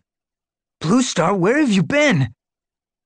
The clan leader raised her head and looked at him. A jolt ran through Fireheart. Her eyes, faintly glowing in the dim light, were clear and bright in spite of her exhaustion. You sound like a queen scolding her kit, she rasped an edge of humor in her voice. She jerked her head in the direction of her den. Come with me. Fireheart obeyed, pausing only to snatch a vole from the pile of fresh kill. Bluestar needed to eat, wherever she had been. When he reached Bluestar's den, his leader was seated in her mossy nest, washing herself with long, careful strokes. Fireheart would have liked to sit beside her and share tongues with her, but after their last encounter he did not dare. Instead, he dropped the vole in front of her and respectfully dipped his head. What happened, Bluestar? he asked. Bluestar stretched her neck to sniff the vole, half turned away from it, and then began to gulp it down, as if she had suddenly realized how hungry she was. She did not answer until she had finished it. I went to speak with StarClan, she announced, flicking the last traces of Vole from her whiskers. Fireheart stared. To Highstones? On your own? Of course. Which of this pack of traitors could I ask to escort me? Fireheart swallowed. Gently he meowed. Your clan is loyal, Bluestar. All of us. Bluestar shook her head stubbornly. I went to Highstones, and I spoke with StarClan. But why? Fireheart was feeling more and more confused. I thought you no longer wanted to share tongues with StarClan. The old cat drew herself up. I do not. I went to challenge them. I wanted to ask how they could justify what they have done to me when I have served them all my life and tried to do their will, and to demand an explanation for the things that are happening in the forest. Fireheart gazed at her in disbelief, amazed that his leader had dared to challenge the spirits of their warrior ancestors. I lay beside the moonstone and StarClan came to me, Bluestar went on. They did not justify themselves. How could they? There is no justification for what they have done to me. But they told me something. Fireheart leaned closer. What? They said that there is evil loose in the forest. They spoke of a pack. They told me that it will bring more death and destruction than the forest has ever seen before. What did they mean? Fireheart whispered. Surely there had been enough death and destruction already with the fire and the floods. Bluestar lowered her head. I don't know. But we must find out, Fireheart exclaimed, his mind whirling. Perhaps they mean the dog, but a dog couldn't do damage on that scale. And what about Pack? Maybe. Yes, maybe they were talking about ShadowClan. You know how Tigerstar vowed to take revenge on us. Maybe he's planning an attack. Or Leopardstar, he added, still trying to cling to his hope that Tigerstar had lost interest in harming his old clan. Bluestar shrugged. Maybe. Fireheart narrowed his eyes. He couldn't understand why she didn't want to work out the meaning of what StarClan had told her and make plans to stop the attack if it came. We have to do something, he insisted. We could set a watch on the borders, and we should increase the patrols. He wasn't sure how he was going to do that with so few warriors. We need to make sure there's always a guard on the camp when. His voice trailed off as he realized Bluestar wasn't listening. She crouched motionless, her eyes fixed on her paws. Bluestar? The ThunderClan leader looked up at him, her eyes bottomless pools of despair. What is the point? she rasped. StarClan has decreed that death will come. A dark force walks this forest, and even StarClan themselves cannot control it, or will not. There is nothing we can do. A shudder went through Fireheart. Was Bluestar right that StarClan was not powerful enough to avert the doom that was coming? For a few heartbeats, he almost shared his leader's despair. Then he raised his head. He felt as though he were clawing his way up from the depths of black water. No, he growled. I won't believe that. There is always something that a cat can do, as long as he has courage and loyalty. Courage? Loyalty? In ThunderClan? Yes, Bluestar! Fireheart tried to put all the force of his belief into his reply. No cat but Tigerstar has ever wanted to betray you. Bluestar held his gaze for a moment before looking away. Her tail flicked wearily. Do what you want, Fireheart. It won't make any difference. Nothing will. Now leave me. Fireheart murmured a farewell. Backing away, he noticed the poppy seeds Cinderpelt had left earlier still lying neatly on a leaf. He nodded toward them. Eat your poppy seeds, Bluestar, he mewed. You need to rest. Tomorrow everything will look better. He took the leaf between his teeth and carefully moved it into Bluestar's reach.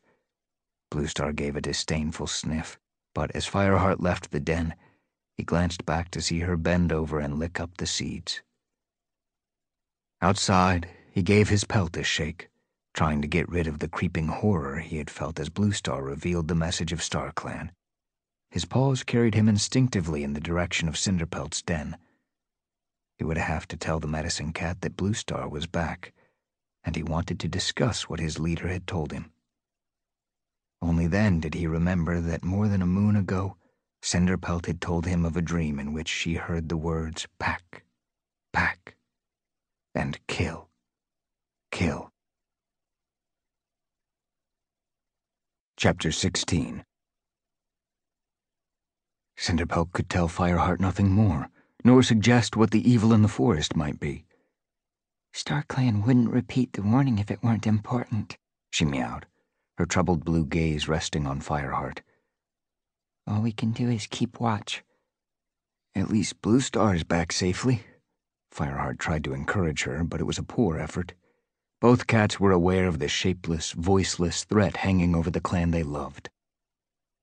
In the days that followed, Fireheart did his best to set up a system of patrols that would give the clan ample warning if ShadowClan or RiverClan decided to attack. There were barely enough warriors for the regular patrols and sentry duties, and Fireheart felt his fur grow thin with worry as the season moved on.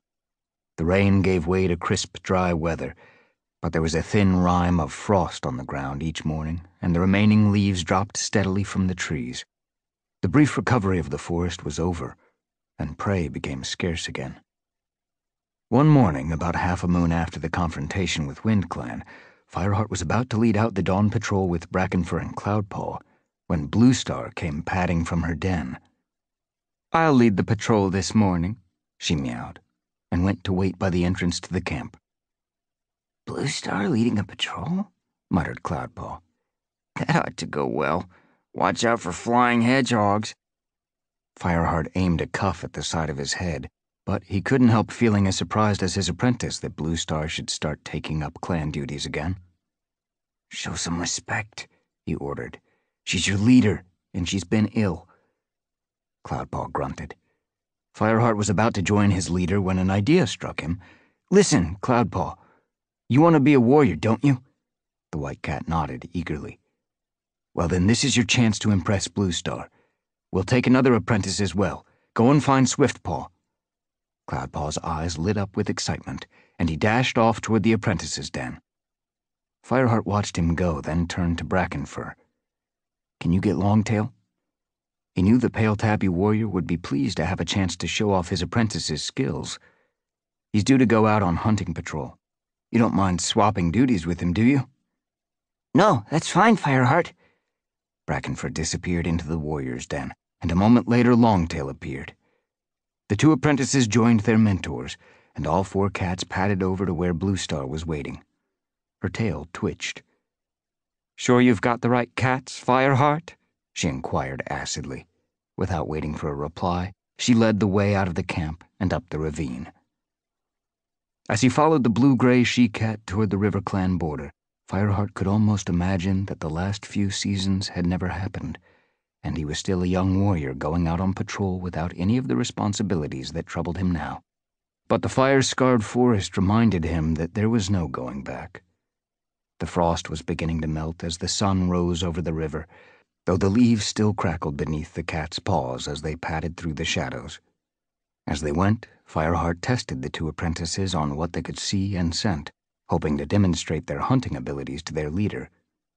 They answered confidently, but Bluestar gave no sign that she had heard. The ThunderClan leader paused when they came within sight of the river and stood gazing at the opposite bank. I wonder where they are, she murmured, almost too quietly for Fireheart to hear. What are they doing now? Fireheart did not need to see the sadness in her eyes to know that she was thinking of Mistyfoot and Stonefur. He glanced uneasily at the other cats to see if they had noticed but Swiftpaw and Cloudpaw were sniffing at an old water vole hole, while Longtail was watching the movements of a squirrel high in the branches of a tree. After a few moments, Bluestar turned and followed the border upstream toward Sunning Rocks. Fireheart noticed that she kept casting glances into RiverClan territory, but everything was quiet. They saw no RiverClan cats at all. Eventually, Sunning Rocks came within sight. The smoothly sloping boulders seemed deserted. Then, as Fireheart watched, a cat climbed up from the opposite side and stood silhouetted against the sky. Fireheart stopped dead, his fur prickling with the sense of danger. Though he could not make out the color of her fur, there was no mistaking that aggressive stance, the arrogant tilt of her head, and her long, winding tail. It was Leopardstar. A couple of other cats had joined Leopardstar, and as the ThunderClan patrol drew closer, Fireheart recognized Stonefur, the RiverClan deputy, and the warrior Blackclaw. Bluestar, he hissed. What is RiverClan doing on Sunning Rocks? But Fireheart felt his heart sink with dread when he saw the way that Bluestar was looking at the RiverClan deputy. Not the challenging glare of a leader faced with enemy cats on her territory, but the admiring gaze of a queen who has seen her beloved kit become a noble warrior. Bluestar padded forward until she reached the base of the rock where Leopardstar waited. Fireheart followed. What do they think they're doing? Cloudpaw muttered indignantly behind him. Sunning Rocks is ours. Fireheart shot him a warning glance to keep silent, and the apprentice dropped back beside Swiftpaw and Longtail, while Fireheart went to stand at Bluestar's shoulder. Good day, Bluestar. Leopard Star meowed, her voice confident. I've been waiting since moonset to see ThunderClan cats, but I never hoped that one of them would be you. There was an edge of mockery in her tone, and Fireheart winced that the head of his clan could be scorned so openly by other leaders. What are you doing here? Bluestar asked. Sunning Rocks belongs to ThunderClan but her voice was low and unchallenging, as if she did not really believe what she was saying, or did not care. Sunning Rocks has always belonged to RiverClan, Leopard Star retorted. Even though we allowed ThunderClan to hunt here for a while. But ThunderClan stands in our debt after the help we gave you at the time of the fire. Today we claim that debt, Bluestar. We are taking Sunning Rocks back. Fireheart's fur bristled with fury. If Leopardstar thought she could stroll onto Sunning Rocks without a fight, she was mistaken. Whipping around, he hissed, Swiftpaw, you're fastest. Run back to camp and fetch reinforcements. But I want to fight, Swiftpaw protested. Then get back here fast. The apprentice dashed off into the trees. Leopardstar tracked him with narrowed eyes, and Fireheart knew she must realize why he had gone. It was essential to hold off the battle for as long as possible. Keep her talking, he murmured to Bluestar. Swiftpaw's gone for help. He was not sure if Bluestar had heard him. She was staring at Stonefur again. Well, Bluestar, Leopard Star challenged. Do you agree? Do you allow RiverClan the right to Sunning Rocks? For a few heartbeats, Bluestar did not reply. As the silence stretched out, more RiverClan cats crept up to the top of the rock and emerged to stand beside their leader. Fireheart's heart lurched when he saw that one of them was Graystripe. His gaze locked with his friend's, and he saw in Graystripe's appalled face a message as clear as if the Grey Warrior had yowled it to the skies. I don't want to fight you. No, Bluestar spoke at last, and to Fireheart's relief her voice was firm. Sunning Rocks belongs to ThunderClan. Then you'll have to fight us for it, growled Leopardstar. Fireheart heard Longtail whisper at his shoulder, They'll make crow food of us. At the same moment, Leopardstar uttered a blood-curdling yowl and launched herself down the face of the rocks at Bluestar. The two cats crashed to the ground, spitting and clawing. Fireheart sprang forward to help his leader, but before he reached her, a warrior crashed into his side bowling him over and sinking his teeth into Fireheart's shoulder. Fireheart scrabbled against the RiverClan cat's belly with his hind paws, desperate to break his grip, and slashed his claws at his enemy's throat. The tabby warrior let go and backed off, yowling. Fireheart spun around, looking for Bluestar, but she was nowhere to be seen. He spotted Longtail in the midst of a heaving mass of cats, but before he could do anything to help, he caught a glimpse of Blackclaw springing toward him. He managed to avoid the warrior's outstretched claws, and as the RiverClan cat fell awkwardly, Fireheart sprang on him and bit hard into his ear. Blackclaw scrabbled on the ground, trying to escape Fireheart's grip. Fireheart raked his claws across his back, only to lose his hold as another cat barreled into him from the side. He went down and felt teeth meet in his tail. Longtail was right, he thought despairingly. They'll tear us into strips. The ThunderClan cats were hopelessly outnumbered, and there had been no time for Swiftpaw to reach the camp and return with help. Long before reinforcements could arrive, the patrol would have been driven off or killed, and Sunning Rocks would belong to RiverClan again. Fireheart writhed helplessly, struggling for enough space to use teeth and claws. Suddenly, the weight lifted as the cat lying across his legs was yanked away. He sprang to his paws to see Cloudpaw perched on Blackclaw's back, his claws fastened deep in the warrior's black fur and the wild light of battle in his eyes. Blackclaw reared up on his hind legs, but he couldn't shake the apprentice off. See, Fireheart? Cloudpaw yelled. Do it this way. It's easy. There was no time for Fireheart to answer. He spat an insult after the other warrior, who vanished wailing among the rocks and threw himself into the whirling mass of cats around Longtail. Fireheart dragged one warrior off him and suddenly came face to face with Brackenfur as the younger warrior burst out of the trees. He gasped with surprise and gave fervent thanks to StarClan.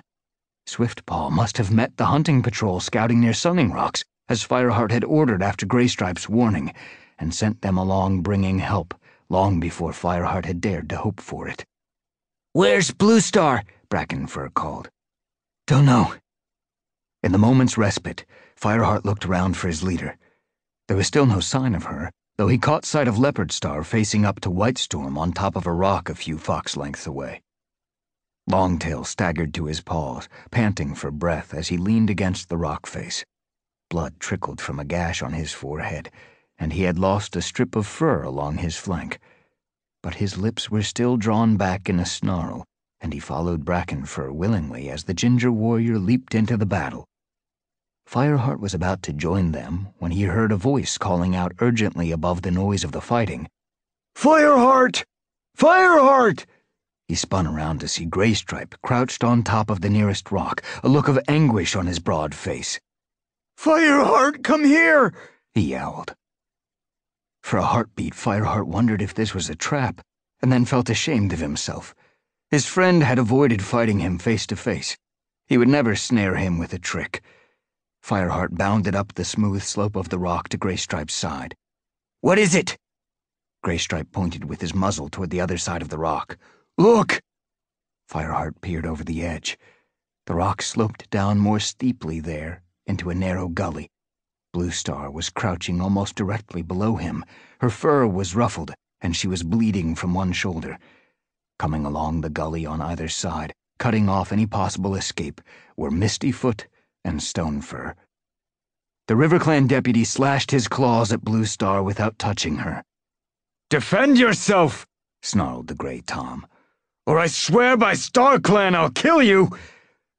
On Bluestar's other side, Mistyfoot crept closer, her belly flat to the ground. Are you scared to fight us? she hissed. Bluestar did not move, except to turn her head from one to the other. Fireheart could not see her expression from his vantage point, but he knew she would never be able to attack her own kits. I had to tell you, Graystripe whispered beside Fireheart. They'll call me a traitor, but I couldn't let them kill Bluestar. Fireheart shot his friend a look of gratitude. Graystripe had no idea of the real relationship between Bluestar and these two RiverClan cats. His only motive was loyalty to his former leader. But Fireheart had no time to think for long about Graystripe's tangled loyalties. He had to save Bluestar. The RiverClan cats had advanced until they were almost touching her, their fur bristling and their teeth bared in a snarl. Call yourself a leader? Stonefur sneered. Why won't you fight? He drew back a paw to bring it raking down over Bluestar's shoulder. At the same instant, Fireheart launched himself down the rock face. He landed hard in the gully, practically on top of Stonefur, forcing him away from Bluestar. On the clan leader's other side, Mistyfoot let out a screech of defiance and unsheathed her claws. Stop! Fireheart yelled. You can't harm Bluestar! She's your mother. Chapter 17 The RiverClan warriors froze, their blue eyes wide with shock. What do you mean? Stonefur rasped. Graypool was our mother. No, listen. Fireheart bundled Bluestar against the rock face and stood in front of her. He could still hear the yowls and spitting of the battle on the other side of the rock, but suddenly it seemed to have nothing to do with the confrontation in this gully. Bluestar gave birth to you in ThunderClan, he meowed desperately. But she couldn't keep you. Your father, Oakheart, brought you to RiverClan. I don't believe you, Stonefur drew his lips back in a vicious snarl. It's a trick! No, wait, mewed Mistyfoot. Fireheart doesn't lie. How would you know? her brother demanded. He's a ThunderClan cat. Why should we trust him? He advanced on Fireheart, claws out, and the ThunderClan warrior braced himself for the attack. But before Stonefur could spring, Bluestar slipped out from behind him and faced the two RiverClan cats. My kids. Oh, my kids. Bluestar's voice was warm, and when she turned her head, Fireheart saw that her eyes were blazing with admiration. You're such fine warriors now. I'm so proud of you. Stonefur glanced at Mistyfoot, uncertainty showing in his twitching ears. Leave Bluestar alone, Fireheart urged quietly. A sudden yowling interrupted him. Fireheart, watch out! The voice was Graystripes. Fireheart looked up in time to see Leopardstar plunging down the rock toward him. Graystripe's warning gave him just enough time to scramble backward so that her outstretched claws only raked his shoulder. Spitting, she flung herself at him, driving the breath out of his body as she hurled him to the ground. Fireheart gripped the RiverClan leader's neck with his front paws and felt her powerful hind paws raking at his belly. Pain stabbed through him, and he slashed out blindly, feeling his claws score through fur. For a few heartbeats, all he could see was Leopardstar's spotted pelt. His face was pressed into it, half smothering him, and he struggled to breathe. Suddenly, Leopardstar jerked her head back, and Fireheart lost his hold on her neck. Her stifling weight was lifted off him. Scrambling to his paws, he backed against the rock, ready for her to spring at him again. His head whirled with exhaustion, and he could feel blood pulsing out of a wound on his leg. Suddenly, he wasn't sure that this was a battle he could win. He looked around for Bluestar, but she had disappeared, and so had Mistyfoot and Stonefur. The RiverClan leader crouched on the ground in front of him, breathing hard, bleeding from her neck and side. To Fireheart's astonishment, Graystripe stood over her, pinning her down with his front paws. I had him, Leopardstar panted, almost incoherent with fury. I heard you just now. You warned him. Graystripe released his leader so she could stagger to her paws again. I'm sorry, Leopardstar, but Fireheart's my friend. Leopardstar shook drops of blood from her golden tabby fur and glared at the Grey Warrior. I was right about you all along, she hissed. You were never loyal to RiverClan. All right, you've got a choice. Attack your friend for me now, or leave my clan for good. Graystripe stared at her in dismay. Fireheart's breath caught in his chest. Was Leopardstar going to force him to fight his former clanmate? He knew that he didn't have the strength to beat a cat who was still relatively fresh, and much more than that, how could he lift a claw against his best friend? Well, snarled Leopardstar, What are you waiting for?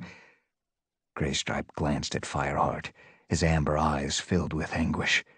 Then he bowed his head. I'm sorry, Leopardstar. I can't do it. Punish me if you want. Punish you? Leopardstar's face was contorted in fury. I'll claw your eyes out! I'll set you loose in the forest for the foxes to track down! Traitor! I'll. A chorus of yowling drowned her threats. Fireheart looked up, almost despairing at the thought of more enemies to fight. He could hardly believe what he saw. A wave of ThunderClan cats was streaming over the rock and down into the gully. He spotted Mousefur, Darkstripe, Sandstorm, and Dustpelt, and Swiftpaw leading the other apprentices. His message had gotten through, and help had come at last. Leopardstar took one look and fled. The ThunderClan warriors gave chase at once with furious yowls. Fireheart and Graystripe were left looking at each other. Thank you, Fireheart mewed after a few moments. Graystripe shrugged and padded over to him. He was limping slightly, and his fur was torn and thick with dust. There was no choice, he whispered. I couldn't hurt you, could I? Fireheart drew himself up.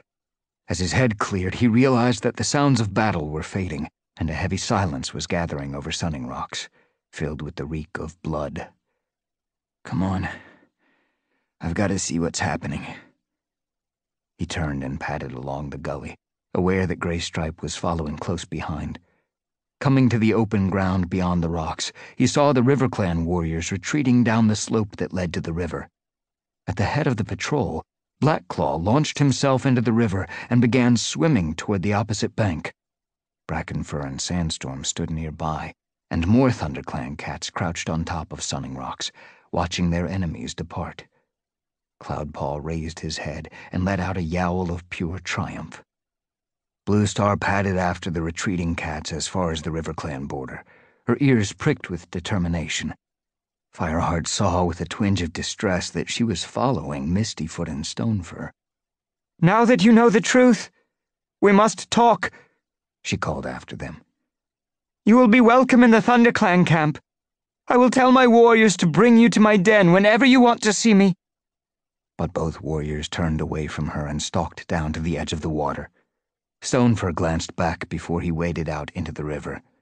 Leave us alone, he growled. You're no mother of ours, whatever you say. Leopardstar was the last cat to retreat across the border. Look there! she snapped at her warriors, flicking her tail toward Graystripe, who was standing beside Fireheart. If it weren't for that traitor, Sunning Rocks would be ours again. He's no longer a member of RiverClan. If you catch him on our territory, kill him! Without waiting for any response, she spun around and limped rapidly toward the river. Graystripe said nothing. He stood as motionless as the rocks behind him, with his head hanging. Sandstorm padded across to Fireheart. What happened? she asked. She was bleeding from a scratch on her shoulder, but her eyes were clear and questioning.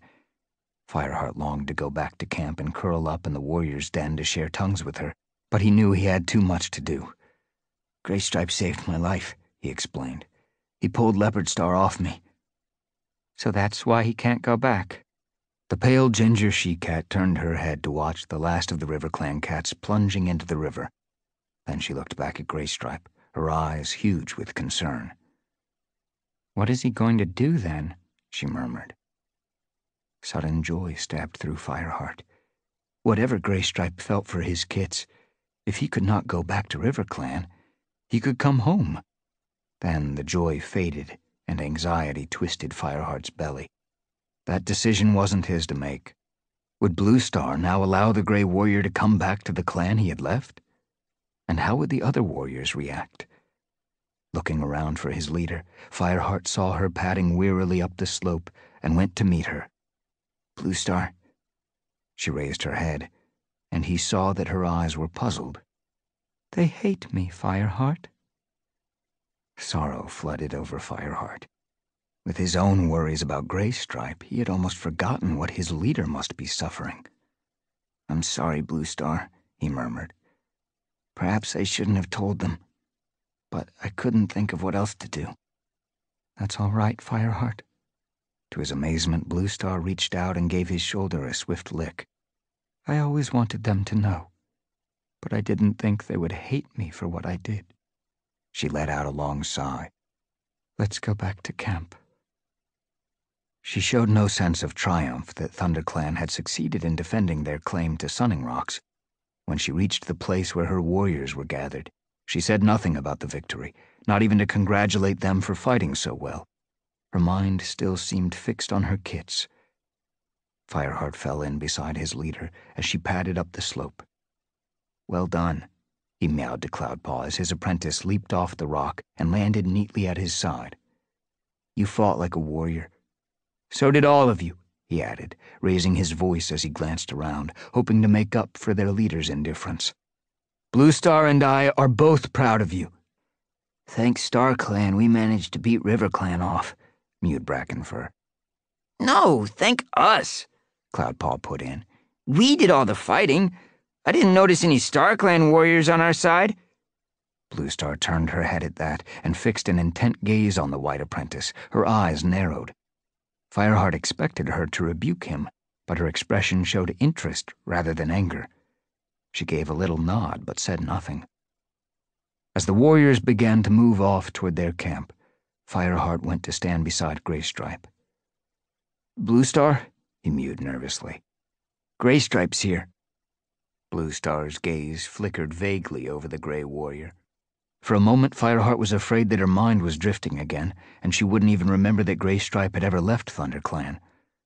Then Darkstripe shouldered his way forward. Get off our territory, he spat at Graystripe, adding to Bluestar. I'll drive him off if you want. Wait, Bluestar ordered, with a touch of her old authority. Fireheart, explain what's going on. He told her how Graystripe had warned him about Leopardstar's attack and pulled her away when Fireheart was losing their fight. He brought me to help you when Mistyfoot and Stonefur were attacking you, he explained, and I owe him my life. Bluestar, please let him come back into ThunderClan. Graystripe looked at his former leader with a glimmer of hope in his amber eyes. But before Bluestar could reply, Darkstripe broke in roughly. He left ThunderClan of his own free will. Why should we let him come crawling back now? I'm not crawling to you or any cat, Graystripe retorted. He turned to face the gray she-cat again. But I'd like to come back, if you'll have me, Bluestar. You can't take back a traitor, Darkstripe spat. He just betrayed his leader. How do you know he won't betray you the first chance he gets? He did it for Fireheart, Sandstorm protested. Darkstripe snorted contemptuously. Bluestar fixed a cold look on him. If Graystripe is a traitor, she meowed, with all the ice of leaf-bare in her voice, then he's just the same as the rest of you. The clan is full of traitors, so one more won't make any difference. She whirled on Fireheart, power and strength seeming to flow back into her body. You should have let Mistyfoot and Stonefur kill me, she spat. Better a quick death at the claws of noble warriors than a life dragged out in a clan I can't trust. A clan doomed to destruction by StarClan. There were gasps from the other cats as she spoke, and Fireheart realized that few of the clan had any idea how distrustful and despairing Bluestar had become. He knew there was no point in trying to argue with her now. Does that mean Graystripe can stay? he asked. Stay or go, whatever he likes, Bluestar responded indifferently. Her flash of strength ebbed, leaving her looking more exhausted than ever. Slowly, not meeting the troubled gazes of any of her warriors, she padded away in the direction of the camp. Chapter 18 As Fireheart wearily pushed his way through the entrance to the camp, he spotted Bramblekit dashing toward him, almost falling over his paws in his eagerness to greet the returning warriors. Did we win? he asked. He stopped and stared round-eyed at Graystripe. Who's this? Is he a prisoner? No. He's a ThunderClan cat, Fireheart replied. It's a long story, Bramblekit, and I'm too tired to explain now. Get your mother to tell you. Bramblekit took a step back, looking slightly crestfallen. Though he wouldn't remember it, Fireheart reflected he had suckled side by side with Graystripe's two kits. Goldenflower had cared for them in the few days they had spent in ThunderClan after Silverstream's death. The dark tabby kit eyed Graystripe suspiciously as the two warriors padded past him, and then turned to Tawnykit as she came bounding up. Look, he mewed. There's a new cat in the clan. Who is he? Tawnykit wondered. A traitor, Darkstripe spat as he stalked past on his way to the warrior's den. But then, we're all traitors according to Bluestar. The two kits stared at him with total bewilderment in their faces. Fireheart fought down his fury.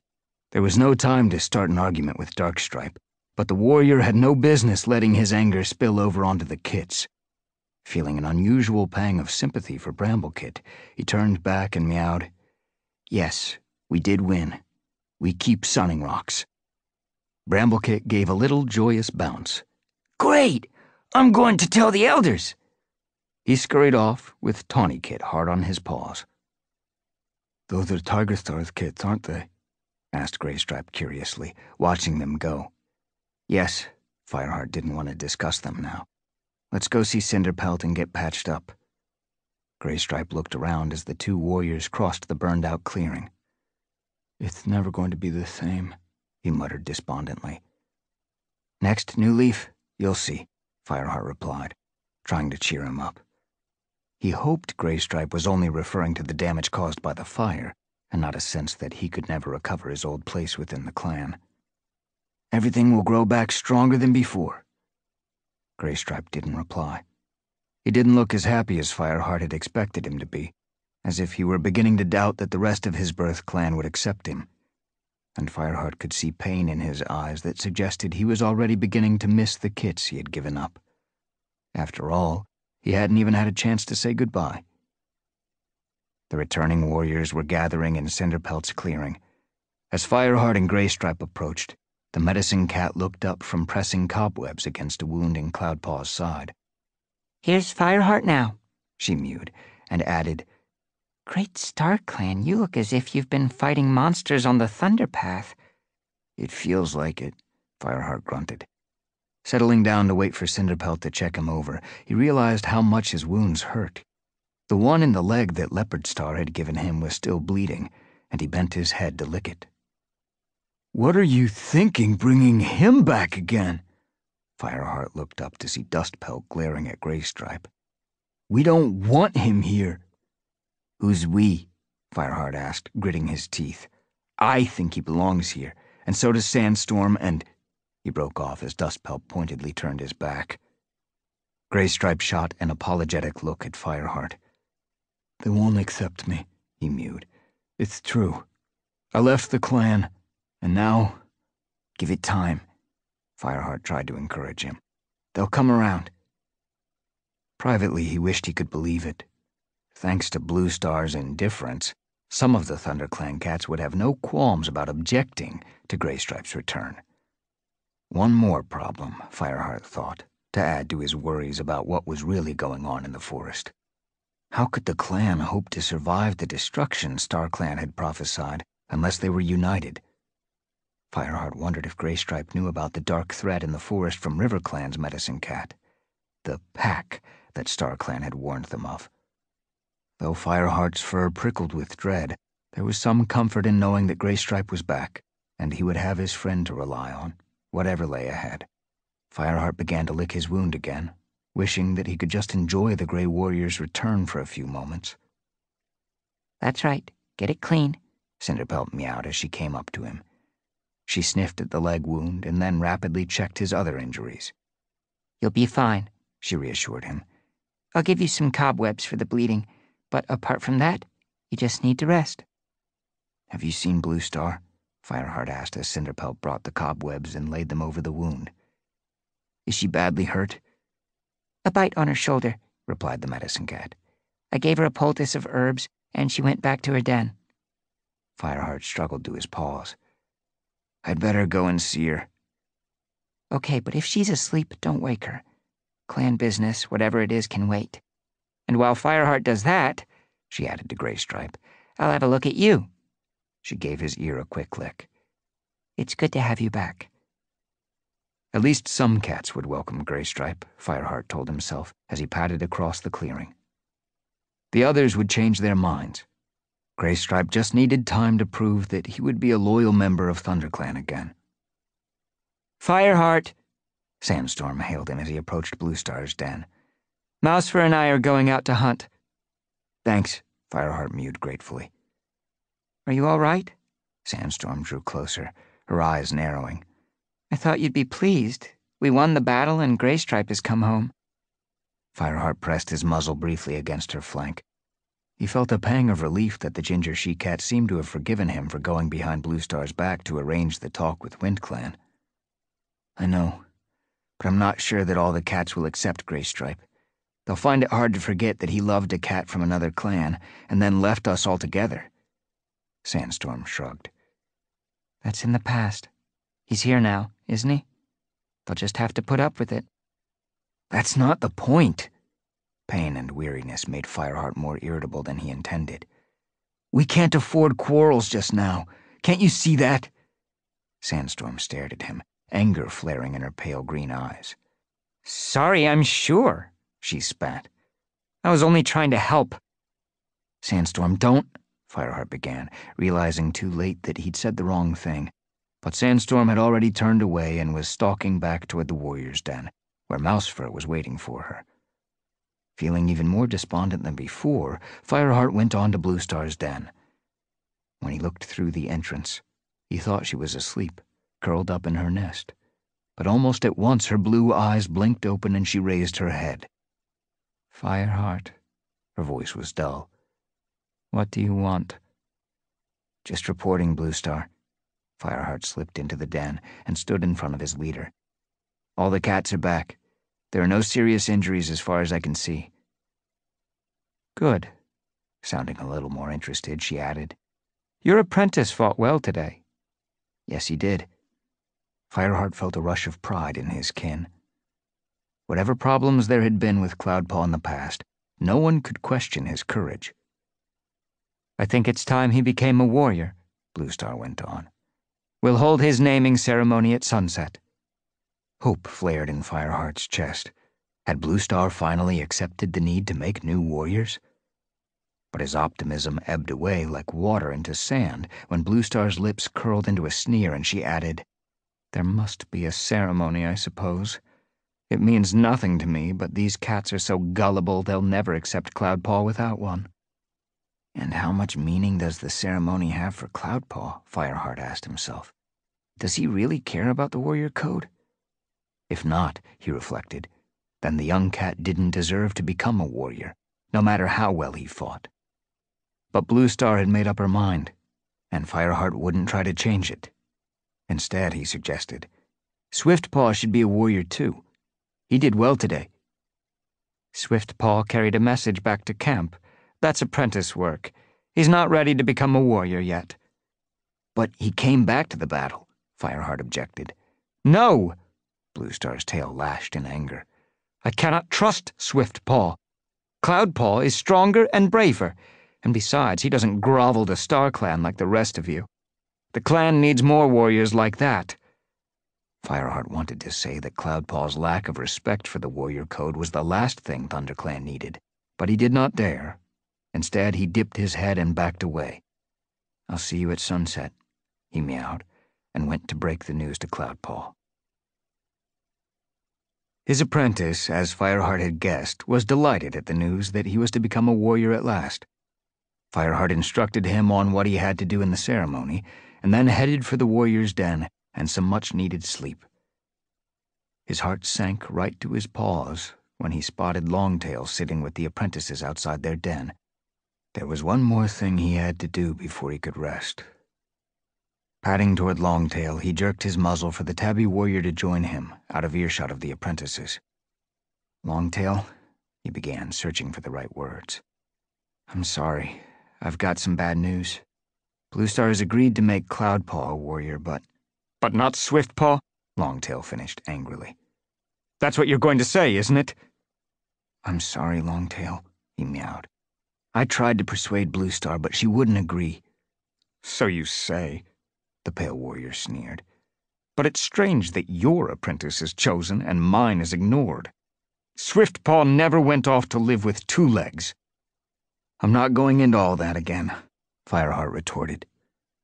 Cloudpaw had never intended to leave the clan, but every cat knew that he had visited the Twoleg nest regularly for food before the Twolegs captured him and shut him in. Bluestar said she's making Cloudpaw a warrior because he fought well, while Swiftpaw took a message. Longtail's tabby fur bristled with fury. And who made him take it? He would have stayed to fight if you hadn't sent him away. I know that, Fireheart mewed wearily. I'm just as disappointed as you are. I'll do my best to get made a warrior soon, I promise. If I believed that, I'd believe anything. Longtail spat. He turned his back on Fireheart, scraped angrily at the ground as if he were covering his dirt, and stalked back to the apprentices. The sun was sinking behind the wall of the camp when Fireheart emerged from the warrior's den with Graystripe close behind him. Sleep had restored his body, and he tried to feel optimistic about the coming ceremony, even though he was not looking forward to it.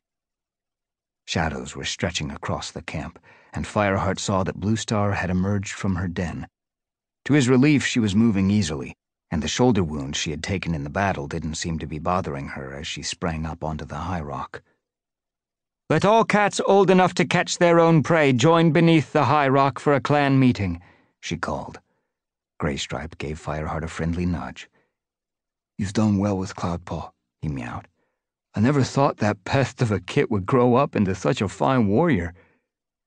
Fireheart acknowledged his friend's praise by pressing his muzzle against the Grey Warrior's shoulder.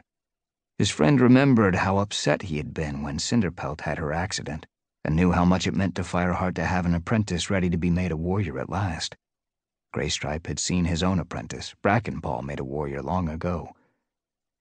Many of the cats were already in the clearing. News of Cloudpaw's warrior ceremony must have spread around the camp. Cinderpelt appeared from her den and took her place near the base of the rock, while Goldenflower brought her two kits to sit at the front of the gathering crowd. Willowpelt's litter stayed with their mother near the entrance to the nursery. Fireheart couldn't help noticing that the other apprentices were the last to join the circle around the rock. He saw Brightpaw nudging Swiftpaw out of their den. Even when the black and white cat had crossed the clearing, he stayed on the very edge of the crowd, and the other apprentices settled down around him. A pang of dismay shot through Fireheart. It wasn't Cloudpaw's fault that Bluestar had chosen him and none of the others. It would be hard for him not to have the good wishes of his friends when he became a warrior. But Cloudpaw didn't seem bothered. He strolled out of the elder's den and padded across to Fireheart with his tail waving in the air, his eyes shining with excitement. Fireheart murmured into his ear, I'm very proud of you, Cloudpaw. Tomorrow you can take a hunting patrol over to Twoleg Place and tell Princess. Cloudpaw shot him a delighted look, but before he could say anything, Bluestar spoke.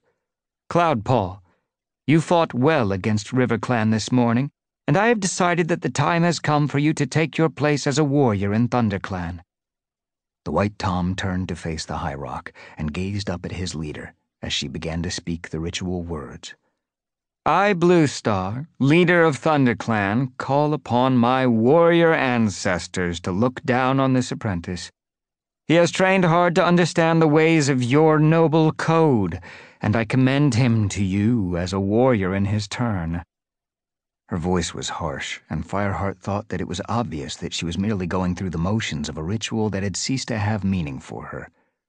Uneasily, he wondered whether StarClan would be willing to watch over Cloudpaw when neither he nor his leader had any respect for their warrior ancestors. Cloudpaw, Bluestar continued, do you promise to uphold the warrior code and to protect and defend this clan? even at the cost of your life? I do, Cloudpaw meowed fervently. Did he understand what he was promising? Fireheart wondered. He was sure that Cloudpaw would do his best to protect the clan, because these cats were his friends, but he knew that the young cat wouldn't be prompted to act by any sense of loyalty to the warrior code. Then by the powers of StarClan, I give you your warrior name, Bluestar went on, each word dragged out of her like thorns. Cloudpaw. From this moment you will be known as Cloudtail. StarClan honors your courage and your independence, and we welcome you as a full warrior of ThunderClan. Leaping down from the Highrock, she padded over to Cloudtail and rested her muzzle on his head. Cloudtail gave her shoulder a respectful lick, then went over to stand beside Fireheart. This was the moment at which the clan should have greeted the new warrior by chanting his name but now there was only silence. Fireheart heard uneasy murmurs start up around him, as if the cats had sensed Bluestar's lack of conviction when she recited the ritual. Flicking a glance at the apprentices at the edge of the crowd, Fireheart saw that they were all looking at their paws, and Swiftpaw had turned his back on his old denmate. Cloudtail was beginning to look a little crestfallen when Brindleface, who had suckled him as a tiny kit, padded up and pressed her tabby muzzle against his. Well done, Cloudtail, she exclaimed. I'm so proud of you. As if she had given a signal, Cinderpelt and Graystripe came up, and then at last the other cats began to crowd around, greeting Cloudtail by his new name and congratulating him. Fireheart breathed a sigh of relief that the awkward moment was over, but he couldn't help noticing that Longtail was nowhere to be seen, and the apprentices waited until the very end to come up, led by Brightpaw, each mewing a few quick, subdued words before slipping away again. Swiftpaw was not among them. You're keeping vigil tonight, Fireheart reminded his former apprentice, trying to sound as if this were like any other warrior naming ceremony. Remember, you have to stay silent until dawn. Cloudtail nodded and padded off to take up a position in the center of the clearing. His head and tail were raised proudly, but Fireheart knew that the ceremony had been shadowed by the jealousy of the other apprentices and by Bluestar's transparent loss of faith. How long could the clan survive, Fireheart wondered, when their leader no longer honored StarClan? Chapter 19 Next morning, Fireheart watched the dawn patrol leave before going to relieve Cloudtail from his vigil. His injured leg felt stiff, but the bleeding had stopped. All quiet? he meowed. Do you want to sleep now, or are you up to going hunting? We could go through Tallpines if you like and see Princess. Cloudtail stretched his jaws in an enormous yawn, but a heartbeat later he had sprung to his paws. Let's hunt! Okay, Fireheart mewed. We'll take Sandstorm with us. She has met Princess too. Fireheart knew that his closeness to Sandstorm had been trickling away ever since he had stopped the battle with WindClan. He desperately wanted to restore their previous bond, and inviting her to go hunting might be a good way of doing that. Glancing around to see if she had emerged from the den, he spotted Dustpelt padding toward him, with Fernpaw following. As they drew closer, Fireheart could see that the light brown warrior looked worried. There's something you ought to know, Dustpelt announced. Fernpaw, tell Fireheart what you just told me. Fernpaw's head was lowered, and she scuffled in the dust with her front paws. Her hesitation gave Fireheart time to wonder what was troubling her, and why she had chosen to confide in Dustpelt instead of her mentor, Darkstripe. The second question was answered as Dustpelt bent his head and gave her ear a couple of licks. Fireheart had never seen the prickly young warrior so gentle. It's okay, Dustpelt mewed. There's nothing to be scared of. Fireheart won't be angry with you. The glare he gave Fireheart, unseen by Fernpaw, said he'd better not. Come on, Fernpaw, Fireheart tried to sound encouraging. Tell me what is the matter. Fernpaw's green eyes flickered toward him and away again. It's Swiftpaw, she mewed. He. She hesitated this time, with a glance at Cloudtail, and then went on. He was really angry that Bluestar wouldn't make him into a warrior. Last night, he got all us apprentices together in the den. He said we'd never be warriors unless we did something so brave that Bluestar couldn't go on ignoring us anymore. She paused again, and Dustpelt murmured, Go on. He said we ought to find out who has been killing prey in the forest, mewed Fernpaw, her voice shaking. He said you didn't seem bothered about finding our enemy. He wanted us to go to Snake Rocks because that's where most of the scraps of prey had been found. Swiftpaw thought we might pick up a trail. What a mouse-brained idea! Cloudtail burst out. And what did the rest of the apprentices think about this? Fireheart asked, shooting a warning glance at Cloudtail and trying to ignore the cold lump of apprehension that was gathering in his belly. We didn't know. We want to be warriors, but we all knew we shouldn't do something like that without orders and without at least one warrior with us. In the end, only Swiftpaw and Brightpaw went. Did you see them go when you were on vigil? Fireheart demanded, turning to look at Cloudtail.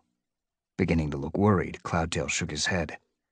Swiftpaw said Cloudtail wouldn't notice a two-legged monster roaring through the camp, Fernpaw mumbled. He and Brightpaw sneaked out through the ferns behind the Elder's den. When was this? Fireheart demanded. I'm not sure. Before dawn? Fernpaw's voice rose as if she were about to start wailing like a tiny kit. I didn't know what to do. I knew it was wrong, but I didn't want to give them away. Only I've been feeling worse and worse, and so when I saw Dustpelt, I went to tell him. She gave the brown tabby warrior a grateful glance, and he pressed his muzzle against her speckled gray flank. We'll have to go after them, Fireheart decided. I'm coming, Cloudtail meowed instantly, startling Fireheart by the blaze in his blue eyes. Brightpaw's out there. If anything's hurt her, I'll. I'll shred it. Okay, Fireheart agreed, surprised to realize that the young warrior cared so transparently for his former denmate. Go and fetch a couple more cats to come with us. As the new warrior shot off, Dustpelt meowed. We'll come too. I don't want the apprentices involved, Fireheart replied. Fernpaw is upset enough as it is. Why don't you take her hunting? Take Ashpaw and Darkstripe as well. The clan needs fresh kill. Dustpelt gave him a long look. Then he nodded. Okay. Fireheart wondered whether he ought to tell Bluestar what was going on before they left, but he was reluctant to get Swiftpaw into trouble and give the clan leader another excuse why the young cat shouldn't become a warrior. If we can fetch them back, Bluestar need never know, he told himself. Besides, Fireheart didn't want to waste a single moment. Cloudtail was already returning with Sandstorm and Graystripe hard behind him. Just the cats I'd have chosen, Fireheart thought. He couldn't ignore the warm feeling at the thought that Graystripe was home again, and they could hunt and fight together as they used to. The Grey Warrior's eyes were shining as he fell into his accustomed place at Fireheart's side. Fireheart wished he could have had Whitestorm, too. He was Brightpaw's mentor, but he had gone out with the Dawn Patrol. Sandstorm looked her usual self, alert and focused on their mission. Cloudtail told us, she meowed briskly. Let's go. Fireheart took the lead out of the camp and up to the top of the ravine. Almost at once, he picked up Swiftpaw's and Brightpaw's scent, leading directly toward Snake Rocks. There was no need to spend time trying to track them. All they had to do was get to Snake Rocks as soon as possible but we'll be too late, he thought, if they meet whatever's out there. He raced through the forest, his paws scattering fallen leaves. The stiffness in his injured leg was forgotten. Graystripe ran close beside him, and Fireheart recognized the comfort of facing danger with his friend by his side once again, even though so much had changed. As they approached Snake Rocks, Fireheart slowed down and signaled with his tail for the other cats to do the same. If they dashed straight in without knowing what they had to face, there would be no help to the apprentices. They had to treat this threat, whatever it was, like any other enemy. But something inside Fireheart screamed that it was unpredictable, far beyond the reach of any clan code, and that he was in more danger than he had ever been in before. Was this how mice and rabbits felt, he wondered, knowing that death could be stalking through the undergrowth? Everything was still. Fireheart did not want to risk calling to the apprentices in case he alerted whatever was lurking up ahead. Swiftpaw must be right, he realized. This was the center of the darkness that had poisoned the forest. But he began to doubt his theories about what the threat was. Could one dog really cause so much destruction and fear in the forest? As cautiously as if he were stalking prey, Fireheart slid through the undergrowth until the smooth, sand colored sides of Snake Rocks came into sight. For a few heartbeats, he stood and tasted the air. A mixture of scents reached him Swiftpaw's and Brightpaw's, still fresh. The staler scent of other ThunderClan cats. Dog, as Fireheart had expected, but over it, all the stench of newly spilled blood. Sandstorm turned to look at him, her eyes huge with fear. Something terrible has happened. Terror coursed through Fireheart. He was about to confront the source of the fear that had stalked him for more than a moon, the faceless enemy that had invaded their forest. He was barely able to make himself go on. With a twitch of his tail, he gestured for his companions to move forward again. Now they crept with their bellies close to the ground, intent on seeing without being seen, until the rocks were only a few fox lengths away. A fallen tree barred their way. Scrambling onto the trunk, Fireheart looked out over an open space carpeted with dead leaves. Foul tasting bile rose into his throat as he took in the scene in front of him. The leaves had been churned up by massive paws, and clots of earth sprayed upward to catch in the branches of the tree. In the middle of the clearing, Swiftpaw's black and white body lay motionless, and just beyond him, Brightpaw. Oh no, whispered Sandstorm as she drew herself up to crouch on the trunk beside Fireheart. Brightpaw! Cloudtail. Without waiting for Fireheart's order, he launched himself across the clearing toward her. Fireheart tensed, waiting for whatever had hunted down these apprentices to emerge from the trees and attack, but nothing stirred. Feeling as if his legs hardly belonged to him, he sprang down and stumbled across to Swiftpaw. The apprentice lay on his side, his legs splayed out. His black and white fur was torn, and his body was covered with dreadful wounds, ripped by teeth far bigger than any cat's. His jaws still snarled and his eyes glared. He was dead, and Fireheart could see that he had died fighting. Great StarClan, what did this to him? he whispered.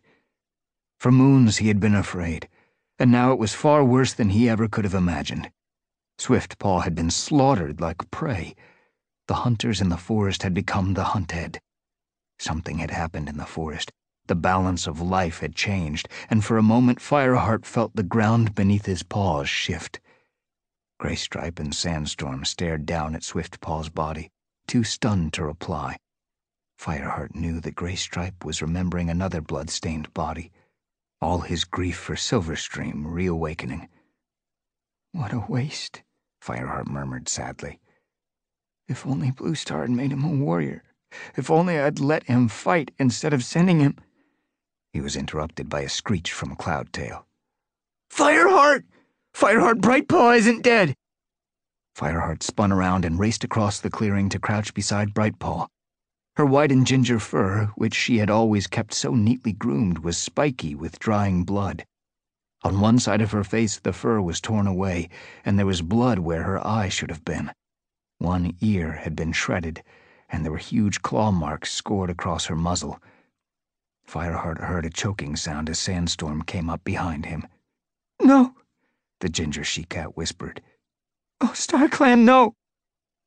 At first, Fireheart thought Cloudtail was wrong and that Brightpaw must be dead, until he saw the very faint rise and fall of her breathing and the blood bubbling in her nostrils.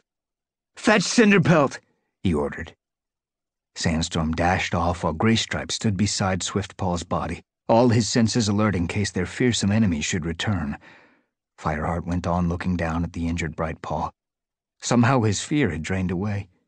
He felt nothing but an icy calm and a stern, ferocious determination to avenge the young apprentices. He asked StarClan to be with him and to give him the strength to unleash all their fury on whatever had dared to wreak such havoc. Cloudtail curled himself close to the motionless apprentice and began licking her face and the fur around her ears. Don't die, Brightpaw, he begged. I'm with you now. Cinderpelt's coming. Hold on just a bit longer. Fireheart had never heard him sound so distraught. He hoped the white cat would not have to suffer the pain he had felt when Spottedleaf died, or Graystripe's when he lost Silverstream. One of Brightpaw's ears twitched under Cloudtail's gentle tongue, her remaining eye opened a slit and closed again. Bright Brightpaw, Fireheart leaned close to her and spoke urgently. Bright Brightpaw, can you tell us what did this to you? Bright Brightpaw's eye opened wider, and she fixed a cloudy gaze on Fireheart. What happened? he repeated. What did this? A thin wailing came from Brightpaw, which gradually formed into words. Fireheart stared at her in horror as he made out what she was trying to say. Pack, pack, she whispered. Kill, kill. Chapter 20 Will she live? Fireheart asked anxiously. Cinderpelt let out a weary sigh. She had come to Snake Rocks as fast as her uneven legs could run, and done her best to patch up the worst of Brightpaw's injuries, with cobwebs to stop the bleeding and poppy seeds for the pain. At last the apprentice had recovered enough to be dragged back through the forest to the camp, and now she lay unconscious in a nest among the ferns near Cinderpelt's den. I don't know, Cinderpelt admitted. I've done the best I can. She's in the paws of StarClan now. She's a strong cat, Fireheart meowed, trying to reassure himself. When he looked at Brightpaw now, curled among the ferns, she looked anything but strong. She seemed smaller than a kit, no more than a scrap of fur. Fireheart half expected each shallow breath to be her last. Even if she recovers, she'll be hideously scarred, Cinderpelt warned him. I couldn't save her ear or eye. I don't know that she'll ever be a warrior. Fireheart nodded. He felt sick as he forced himself to look at the side of Brightpaw's face, now swathed in cobwebs. All this reminded him of Cinderpelt's accident, when Yellowfang had told him that the young she-cat's leg would never heal properly. She said something about the pack, he murmured. I wonder what it was she really saw. Cinderpelt shook her head. It's what we've been afraid of all along. There's something in the forest hunting us down. I heard it in my dream. I know. Fireheart's muscles tensed with regret. I should have done something long ago. StarClan sent that warning to Bluestar, too. But Bluestar has no respect for Star StarClan anymore. I'm surprised she even listened to them. Do you think that's why this happened? Fireheart spun around and faced the medicine cat. No. Cinderpelt's voice was strained as she moved closer to Fireheart and pressed herself against him. StarClan did not send the evil. I'm sure of that. As she spoke, a rustling in the fern tunnel announced the arrival of Cloudtail. I thought I told you to get some rest, Cinderpelt meowed. I couldn't sleep. The white cat padded over to settle himself in the ferns beside his friend. I want to be with Brightpaw. He bent his head to give her shoulder a gentle lick. Sleep well, Brightpaw. You're still beautiful, he murmured. Come back to us. I don't know where you are now, but you have to come back. He went on licking her for a moment more, and then looked up to fix a hostile glare on Fireheart. This is all your fault, he burst out. She and Swiftpaw should have been made warriors, and then they wouldn't have gone off on their own. Fireheart met his kin's gaze steadily. Yes, I know, he mewed. I tried, believe me. He broke off as he heard the soft paw steps of another cat and turned to see that Bluestar was approaching. Fireheart had sent Sandstorm to fetch her, and the ginger warrior followed her into the medicine cat's clearing. The clan leader stood and looked down at Brightpaw in silence. Cloudtail raised his head challengingly, and for a heartbeat, Fireheart thought he was going to accuse Bluestar of being responsible for Brightpaw's terrible injuries as well, but Cloudtail stayed silent. Bluestar blinked a couple of times and asked, Is she dying? That's up to StarClan, Cinderpelt told her, catching Fireheart's eye. And what mercy can we expect from them? Bluestar growled. If it's up to StarClan, Brightpaw will die. Without ever being a warrior, mewed Cloudtail. His voice was quiet and sorrowful, and he bent his head again to lick Brightpaw's shoulder. Not necessarily, Bluestar spoke reluctantly. There is a ritual, thankfully little used. If a dying apprentice is worthy, she can be made into a warrior so that she may take a warrior name to StarClan. She hesitated. Fireheart held his breath in disbelief. Would Bluestar really put aside her anger at their ancestors to acknowledge the importance of StarClan in a warrior's life? Was she about to admit that Brightpaw had been denied the warrior status she deserved? Cloudtail looked up at the gray she-cat again. Then do it, he growled. Bluestar did not react to being ordered around by her newest warrior. As Fireheart and Cinderpelt looked on, pelts touching for comfort, and Sandstorm approached to bear silent witness, the clan leader dipped her head and began to speak.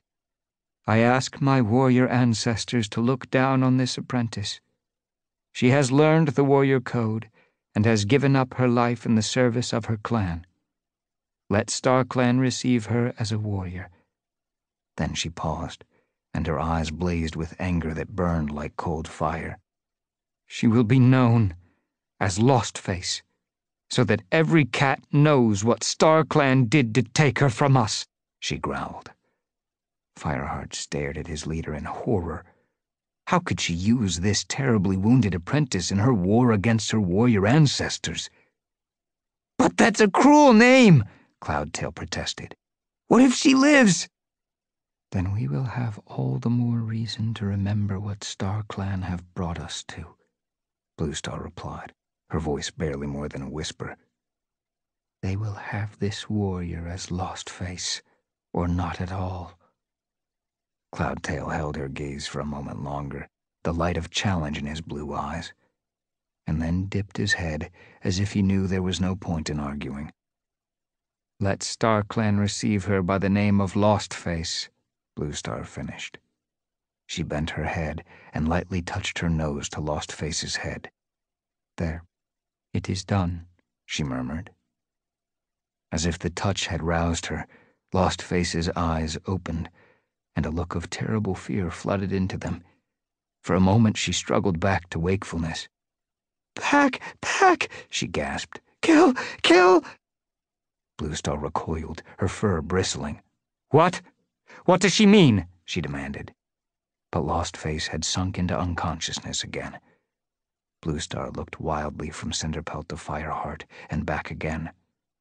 What did she mean? she repeated. I don't know, Cinderpelt mewed uneasily. That's all she will say. But Fireheart, I told you.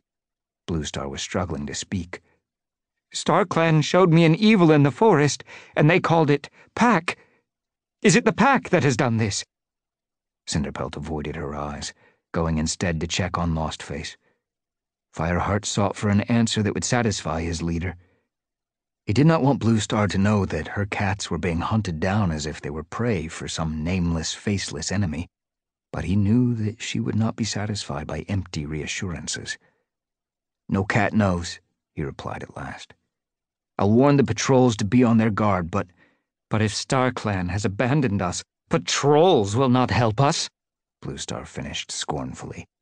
Perhaps they have even sent this pack to punish me. No! Cinderpelt faced her leader. StarClan did not send the pack. Our ancestors care for us, and they would never disrupt the life of the forest or destroy a whole clan for a single grudge. Bluestar, you must believe this. Bluestar ignored her. She padded over to Lostface and stood looking down at her. Forgive me, she meowed. I have brought down the wrath of StarClan on you. Then she turned away toward her den. Almost as soon as she had gone, an agonizing wail broke out in the main clearing. Fireheart raced through the ferns to see that Longtail and Graystripe were bringing Swiftpaw's body back for burial. When the limp black and white shape had been laid in the center of the clearing, his mentor crouched beside him, touching his nose to his fur in the ritual position of mourning. Swiftpaw's mother, Goldenflower, sat next to him, while Bramblekit and Tawnykit, Swiftpaw's half-brother and half-sister, looked on with wide, scared eyes. A fresh wave of grief flooded through Fireheart. Longtail had been a good mentor to Swiftpaw. He did not deserve the pain he was going through now. Returning to Cinderpelt's clearing, he saw that Sandstorm had padded over to stand beside the medicine cat, who was pressing fresh cobwebs onto the blood-soaked dressings. Maybe she'll pull through, she mewed. If any cat can help her, you can, Cinderpelt. Cinderpelt looked up and blinked gratefully. Thanks, Sandstorm. But healing herbs can only do so much, and if Lostface lives, she might not thank me. She caught Fireheart's eye, and he saw in her face a fear that the injured cat would be unable to cope with her horrifically changed appearance. What future lay ahead for a cat whose scars would remind her forever of this living nightmare? I'll still look after her, vowed Cloudtail glancing up from his gentle licking. Fireheart felt a burst of pride. If only his former apprentice could show the same unquestioning loyalty to the warrior code, he would be one of the finest warriors in ThunderClan. Sandstorm gently nosed Lostface and then drew away. I'll fetch some fresh kill for you and Cloudtail, she meowed to Cinderpelt. And a piece for Lostface, too. She might want something if she wakes up. Determinedly optimistic, she padded out into the clearing. I don't want anything to eat, mewed Cloudtail. His voice was dull and exhausted. I feel sick. You need to sleep, Cinderpelt told him. I'll give you some poppy seeds. I don't want poppy seeds either. I want to stay with Lostface. I'm not asking you what you want. I'm telling you what you need, Cinderpelt retorted.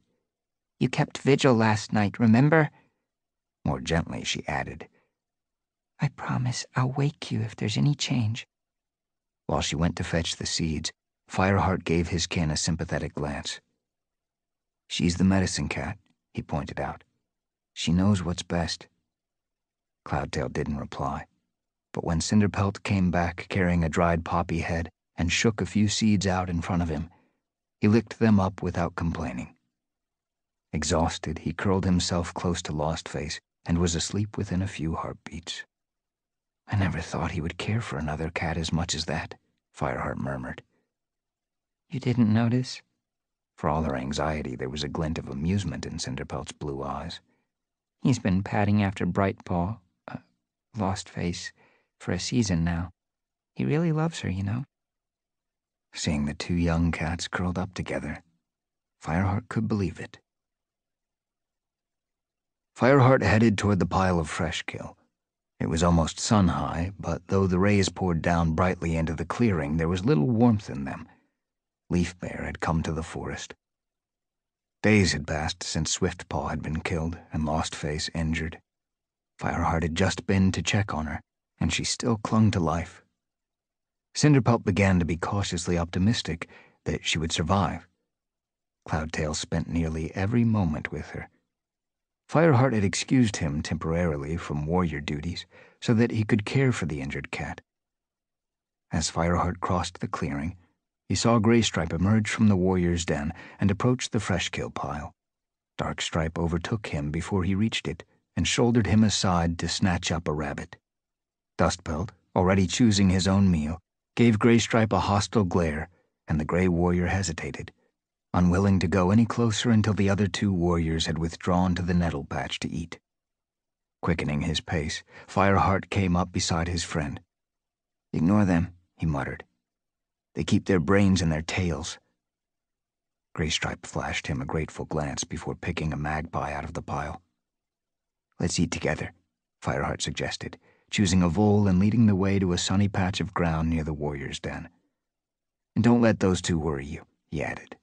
They can't stay hostile forever. Graystripe did not look convinced, but he said nothing more, and the two warriors settled down to eat. Across the clearing, Tawnykit and Bramblekit were playing with Willowpelt's three kits.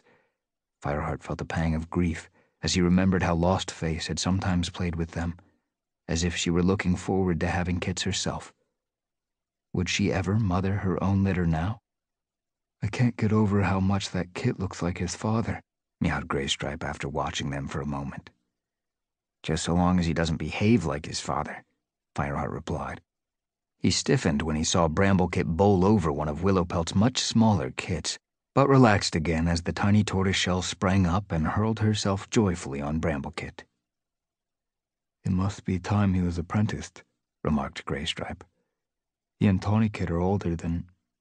He broke off, and a distant, sorrowful expression clouded his amber eyes.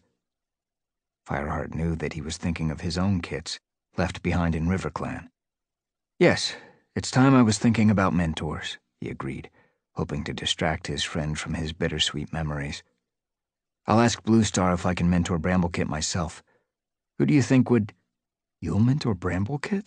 Graystripe stared at him. Is that a good idea? Why shouldn't I? Fireheart asked, feeling his fur start to prickle. I haven't an apprentice now that Cloudtail has been made a warrior. Because you don't like Bramblekit, retorted Graystripe. I don't blame you, but wouldn't he be better off with a mentor who trusts him? Fireheart hesitated. There was some truth in what Graystripe said, but Fireheart knew that he couldn't give the task to any other cat. He had to have Bramblekit under his own guidance to make sure he stayed loyal to ThunderClan.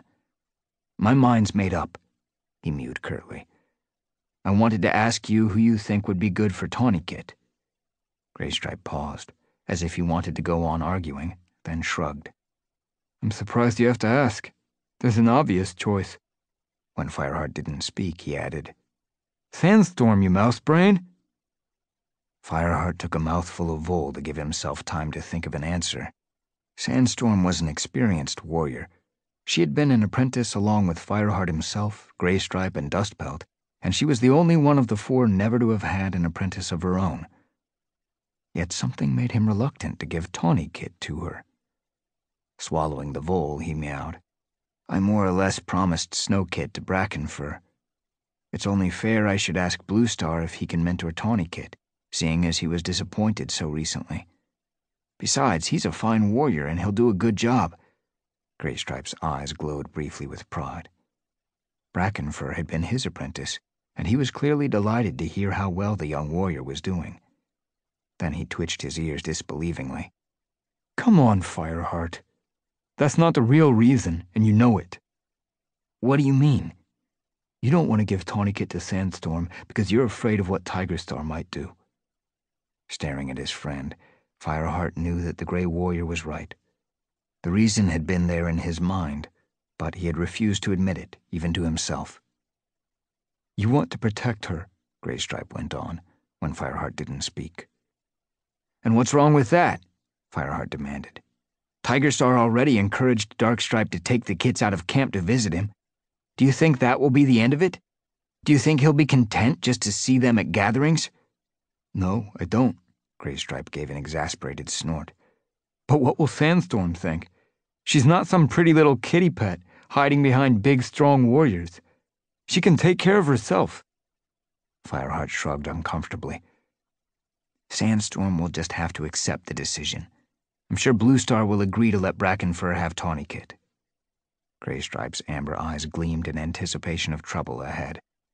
You're the deputy, but Sandstorm isn't going to like it he predicted. You want to mentor Bramblekit? asked Bluestar. Fireheart stood in her den. He had just raised the question of the new apprentices, suggesting that they should hold the naming ceremony at sunset. Yes, he mewed, and Brackenfur to mentor Tawnykit. Blue Star gazed at him with narrowed eyes. A traitor to mentor the son of a traitor, she rasped. Clearly, she had no interest in who should mentor Tawnykit. How suitable. Bluestar, there are no traitors in the clan now, Fireheart tried to assure her, pushing down his misgivings about Bramblekit. Blue Star gave a disdainful sniff. Do what you want, Fireheart. Why should I care what happens to this nest of rogues? Fireheart gave up his attempt to reason with her. Backing out of the den, he returned to the clearing. The sun was already going down, and the clan had begun to gather in anticipation of the ceremony. Fireheart spotted Brackenfur and called him over. I think you're ready for an apprentice, he announced. How would you like to mentor Tawnykit? Brackenfur's eyes glowed. Do you really mean it? he stammered. That would be great. You'll do a fine job, Fireheart meowed. Do you know what to do in the ceremony? He paused as Sandstorm appeared from the warrior's den and began walking toward him. Hang on, Brackenfur, he muttered hastily. I'll be back in a moment. Then he went to meet the pale ginger warrior. What's this Graystripe tells me? Sandstorm demanded as soon as he was in earshot. Is it true that you asked Bluestar if Brackenfur could mentor Tawnykit? Fireheart swallowed. Her green eyes were blazing with anger, and the fur on her shoulders bristled. Yes, it's true, he began. But I'm more experienced than he is. Fireheart resisted the urge to tell her the truth, so that Sandstorm knew he was doing it for her sake and for no other reason. But telling her that she wasn't going to mentor Tawnykit because he wanted to protect her from possible trouble with Tigerstar would make her even more furious. She would only think that he had judged her too weak to deal with the threat posed by the ShadowClan leader. Well, Sandstorm insisted, don't you think I'm capable of being a good mentor? It's not that at all, Fireheart protested. Then what? Give me one good reason why I shouldn't mentor Tawnykit. Because I... Fireheart cast around desperately for something he could tell her. Because I want you to lead extra hunting patrols. You're a brilliant hunter, Sandstorm. The best. And with leaf-bare here, prey will be scarce again. We're really going to need you. As he spoke, he realized that what he said was true. Extra hunting patrols led by Sandstorm would be one way to solve the problem of feeding the clan through the bitter moons of leaf-bare.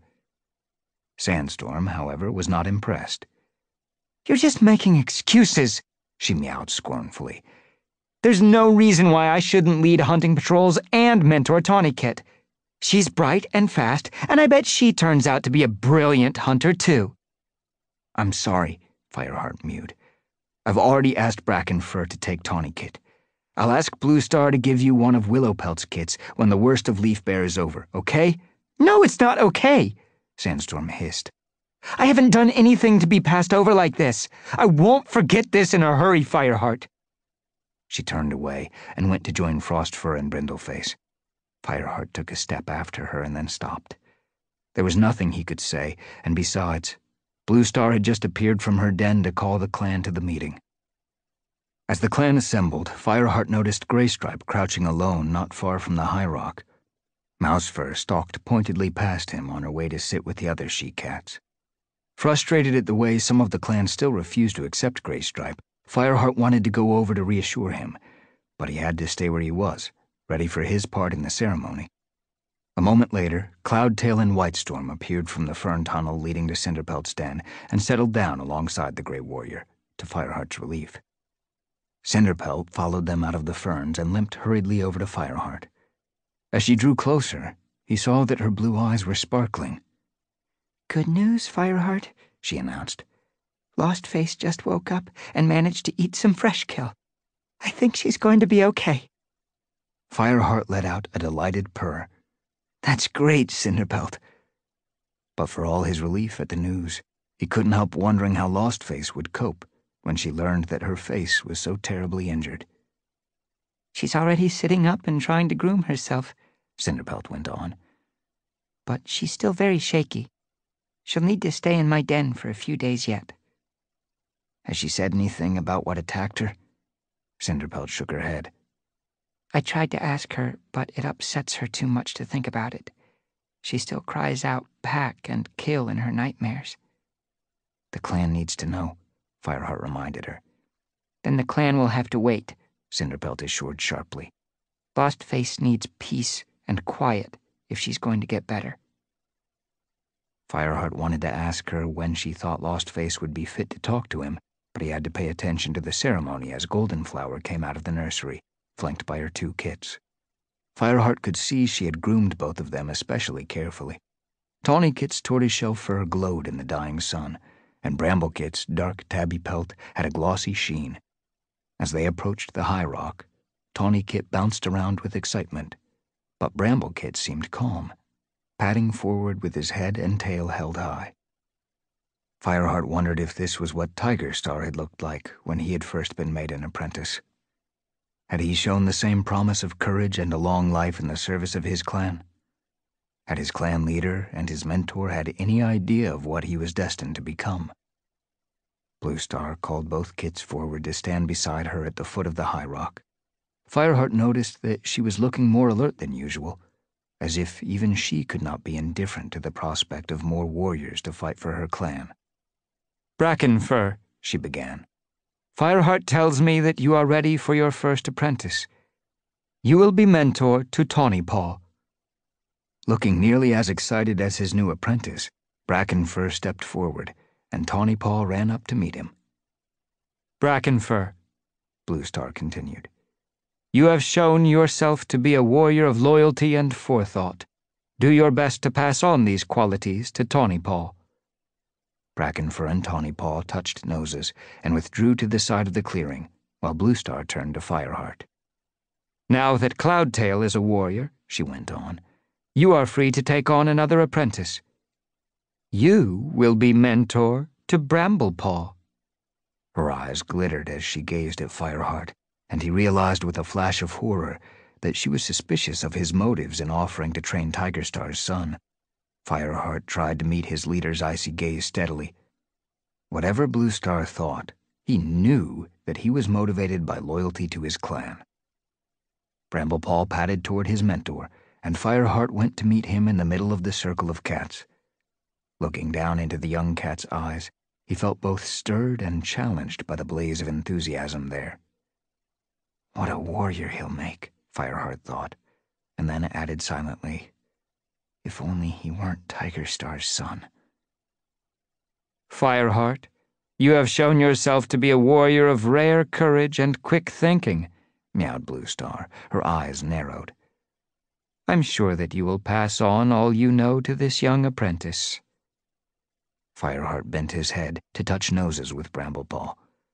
As he led the new apprentice back to the side of the clearing, Bramblepaw asked, What do we do now, Fireheart? I want to learn everything fighting and hunting and all about the other clans. In spite of his misgivings, Fireheart had to admit that Bramblepaw clearly knew nothing about the old hostility between his mentor and his father.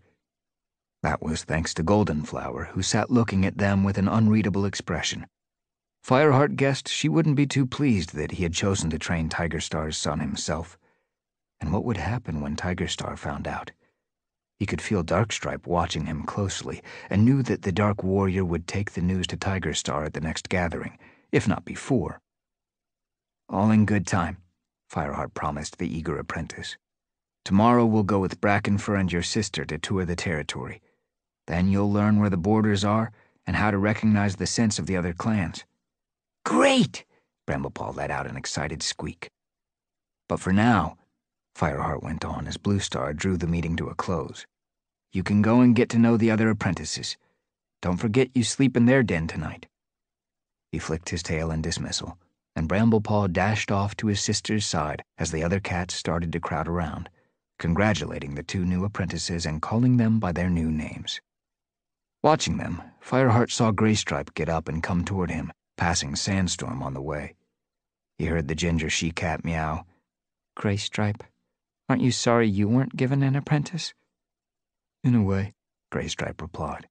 He sounded awkward, shooting Fireheart a sideways glance as he spoke. I can't expect one for a while, though. Half the clan haven't accepted me yet.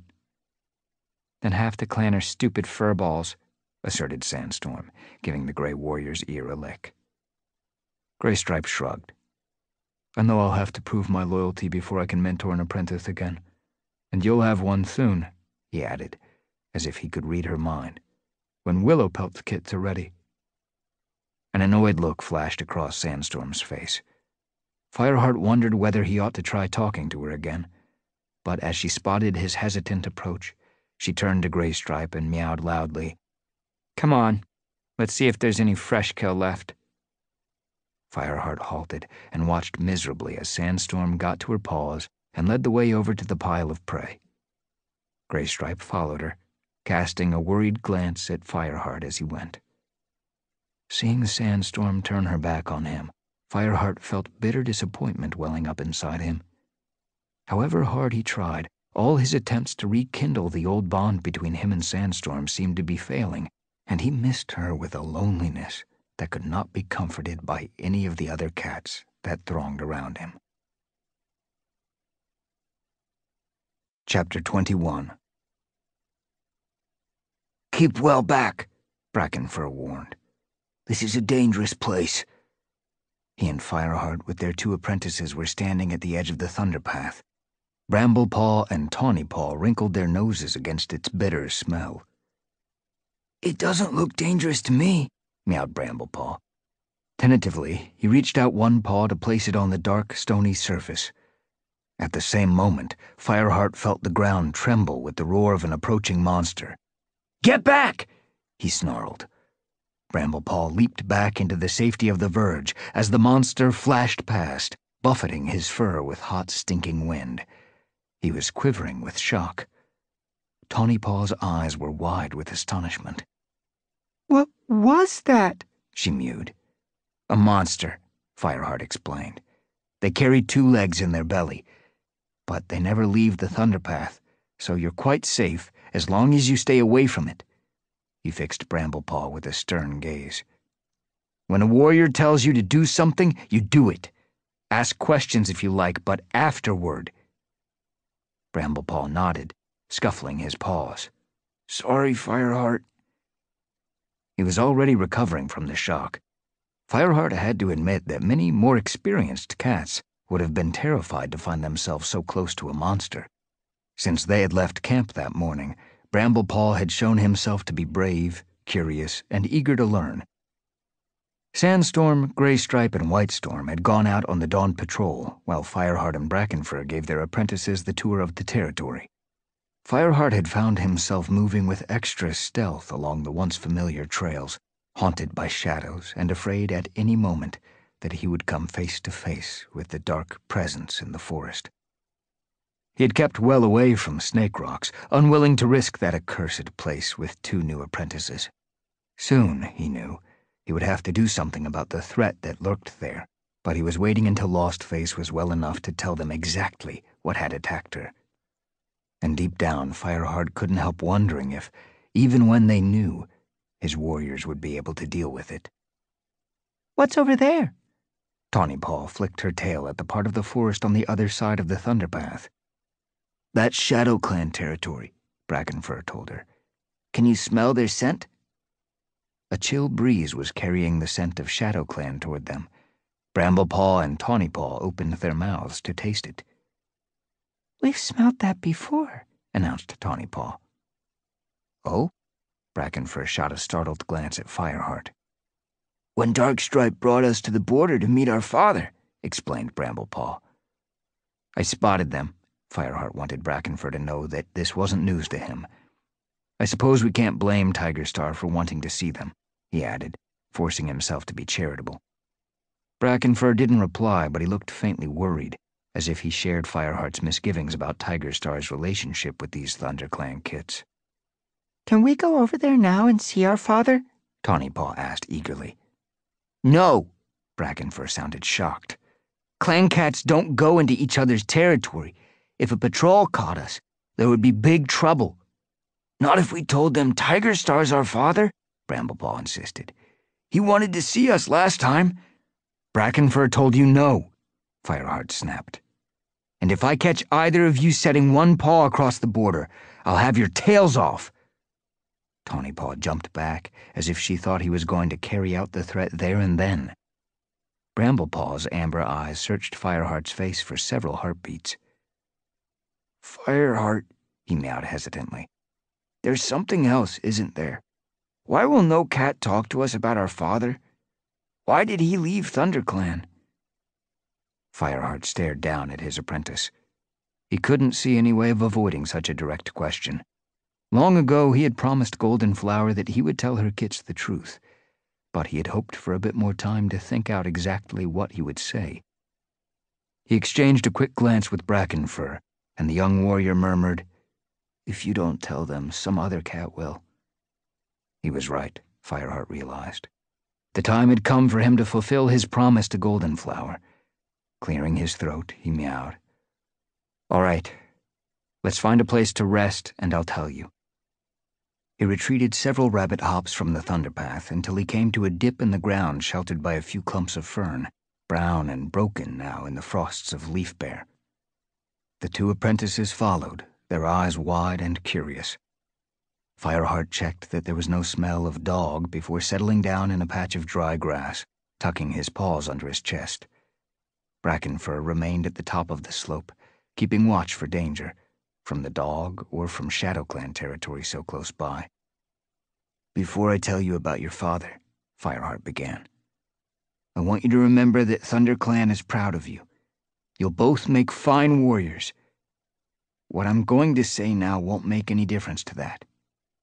The apprentice's curiosity changed to uneasiness as they listened. Fireheart knew they must be wondering what was coming next. Tigerstar is a great warrior, he went on and he always wanted to be leader of a clan. Before he left ThunderClan, he was deputy. Bramblepaw's eyes glowed excitedly. When I'm a warrior, I'd like to be deputy too. Fireheart's fur prickled at this evidence of his apprentice's ambition, so like Tigerstar's. Be quiet and listen.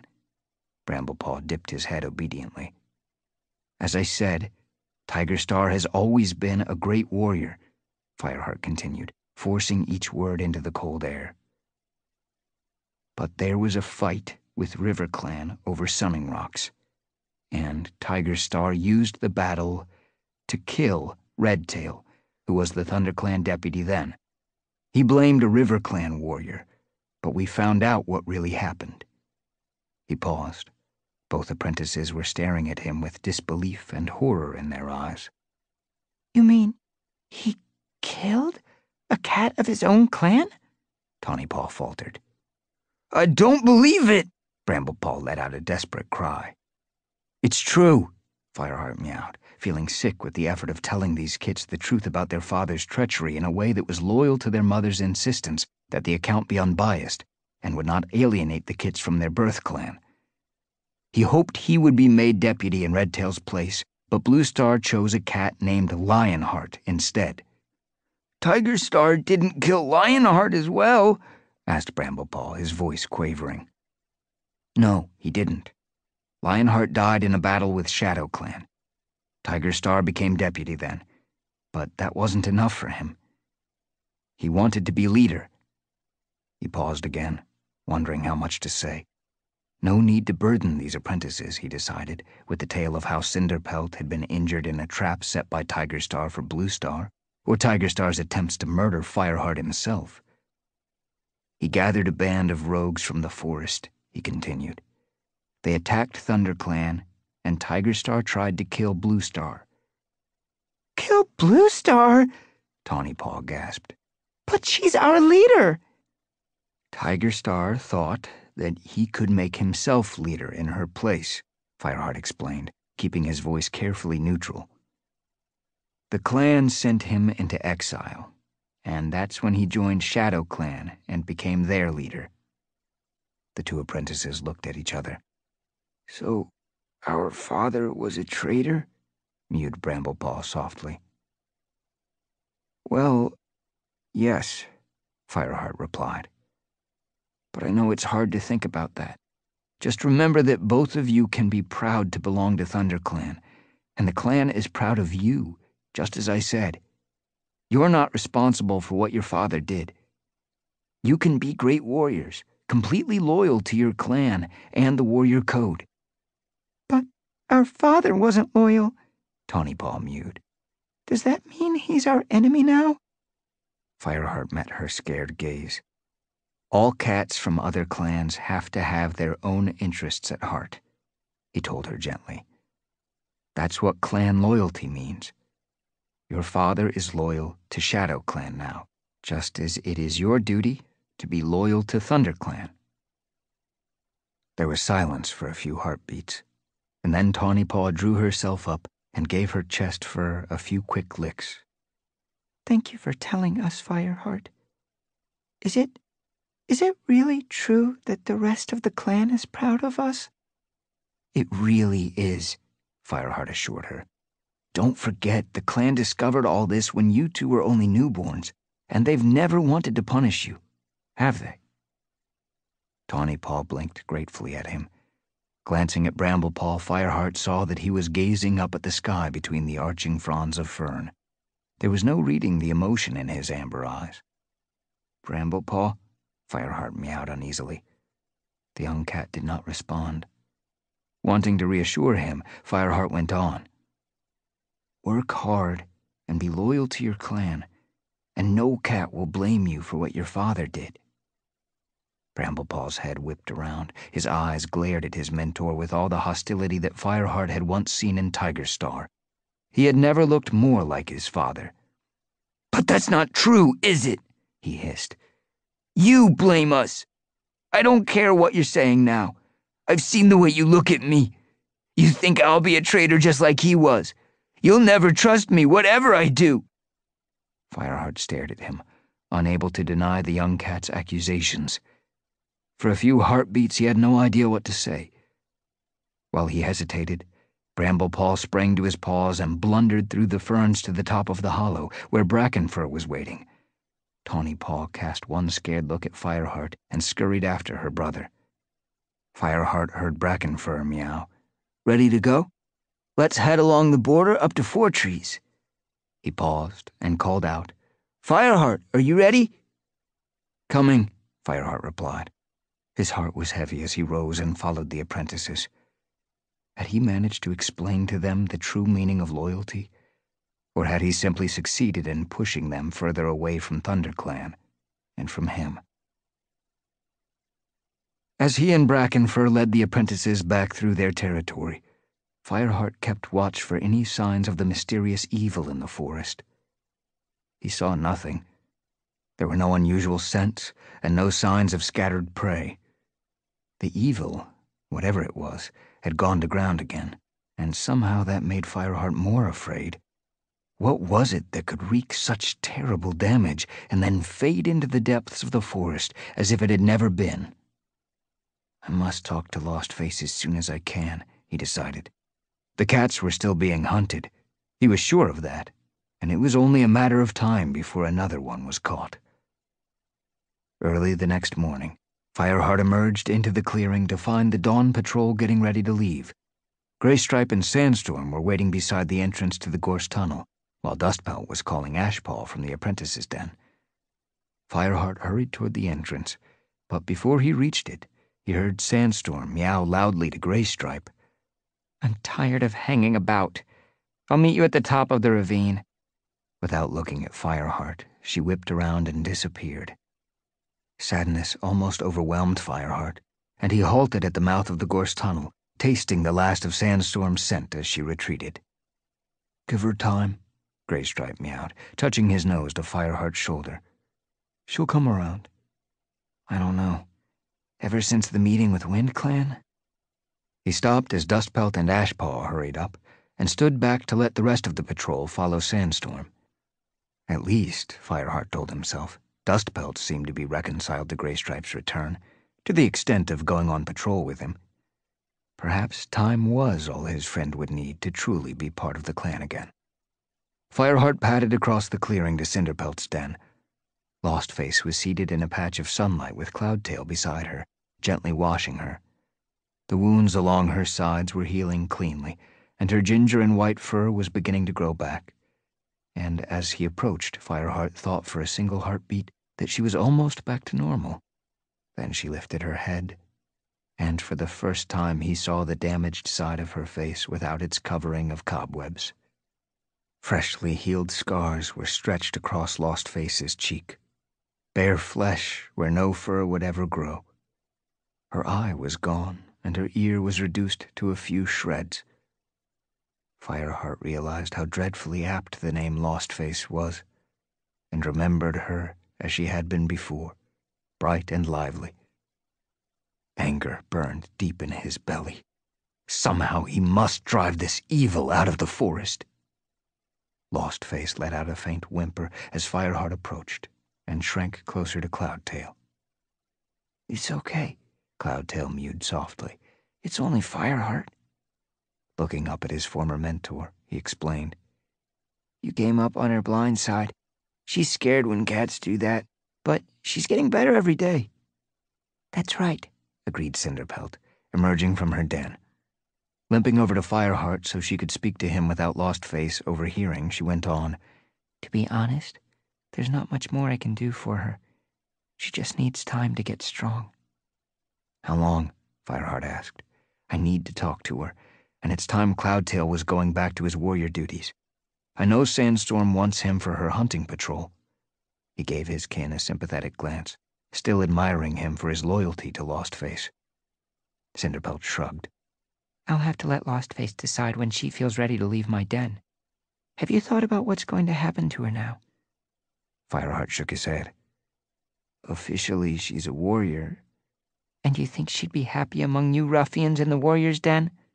Cinderpelt let out a mew of exasperation. She still needs someone to look after her. I think she could go and live with the elders, at least while she's still getting stronger. It was Cloudtail who spoke. He had padded over to join Fireheart and the medicine cat. Speckletail is still grieving in the elder's den for Snowkit. It would do her good to have another cat to care for. That's a brilliant idea, Fireheart meowed warmly. I'm not sure, Cinderpelt objected. What's Speckletail going to think? You know how prickly and proud she is. She wouldn't like the idea that you were doing her a favor by trying to distract her from Snowkit's death. Leave Speckletail to me, Fireheart meowed. I'll tell her that she's doing me a favor by looking after Lostface. That might work, agreed Cinderpelt. And when Lostface is a bit better, she could help the elders and free up the apprentices for other duties. Let's ask her, meowed Cloudtail. He bounded back to Lostface's side and pressed close to her. Lostface, Fireheart wants to talk to you. Fireheart followed. Lostface, it's Fireheart. Her ravaged face turned slowly toward him. Would you like to go and stay with the elders for a while? he suggested. It would be a load off my mind if you could help look after them. The apprentices have too much to do as it is. Lostface gave a nervous start and looked at Cloudtail with her one good eye. I don't have to, do I? I'm not an elder. Cloudtail pressed his muzzle against her wounded face. No one will make you do anything you don't want to. But you'd be doing me a favor, Fireheart added quickly. Speckletail's still grieving for Snowkit, and it will do her good to have a young, energetic cat around. As Lostface still hesitated, he went on. It's just until you get your strength back. And when you're strong again, I'll help you train, Cloudtail added. I'm sure you'll be able to hunt with your good eye and ear. It'll just take a bit of practice. Lostface's eye began to glow with hope, and she nodded slowly. All right, Fireheart. If that's the best way I can be useful. It is, I promise. And Lostface? Fireheart crouched down beside her and gave her a reassuring lick. Is there anything you can tell me about that day in the forest? Did you see what attacked you? Lostface's flicker of confidence died, and she shrank back against Cloudtail again. I don't remember, she whimpered. I'm, I'm sorry, Fireheart. I don't remember. Cloudtail licked her head comfortingly. It's all right. You don't have to think about it now. Fireheart tried to hide his disappointment. Never mind. If you do think of anything, tell me right away. I'll tell you one thing, Cloudtail growled. When we find out who did this to her, I'll make crow food of them. I promise you that. Chapter 22 A full moon crossed the sky behind thin wisps of cloud as Bluestar led her warriors to the gathering. Fireheart was already uneasy. In spite of her declaration of war against Star Clan, Bluestar had insisted on going. How can I trust you to lead the clan? She had spat at her deputy when he had asked her which warriors he should take. Fireheart had simply bowed his head in obedience, but he could still feel the pain of knowing that his leader was convinced he was a traitor. He also had his doubts about including Graystripe, but his friend had begged desperately to be allowed to come. Please, Fireheart, I'll be able to get news of Featherkit and Stormkit, he had meowed. Fireheart knew that Graystripe was inviting hostility from RiverClan by appearing so soon after the battle at Sunning Rocks, and had half hoped that Bluestar would refuse. But the ThunderClan leader had merely flicked her tail dismissively. Let him come. You're all traitors, so what does it matter? Now Fireheart bunched together with the other ThunderClan warriors to follow Bluestar down the slope.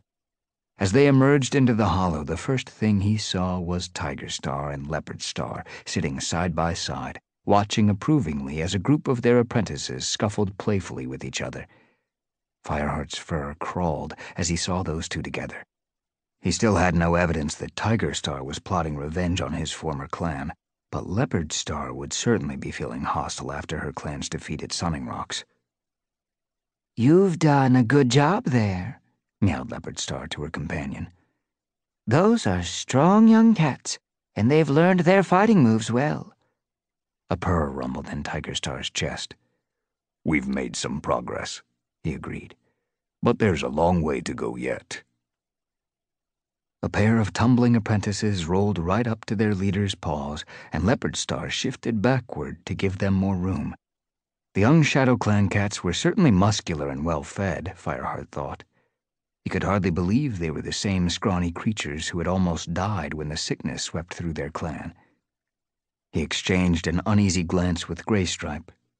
Sooner or later, he was sure, ThunderClan would have to meet these skilled fighters in battle. At a word from Tigerstar, the apprentices stopped their playful skirmish and sat up, licking their ruffled fur. The two leaders began to make their way toward the great rock. Fireheart spotted Bluestar already waiting at its base, but he couldn't see Tallstar, the WindClan leader. As the ThunderClan cats dispersed to meet with warriors in other clans, he noticed Graystripe hurrying up to a plump bracken colored she cat and caught the scent of RiverClan from her. Fireheart felt a pang of anxiety as he watched his friend. He trusted Graystripe absolutely, even though he would always have one paw in RiverClan while his kits were there. But several ThunderClan warriors would doubt his loyalty if they saw him so eager to talk to a RiverClan cat. Mothpelt, how are you? Graystripe greeted the she-cat. How are Featherkit and Stormkit? Featherpaw and Stormpaw now, replied Mothpelt proudly. They've just been apprenticed. That's great! Graystripe's yellow eyes were glowing as he turned to Fireheart. Did you hear what Mothpelt said? My kits are apprentices now. He glanced around. They're not here, are they? Mothpelt shook her head. They're too newly apprenticed for that. Maybe next time.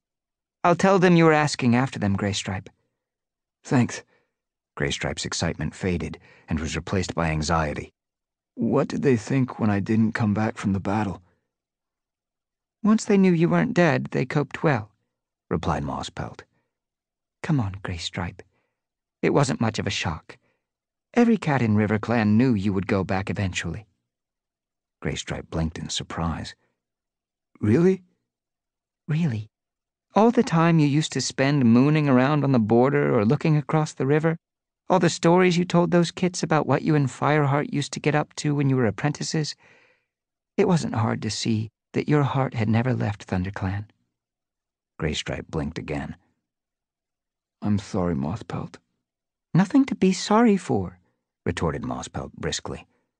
And you can be sure that your kits will be well cared for. I'll keep an eye on them, and Mistyfoot and Stonefur are mentoring them. They are? Graystripe's eyes lit up again. That's great! Fireheart felt a pang of misgiving.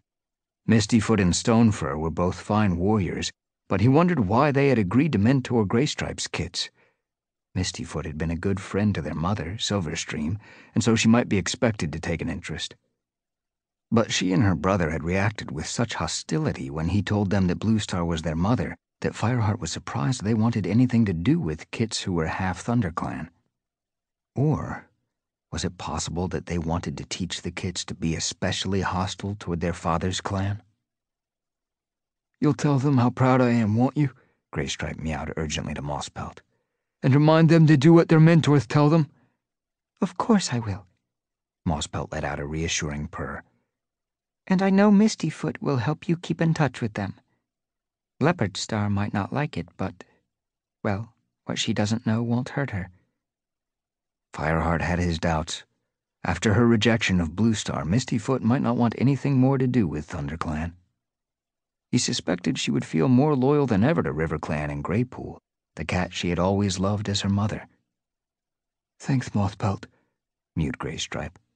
I won't forget all you've done. He looked around as yowling sounded from the top of the great rock to signal the start of the meeting.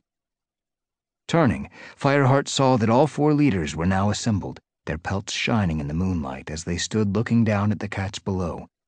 He paid little attention as the leaders formally opened the meeting.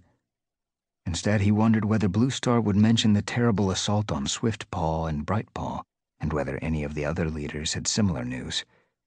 Fireheart almost hoped that they had, because that would prove that the dark force in the forest was not a threat to ThunderClan alone, and so had not been sent by StarClan to punish Bluestar's challenge to them.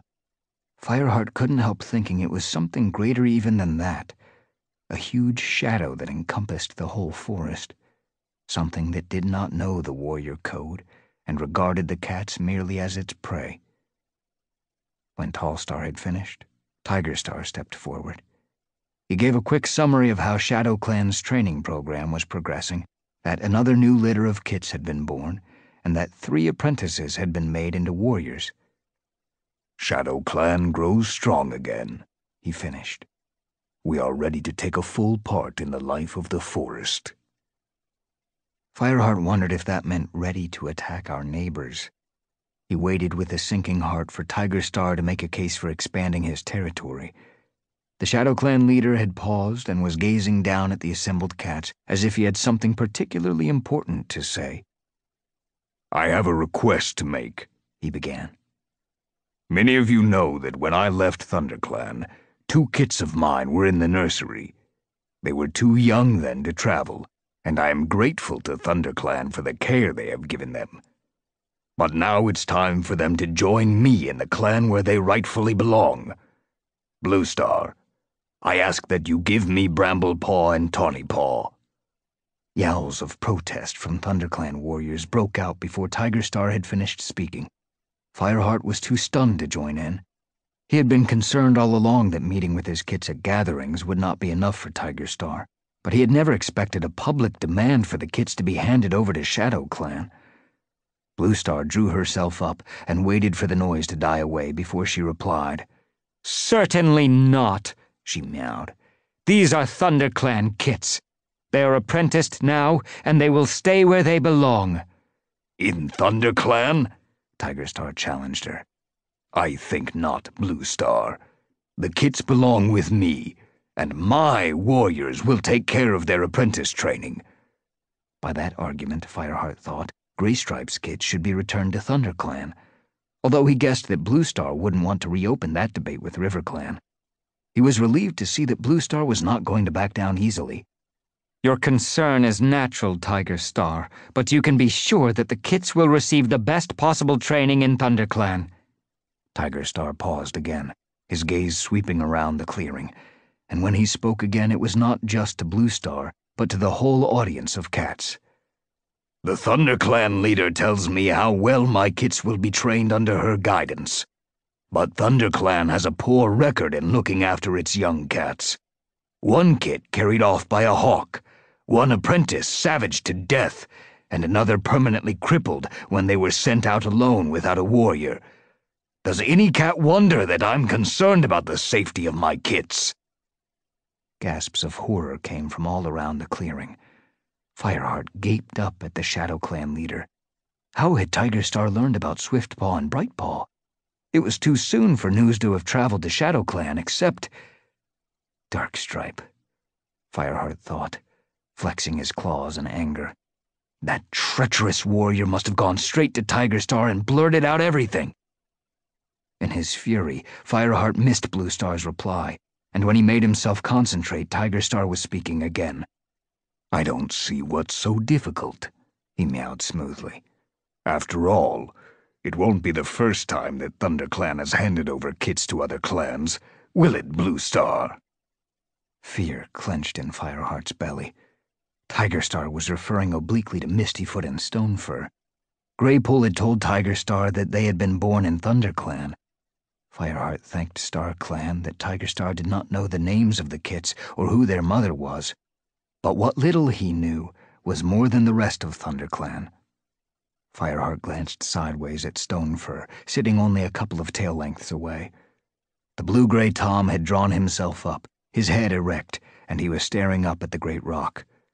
His gaze was not fixed on Tigerstar, Fireheart noticed, but on Bluestar, and the expression in his eyes was one of pure hatred. Digging his claws into the ground, Fireheart waited for the ThunderClan leader's response. He could see how shaken she was, and when she managed to reply, every word seemed to catch in her throat like thorns. The past is the past. We must judge each situation on its own merits. I will think carefully about what you say, Tigerstar and give you my answer at the next gathering. Fireheart doubted that Tigerstar would consent to wait for a whole moon, but to his surprise, the ShadowClan leader dipped his head and stepped back a pace. Very well, he agreed. One more moon, but no longer. Chapter 23 Fireheart padded warily through Tallpines toward the Twoleg Place. Heavy rain had fallen the night before, so that wet ash and burned debris clung to his paws. All his senses were alert, not for prey, but for any sign that the dark threat in the forest would emerge to attack his small group of cats, as it had attacked Swiftpaw and Lostface. The injured she-cat was following Fireheart now, with Cloudtail at her side, while Graystripe brought up the rear, watchful for anything that might come upon them from behind. They were on their way to visit Cloudtail's mother, Princess. The young warrior had insisted on bringing Lostface with them. You'll have to leave camp sooner or later, he had meowed. We're not going anywhere near Snakerocks. I'll make sure you're safe. Fireheart was amazed at how much Lostface trusted Cloudtail. She was obviously terrified by the thought of venturing outside the shelter of the camp. She jumped at every sound, every crackle of leaves under her paws, yet she kept going, and Fireheart thought he saw in her a return of the courage she had shown when she was Brightpaw. When they came in sight of the fence at the end of the Twoleg gardens, Fireheart signaled with his tail for his companions to stop. He could not see Princess, but when he opened his mouth to taste the air, he caught her scent. Wait here, he told the others. Keep a lookout and call me if there's trouble. Checking again to make sure there were no fresh scents of dogs or Twolegs, he raced across the stretch of open ground and leaped up to the top of Princess's fence. A flash of white among the bushes in her garden alerted him, and a moment later his sister appeared, picking her way fastidiously across the wet grass. Princess, he called softly. Princess halted and looked up. As soon as she saw Fireheart, she bounded over to the fence and scrambled up to sit beside him. Fireheart, she purred, pressing herself against him. It's so good to see you. How are you? I'm fine, Fireheart replied. I've brought you some visitors. Look. He pointed with his tail to where the other three cats were crouching on the edge of the trees. There's Cloudpaw, Princess exclaimed delightedly. But who are the others? That big gray Tom is my friend Graystripe, Fireheart told her. You don't need to worry. He's much gentler than he looks. And the other cat, he flinched, is called Lostface. Lost Face, Princess echoed, opening her eyes wide. What a horrible name! Why did they call her that? You'll see, Fireheart mewed grimly. She's been badly hurt, so be kind to her. He jumped down from the fence, and after a moment's hesitation, Princess followed him and padded across to where the three cats waited. Cloudtail ran out to meet his mother, leaving Graystripe with Lostface, and touched noses with her. Cloudpaw, it's been ages since I've seen you, Princess purred. You're looking wonderful, and haven't you grown? You've got to call me Cloudtail now, her son announced. I'm a warrior. Princess let out a little trill of joy. A warrior already? Cloudtail, I'm so proud of you. While the tabby queen eagerly questioned her son about his life in the clan, Fireheart did not forget that danger might be near. We can't stay long, he meowed. Princess, have you heard anything about a dog loose in the forest? Princess turned to him, her eyes wide and scared. A dog? No. I don't know anything about that. I think that might have been what the Twolegs were looking for that day Sandstorm and I met you in Tallpines. Fireheart went on. I don't think you should come into the forest alone anymore. Not for the time being, anyway. It's too dangerous. Then you're in danger all the time, mewed Princess. Her voice rose in distress. Oh, Fireheart! There's nothing for you to worry about. Fireheart tried to sound confident. Just stay in your garden. The dog won't bother you there. But I worry about you, Fireheart, and Cloudtail. You haven't got a nest to. Oh! Princess had just caught sight of Lostface's damaged side and could not restrain a squeak of horror. Lostface heard her and crouched closer to the ground, uneasiness showing in her bristling fur. Come and meet Lost Lostface, Cloudtail meowed, giving his mother a hard stare. Nervously, Princess took the few paces that brought her to where Graystripe and Lostface waited. Graystripe nodded to her in greeting, and Lostface gazed up at her with her one good eye. Oh my goodness, whatever happened to you? Princess blurted out, her paws working on the ground. Lostface went out to tackle the dog, Cloudtail answered. She was very brave. And it did that to you? Oh, you poor thing! Princess's eyes were huger still as she took in the full horror of Lostface's injuries the ravaged face, the lost eye, and the shredded ear. And the same thing could happen to any of you. Fireheart gritted his teeth. His sister was saying all the wrong things, and Lostface was gazing at her with deep sadness in her remaining eye. Cloudtail pressed his flank against her and nosed her comfortingly. It's time we were going, Fireheart decided. Cloudtail just wanted to give you his news. You'd better get back into your garden. Yes, yes, I will. Princess backed away, her eyes still fixed on Lostface. You'll come and see me again, Fireheart? As soon as I can, he promised, and added silently, alone. Princess retreated another pace or two, then turned and dashed for her fence, swarming up it and pausing briefly on the top to meow, Goodbye, before vanishing into the safety of her garden. Cloudtail let out a long breath. That went well, he meowed bitterly. You can't blame Princess, Fireheart told him. She doesn't really understand what clan life is all about. She's just seen some of the worst of it, and she doesn't like it. Graystripe grunted. What can you expect from a kittypet? Let's get home. Cloudtail gently nosed Lostface. As she got to her paws, the young cat mewed timidly. Cloudtail, Princess looked as if she were scared of me. I want. She broke off, swallowed, and began again. I want to see myself. Is there a puddle nearby I can look into? Fireheart felt a pang of sorrow for the young she cat, and admiration at her courage in facing what she had become.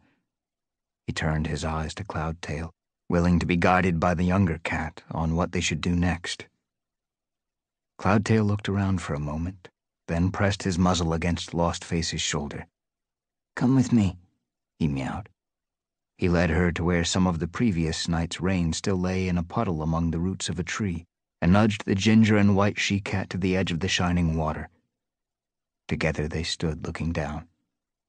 Cloudtail did not flinch away from what he saw reflected there, and Fireheart felt another rush of warmth toward his former apprentice.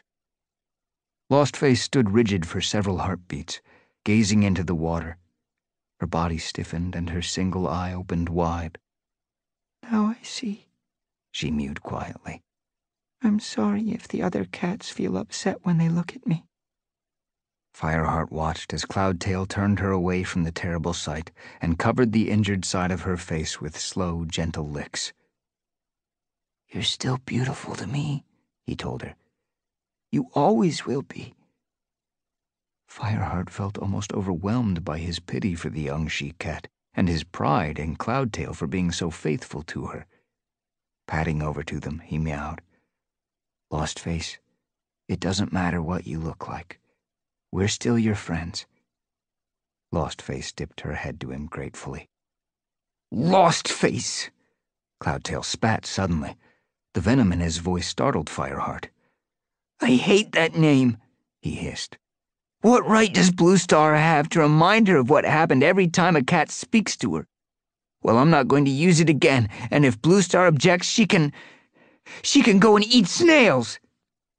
Fireheart knew he ought to rebuke the young warrior for his disrespectful words, but he said nothing. He had a good deal of sympathy for Cloudtail's point of view. Lostface was a cruel name, a symbol of Bluestar's continuing war with StarClan, given without any thought for the cat who bore it. But the name had been given to the ginger and white she-cat in a formal ceremony watched by StarClan, and there was nothing Fireheart could do about it now. Are we standing about here all day? Graystripe asked. Fireheart heaved a deep sigh. No, let's go. The time was coming when he and his warriors would have to confront whatever had turned them into prey in their own territory. Fireheart dreamed he was padding through a forest clearing in newleaf. Sunlight streamed through the trees, making dappled patterns of light and shade that shifted as the leaves stirred in the breeze. He paused and opened his mouth so that he could taste the air.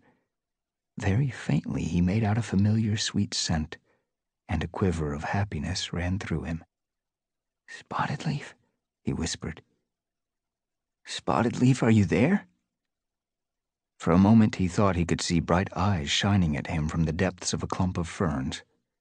Warm breath caressed his ear, and a voice murmured, Fireheart, remember the enemy that never sleeps. Then the vision faded, and he woke to find himself in the warrior's den, with the cold light of a day in leaf-bare striking him through the branches.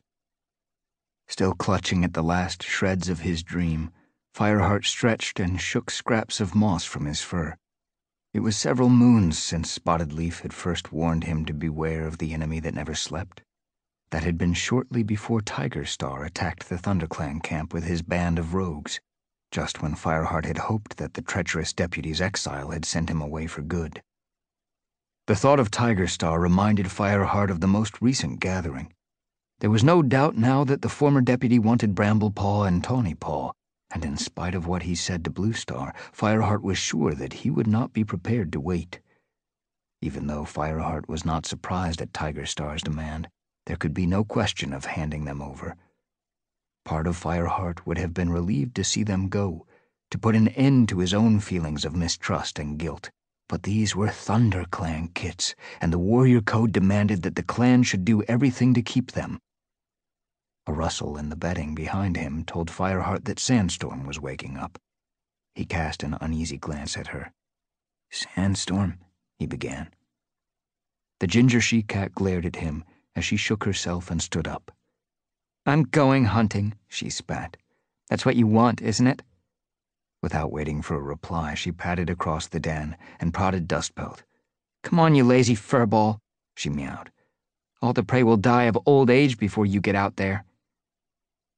I'll find Cloudtail for you, Fireheart offered hastily, and slipped out of the den. Sandstorm clearly wasn't going to welcome any attempt to be friendly.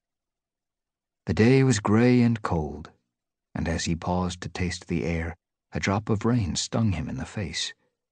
On the far side of the clearing, Bramblepaw and Tawnypaw were sitting with the other apprentices outside their den. Bramblepaw, I'll take you hunting later, Fireheart called. His apprentice got to his paws, dipped his head in acknowledgement, and sat down again with his back to Fireheart. Fireheart sighed. Sometimes it felt as if every cat in the clan had a reason to dislike him. He headed for the Elder's den, guessing that Cloudtail would be with Lostface. Even though the injured cat had been in the Elder's den for a few days now, Cloudtail still spent all his spare time with her. When Fireheart reached the burned out shell of the fallen tree where the Elders lived, he saw the white Tom seated near the entrance to the den. His tail was curled around his paws while he watched Lostface gently examine Dappletail's pelt for ticks. Is she okay? Fireheart murmured, his voice low so that Lostface would not hear him. Of course she's okay, another voice snapped. Fireheart turned to see Speckletail. The desolate look that she had worn since Snowkit's death had vanished. Her temper clearly hadn't softened, but her eyes glowed with affection as she looked at Lostface. She's a fine young cat. Have you found out what hurt her? Fireheart shook his head. It's a real help that you can look after her, Speckletail, he meowed. Speckletail sniffed. Hmm. I sometimes get the feeling that she thinks she has to look after me. She looked sharply at Fireheart, and he was saved from having to answer by One-eye. Did you want something, Fireheart? asked the elderly pale gray she cat, looking up from her washing. I was looking for Cloudtail. Sandstorm's ready to go out hunting. What? Cloudtail sprang to his paws. Why didn't you say so? She'll claw my ears off if I keep her waiting. He dashed off. Mouse brain, muttered Speckletail, but Fireheart suspected that she was as fond of the young warrior as all the elders. Saying goodbye to Lostface and One-eye, he padded into the clearing in time to see Sandstorm leaving at the head of her hunting patrol. Brindleface was saying goodbye to them, gazing proudly at her foster kit. You will be careful, won't you? she mewed anxiously. None of us know what's out there. Don't worry, Cloudtail flicked her affectionately with his tail. If we meet the dog, I'll bring it back for fresh kill. At the entrance to the camp, the patrol passed Longtail on his way in. The pale warrior was shaking as if with cold, and his eyes were staring. Instantly alarmed, Fireheart crossed the clearing to meet him. What's happened? he asked. Longtail shuddered. Fireheart, there's something I have to tell you. What's the problem? As he drew closer, Fireheart caught an unexpected scent on Longtail's fur the stench of the Thunderpath. The acrid scent was unmistakable, and Fireheart's alarm turned to suspicion. Where have you been? he growled. To ShadowClan, maybe, to see Tigerstar? Don't try to deny it. Your fur stinks of the Thunderpath. Fireheart, it's not what you think. Longtail sounded worried. Okay, I did go that way, but I didn't go anywhere near ShadowClan. I went to Snakerocks. Snake Rocks? What for? Fireheart wasn't sure that he could believe anything the Pale Warrior told him. I've scented Tigerstar there, Longtail explained. Two or three times lately. And you didn't report it? Fireheart felt his fur bristle with fury. A cat from another clan on our territory, a murderer and a traitor, what's more, and you didn't report it? I. I thought, stammered Longtail. I know what you thought, Fireheart snarled. You thought, this is Tigerstar. He can do what he likes. Don't lie to me. You and Darkstripe were his allies when he was in ThunderClan, and you're still his allies now. It was you or Darkstripe who told him about Swiftpaw and Lostface. Don't try to deny it. It was Darkstripe. Longtail scuffled the dry earth with his paws. So that traitor could accuse Bluestar of negligence in front of the entire gathering, Fireheart concluded grimly. So you could help him steal a couple of apprentices from this clan. That's it, isn't it? You're plotting with Tigerstar to steal his kits? No, no, you've got it wrong, meowed Longtail. I don't know anything about that. Darkstripe and Tigerstar often meet together on the border by the Thunderpath, but they don't tell me what it's about. He glared resentfully. Anyway, this isn't about the kits at all. I went to Snakerocks to find out what Tigerstar was doing there, and I found something that you need to see. Fireheart stared at him. You want me to come with you to Snakerocks, where you admit you've scented Tigerstar? Do you think I'm quite mad? But, Fireheart, silence! Fireheart hissed. You and Darkstripe were always Tigerstar's allies. Why should I trust what you say now? He turned and stalked away. He was convinced that Longtail and Darkstripe were setting a trap for him, just as Tigerstar had once set a trap for Bluestar beside the Thunderpath. If he were mouse-brained enough to go with Longtail to Snakerocks, he might never come back. He found that his paws had taken him to the medicine cat's clearing. As he brushed through the ferns, Cinderpelt put her head out of the cleft in the rock. Who? Fireheart! What's the matter? Fireheart halted, trying to get his anger under control. Cinderpelt's blue eyes widened in consternation. She padded to his side and pressed her gray flank against him. Steady, Fireheart. What got you worked up like this? It's just. Fireheart flicked his tail toward the main clearing. Longtail. I'm convinced he and Darkstripe are plotting against the clan. Cinderpelt narrowed her eyes. What makes you think that? Longtail wants to lure me out to Snakerocks. He told me he scented Tigerstar there. I think they're setting a trap for me. Dismay spread over the medicine cat's face, but when she spoke, her words were not what Fireheart had expected. Fireheart, do you know how much you sound like Bluestar? Fireheart opened his mouth to reply, and could not. What did Cinderpelt mean? He was nothing like Bluestar, with her irrational fears that every cat in the clan was trying to betray her. Or was he? He forced himself to relax, letting the fur on his shoulders lie flat again. Come on, Fireheart, Cinderpelt urged. If he meant to lead you into a trap with Tigerstar, would he tell you he'd scented him? Even Longtail isn't as mouse-brained as that. I... suppose not, Fireheart admitted reluctantly. Then why don't you go and ask him what it's all about? As he hesitated, she added. I know he and Darkstripe were Tigerstar's friends when he was here, but Longtail at least seems to be loyal to the clan now. Besides, if he is tempted to betray the clan, you won't help by refusing to listen when he tries to tell you something. That's just pushing him into Tigerstar's paws. I know, Fireheart sighed. I'm sorry, Cinderpelt. Cinderpelt let out a little purr and touched her nose to his. Go and talk to him. I'll come with you. Bracing himself, Fireheart headed out into the clearing again, looking around for Longtail. A chill ran through him as he realized that he might have already driven the pale warrior out in search of Tigerstar. But when he checked the warrior's den, he was there, crouched in a huddle with Whitestorm. Whitestorm, you've got to listen to me, Longtail was meowing as Fireheart and Cinderpelt entered. There was real fear in his voice. Fireheart thinks I'm a traitor, and he won't have anything to do with me. Well, it seems like you've been meeting Tigerstar and telling him our news, Whitestorm pointed out reasonably. Not me! Darkstripe, Longtail protested. Whitestorm shrugged, as if he weren't interested in arguing. All right, go on. What's the problem? There are dogs living at Snakerocks, Longtail blurted out. Dogs?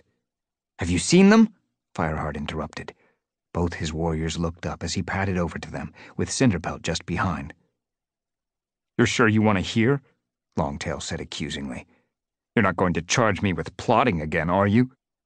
I'm sorry about that, Fireheart mewed. Tell me about the dog. Dogs, Fireheart, meowed Longtail. A whole pack of them.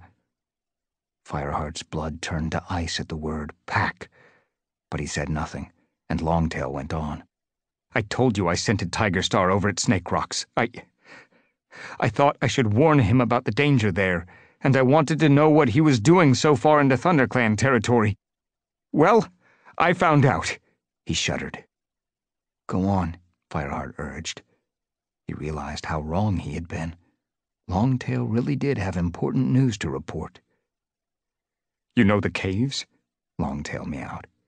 I was just coming up to them when I saw Tigerstar, but he didn't see me. I thought he was stealing prey at first because he was dragging a dead rabbit along, but he left it on the ground just outside the cave entrance. He broke off, his eyes clouding with terror as he saw again something unseen by the other cats. And then? Whitestorm prompted. Then this. this creature appeared out of the cave. I swear it was the biggest dog I've ever seen. Forget the stupid things that come with Twolegs. This was huge. I only saw its front paws and its head, enormous slavering jaws. And you've never seen such teeth. Longtail's eyes were wide with the memory of fear. It snatched the rabbit and dragged it into the cave, he continued.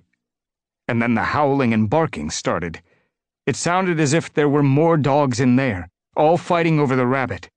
It was hard to understand what they were saying, but I think they were saying pack, pack, and kill, kill. Fireheart stiffened, every limb locked in terror, and Cinderpelt mewed quietly. Those were the words in my dream. And what Lostface said, Fireheart added.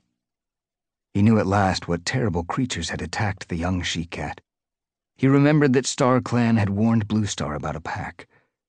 Longtail had discovered the true nature of the evil in the forest, the force that had turned the cats into prey, the hunters into hunted. Not a single dog separated from its Twolegs, but a whole pack of savage creatures. Fireheart could not imagine where they had come from, but he knew that StarClan would never have unleashed such destruction and risked the balance of life in the whole forest. And you say Tigerstar fed these dogs? he questioned Longtail. What does he think he's doing? I don't know, the pale warrior admitted. When he dropped the rabbit, he jumped on top of the rock. I don't think the first dog saw him. Then he went away. You didn't speak to him? No, Fireheart, I didn't. He never knew I was there. I'll swear by anything you like, by StarClan, by the life of Bluestar. I don't know what Tigerstar is doing. His fear convinced Fireheart. He had been expecting an attempt by Tigerstar to steal the kits, but this was something far more complicated. How could he ever have imagined that the ShadowClan leader would give up his grudge against ThunderClan? He realized that he should have been more afraid of Tigerstar all along. Somehow he was linked to the dark force in the forest. Yet Fireheart didn't know what Tigerstar wanted with the dogs, or what advantage he could gain by feeding them. What do you think? he asked Whitestorm. I think we need to investigate, meowed the older warrior grimly. And I'm just wondering how much Darkstripe knows about all this. So am I, agreed Fireheart. But I'm not going to ask him. If he is in league with Tigerstar, he won't tell us anything useful. Rounding on Longtail, he added, Don't you dare say a word to Darkstripe about this. Stay away from him. I. I will, Fireheart, the pale warrior stammered. We still need to know why Tigerstar is taking such an enormous risk, feeding Freshkill to these dogs, Whitestorm went on. If you want to lead a patrol up to Snakerocks, I'll come with you. Fireheart looked upward, judging the light. It's too late today, he decided. By the time we reached Snakerocks, it would be getting dark. But we'll go at dawn tomorrow. I'll find out what Tigerstar thinks he's up to if it's the last thing I do. Chapter 24 Fireheart emerged from the warrior's den and paused. He gazed across the clearing to where Sandstorm was crouched by the nettle patch, gulping down a piece of fresh kill. He had chosen some of the warriors he wanted to come with him to Snakerocks, but so far he had not spoken to Sandstorm. He was reluctant to risk her life on this dangerous mission, and afraid that she would refuse to come if it meant following his orders. Yet he knew that he could not imagine going without her. Taking a deep breath, he padded over to the nettle patch and sat down beside her. Sandstorm swallowed the last mouthful of squirrel. Fireheart? What is it? Quietly, Fireheart told her what Longtail had discovered at Snakerocks. I want you to come with us, he told her. You're fast and brave, and the clan needs you. The she-cat turned her green gaze on him, but Fireheart could not read the expression there.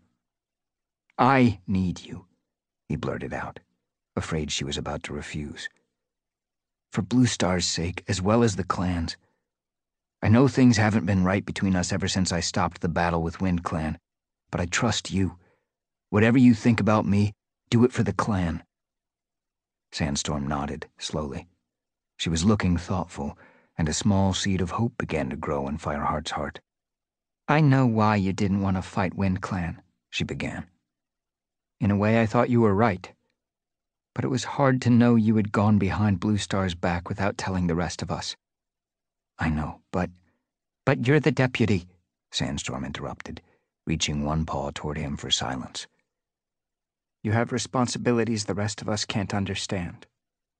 And I can see how torn you must have felt between loyalty to Bluestar and loyalty to the clan. Hesitating, staring down at her paws, she added, I was torn too. I wanted to be loyal to the warrior code, and I wanted to be loyal to you, Fireheart. Fireheart felt too full of emotion to answer. He stretched out his head to press against her flank, and to his delight, she did not move away. Instead, she looked up at him again, and he felt as if he were drowning in the depths of her green gaze. I'm sorry, Sandstorm, he murmured. I never meant to hurt you. His voice barely more than a whisper, he added. I love you. Sandstorm's eyes glowed. I love you too, Fireheart, she whispered. That's why it hurt so much when you asked Bluestar if Brackenfur could mentor Tawnypaw. I thought you didn't respect me. I made a mistake. Fireheart's voice shook. I don't know how I could have been so mouse-brained. Sandstorm let out a purr and touched her nose to his. I want you beside me always. Fireheart breathed in her scent, rejoicing in the warmth of her body. He suddenly felt that he would always be happy if he could stay like that forever. But he knew that he could not. Sandstorm, he told her, lifting his head.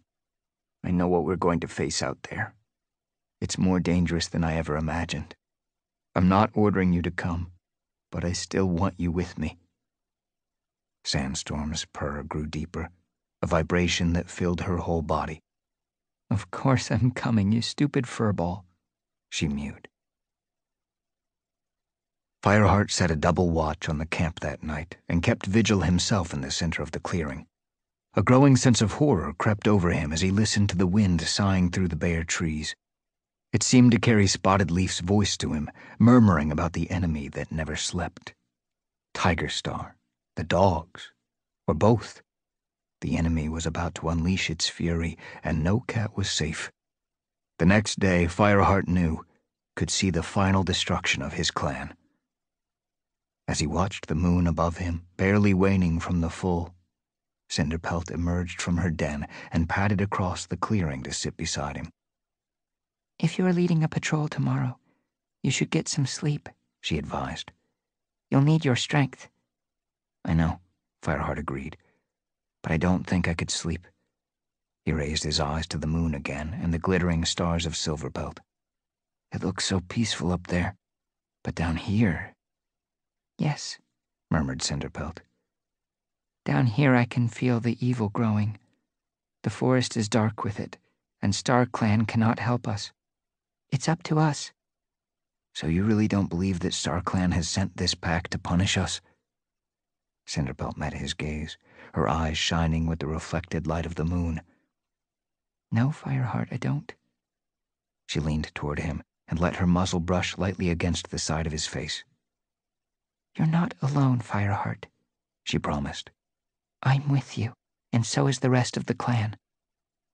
Fireheart hoped she was right. The clan would survive only if it united and faced this dark threat together.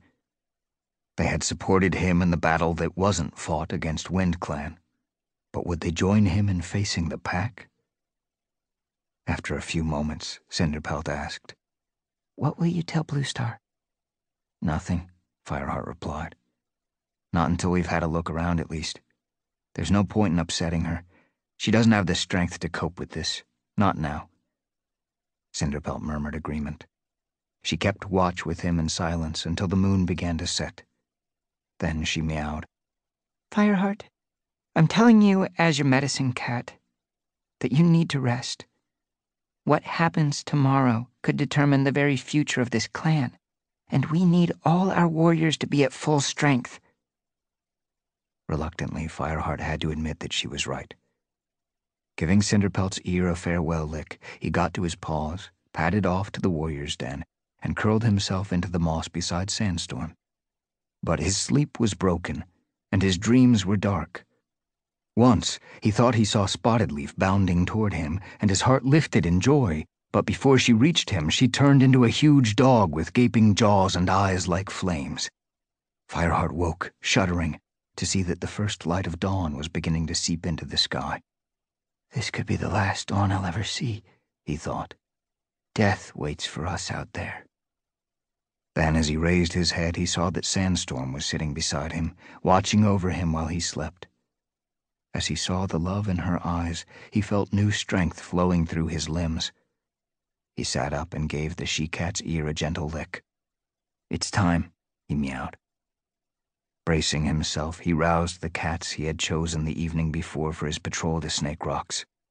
Cloudtail almost leaped out of his nest, his tail lashing fiercely at the thought of confronting the creatures who had injured Lostface. Brindleface, who had been sleeping close to the young warrior, awoke with him and followed him to the edge of the den.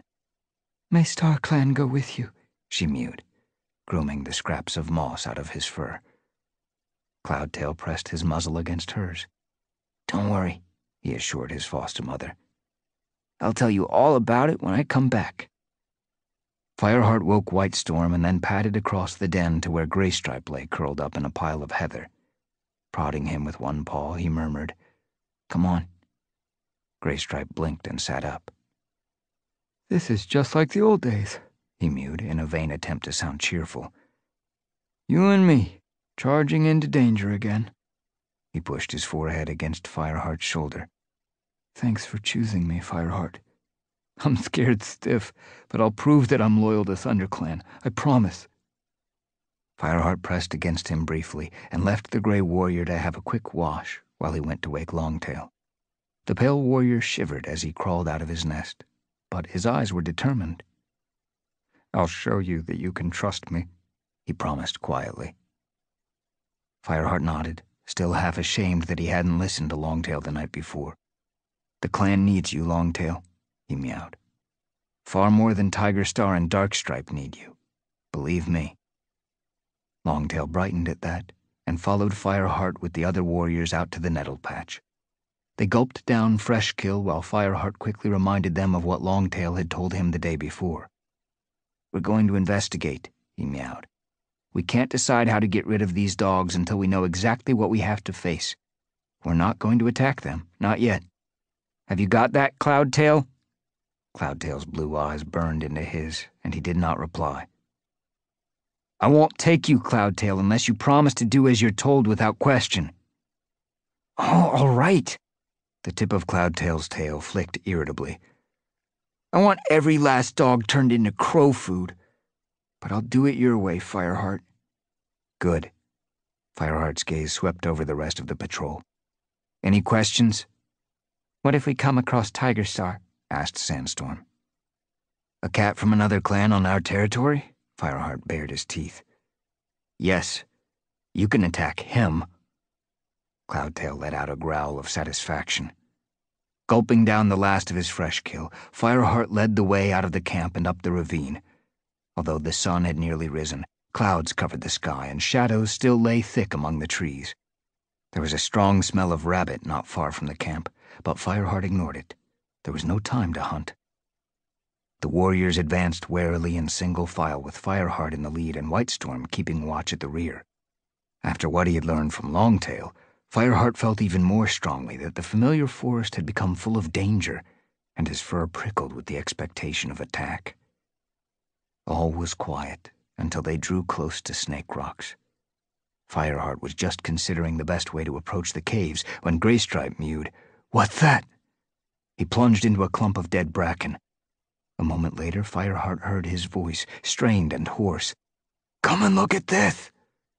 Fireheart followed the sound and found Graystripe crouched over a dead rabbit. Its throat had been torn out, and its fur was stiff with dried blood. The pack have been killing again, Longtail mewed grimly. Then why didn't they eat the prey? asked Sandstorm, coming up to sniff at the limp, gray brown body. She sniffed again. Fireheart, there's ShadowClan scent here. Fireheart opened his jaws and drew the forest breeze over the glands on the roof of his mouth. Sandstorm was right. The scent was faint but unmistakable.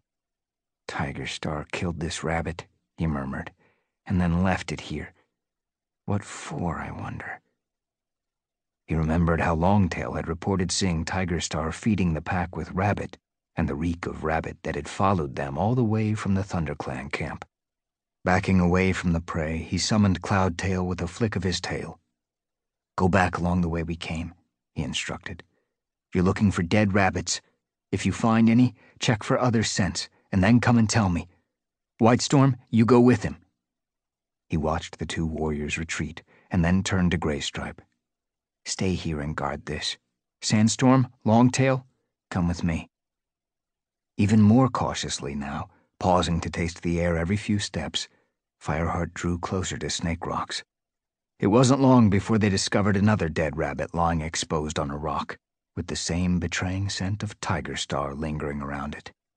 By this time, they were in sight of the mouth of the cave Fireheart could just make out the shape of yet another rabbit lying at the edge of the open space in front of it. There was no sign of the pack. Where are the dogs?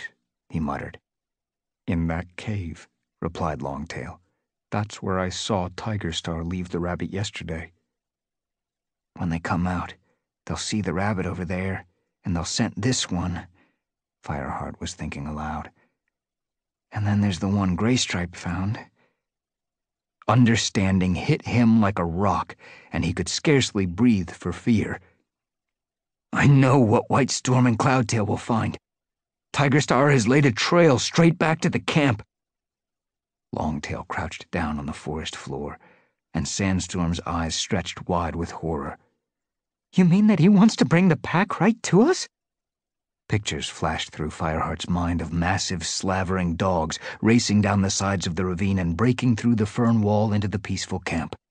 He could see jaws snapping, limp feline bodies tossed high in the air, kits wailing as cruel teeth reached for them. He shuddered. Yes, Come on, we have to break the trail. Not even an order from StarClan themselves could have made Fireheart try to retrieve the rabbit that was close to the cave mouth, but he snatched up the one that lay on the rock and bounded back to where he had left Graystripe. He set down his burden long enough to meow, Bring that rabbit. We have to warn the clan. Ears pricked in amazement, Graystripe obeyed. They headed back toward the camp and before they had traveled more than a few fox lengths, Fireheart spotted Cloudtail and Whitestorm coming to meet them, slipping warily through the undergrowth. We found two more rabbits, Cloudtail reported, both stinking of Tigerstar.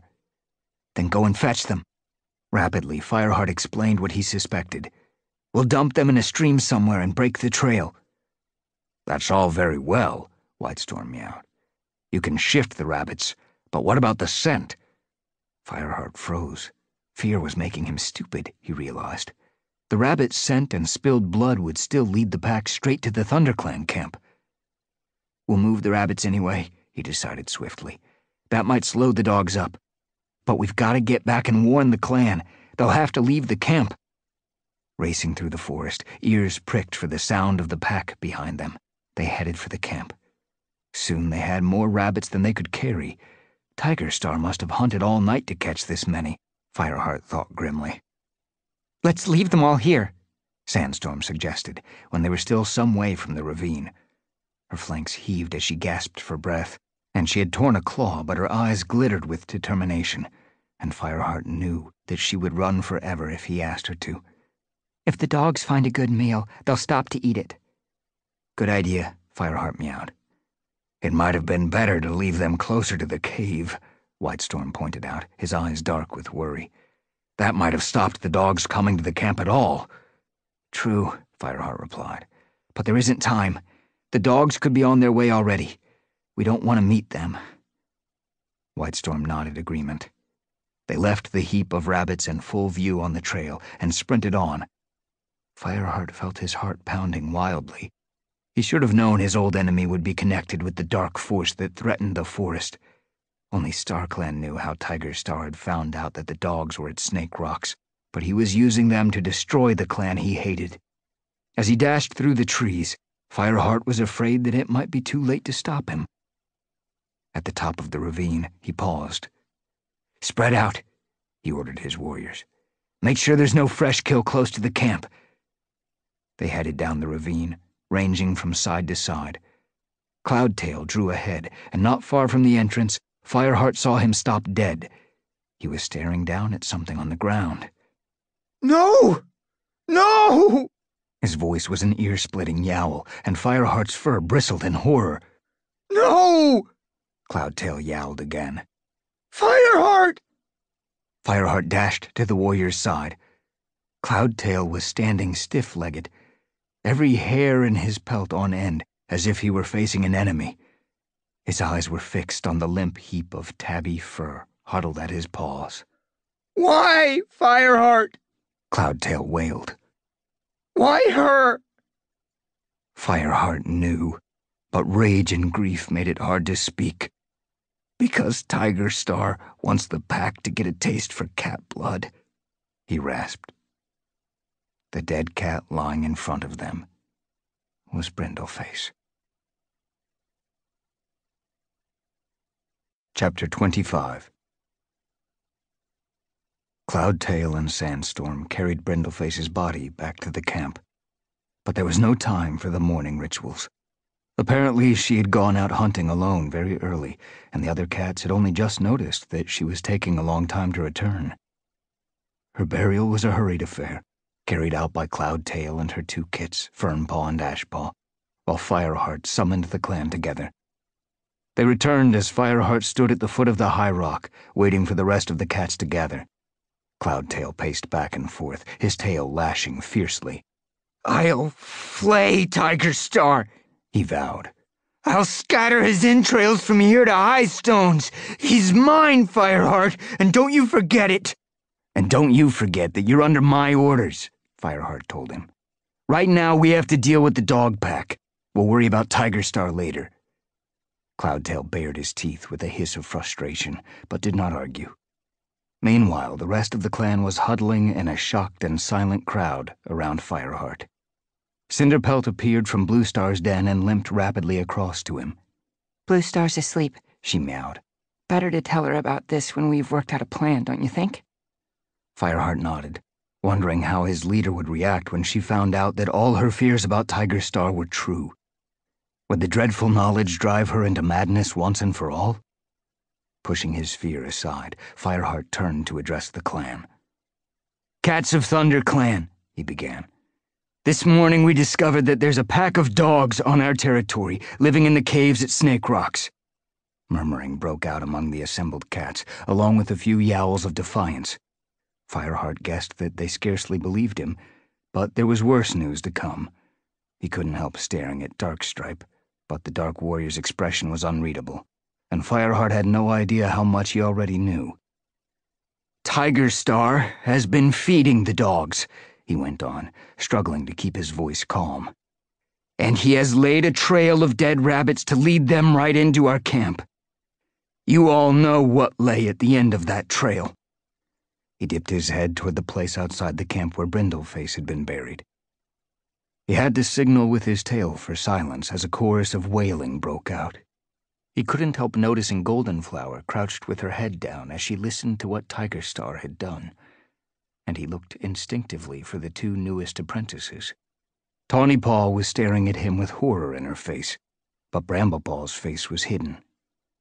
Fireheart wondered if he was equally shocked, or if part of him admired his father for carrying out such a bold plan.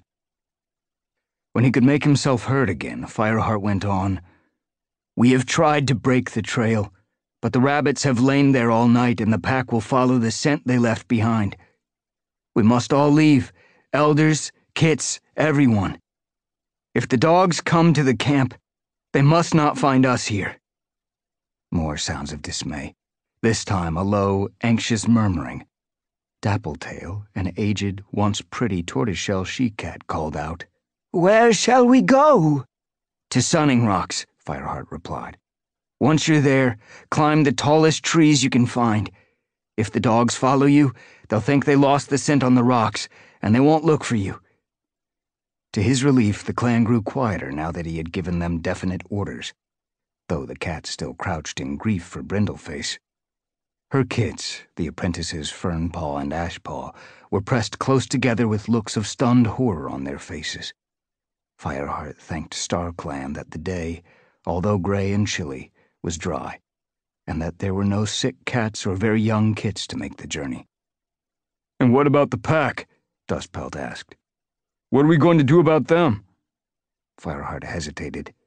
He knew the pack was too strong for his warriors to attack directly. Tigerstar would never have led them to the camp unless he had been certain of that.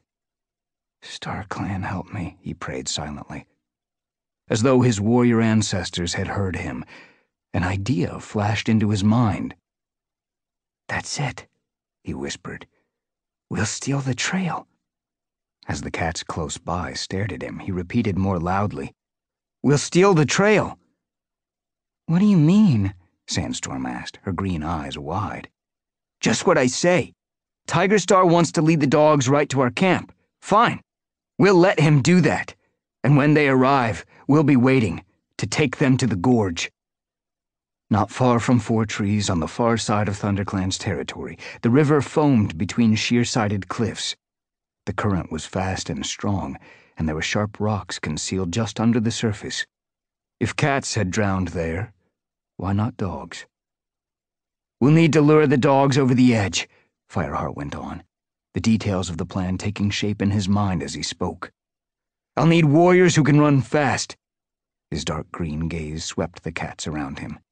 Graystripe, Sandstorm, Mousefur, and Longtail. Dustpelt. And I'm going myself. That should be enough. The rest of you gather by the camp entrance, ready to move out. As the cats he had not named began to obey his orders, Fireheart saw Fernpaw and Ashpaw pushing their way to the front of the crowd. Fireheart, we want to help, Fernpaw begged, fixing her shocked, pleading eyes on Fireheart. I said warriors, Fireheart reminded her gently. But Brindleface was our mother, protested Ashpaw. Please, Fireheart. We want to do it for her. Yes, take them with you, Whitestorm put in, his voice grave. Their anger will make them fearless. Fireheart hesitated, then saw the intensity in the White Warrior's eyes and nodded. All right.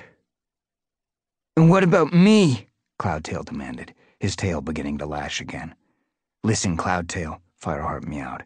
I can't take all my best warriors to lure the dogs. Some of you have to look after the rest of the clan. Cloudtail opened his mouth to argue, but Fireheart went on quickly. I'm not giving you an easy job. If we fail, you're likely to find yourself fighting the dogs, and maybe ShadowClan as well. Think, Cloudtail, he urged, as the warrior still looked unconvinced. What better revenge could you take on Tigerstar than to make sure that his plans fail and that ThunderClan survives? Cloudtail was silent for a moment, his face twisted in grief and anger for Brindleface. Don't forget Lostface, Fireheart meowed quietly. She'll need you now more than ever. The young warrior straightened up at the mention of his injured friend and glanced across the clearing to see her limping toward the entrance guided by Speckletail and the other elders.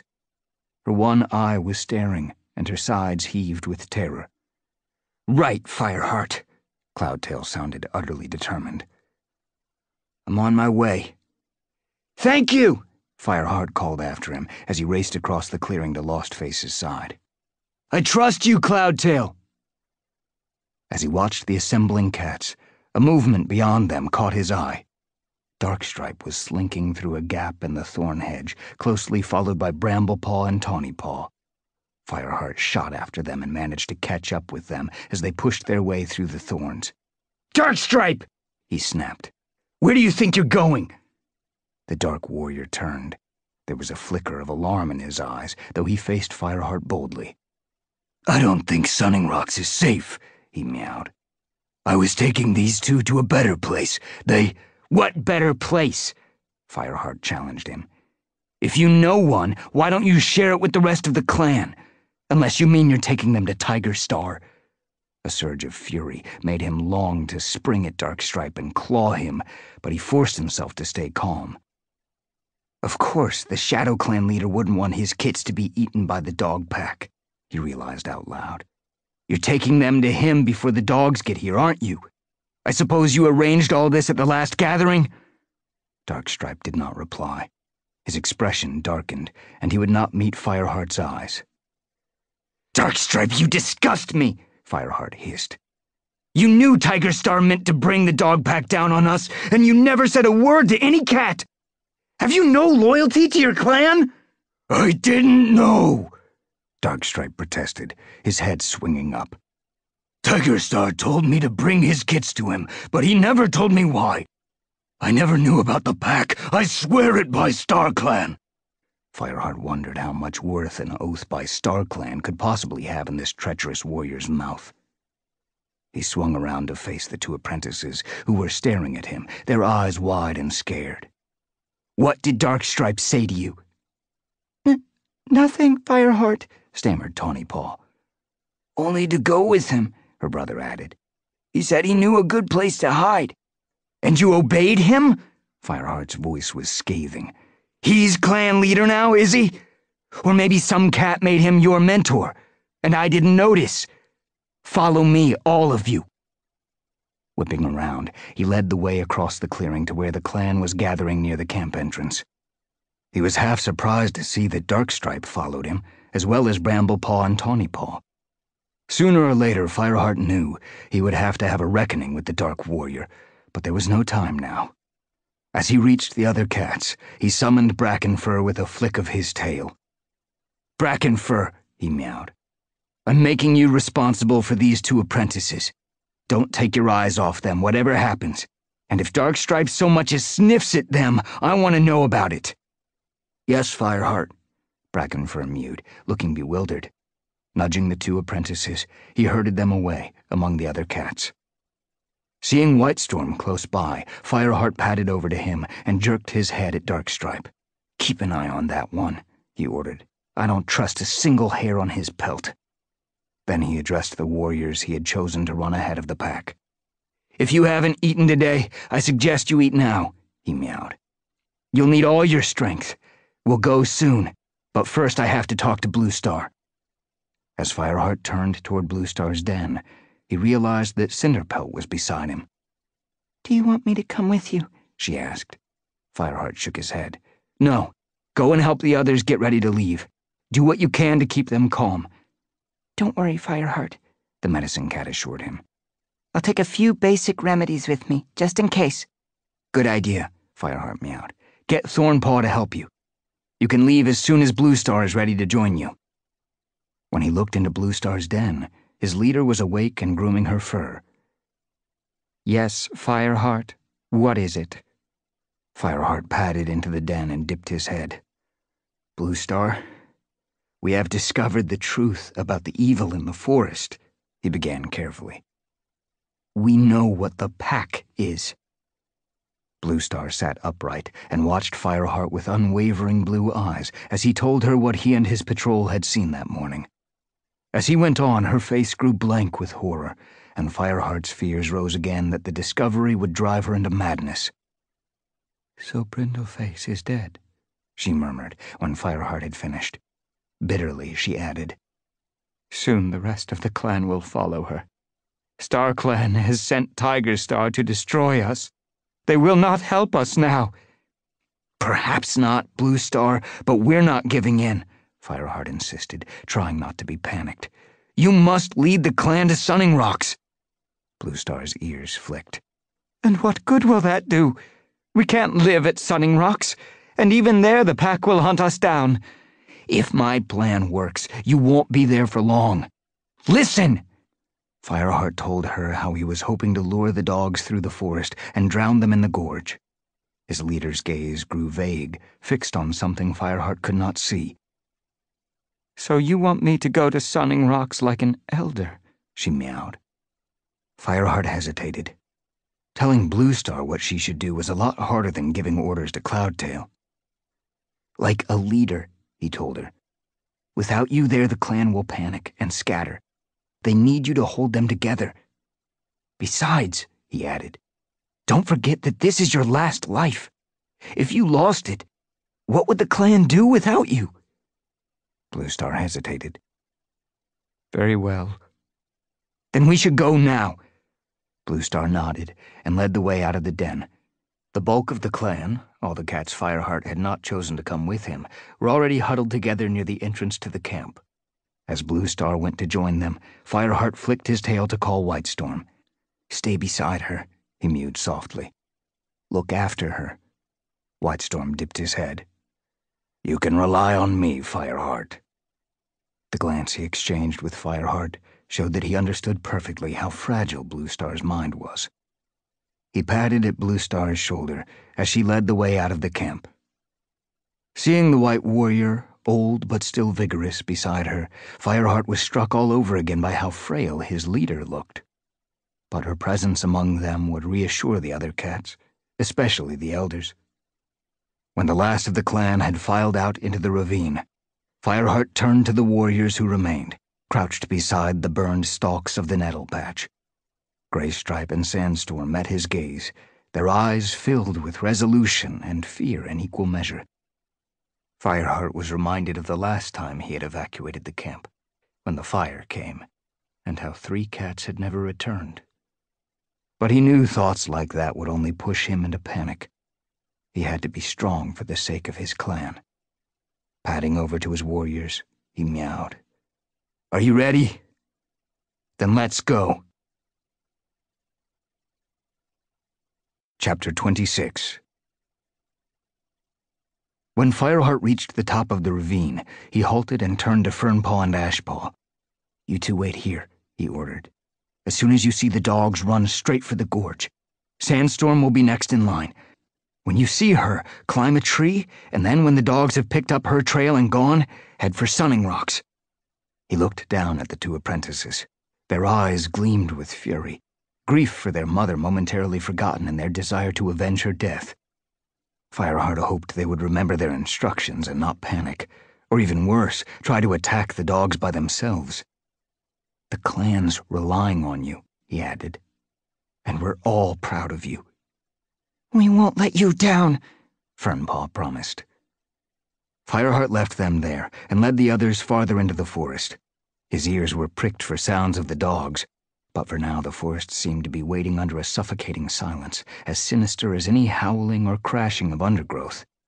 The sound of the cats breathing and their soft paw steps seemed unnaturally loud as they padded under the trees. Soon Fireheart halted again. Sandstorm, you wait here, he meowed. I don't want those two apprentices to have to run too far. You're the fastest cat in ThunderClan. You'll need to get a good start on the dogs to give the rest of us a chance. Okay? Sandstorm nodded. You can trust me, Fireheart.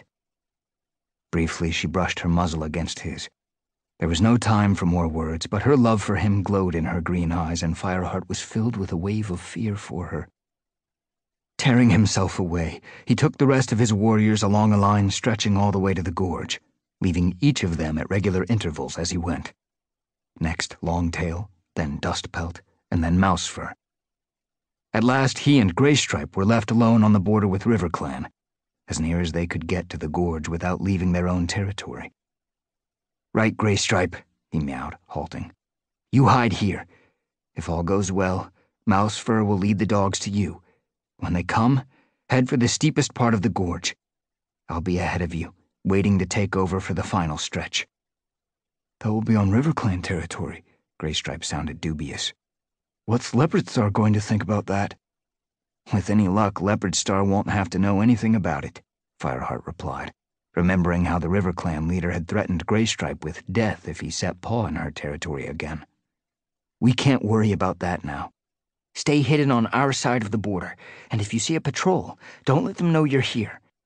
Graystripe nodded and flattened his belly to the ground to crawl underneath the branches of a thorn bush. Good luck, he meowed as he disappeared. Fireheart wished him luck in return and went on, more warily now, into RiverClan territory. He saw no RiverClan cats, but he scented some fairly fresh traces, which suggested that the Dawn Patrol had already passed that way. At last, he found a place to hide in a hollow at the foot of a rock and settled down to wait. The whole forest was silent, except for the distant roar of water in the gorge. Fireheart couldn't help wondering where Tigerstar was now. Safe in ShadowClan territory, he guessed, waiting for his old clan to be torn apart.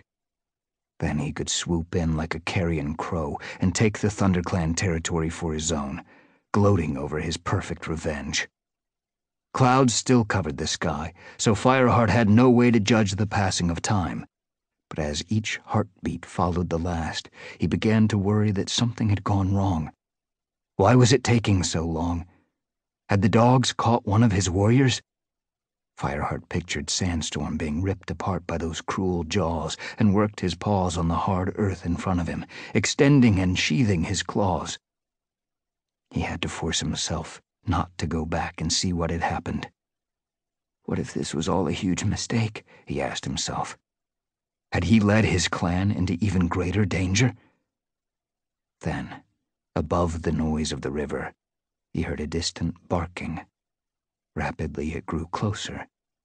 The dark force had gained a voice at last, giving tongue as the pack bore down on the cats who had become their prey. The sound grew louder still, until it seemed to fill all the forest, and Graystripe appeared, streaking along with his belly almost flat against the ground.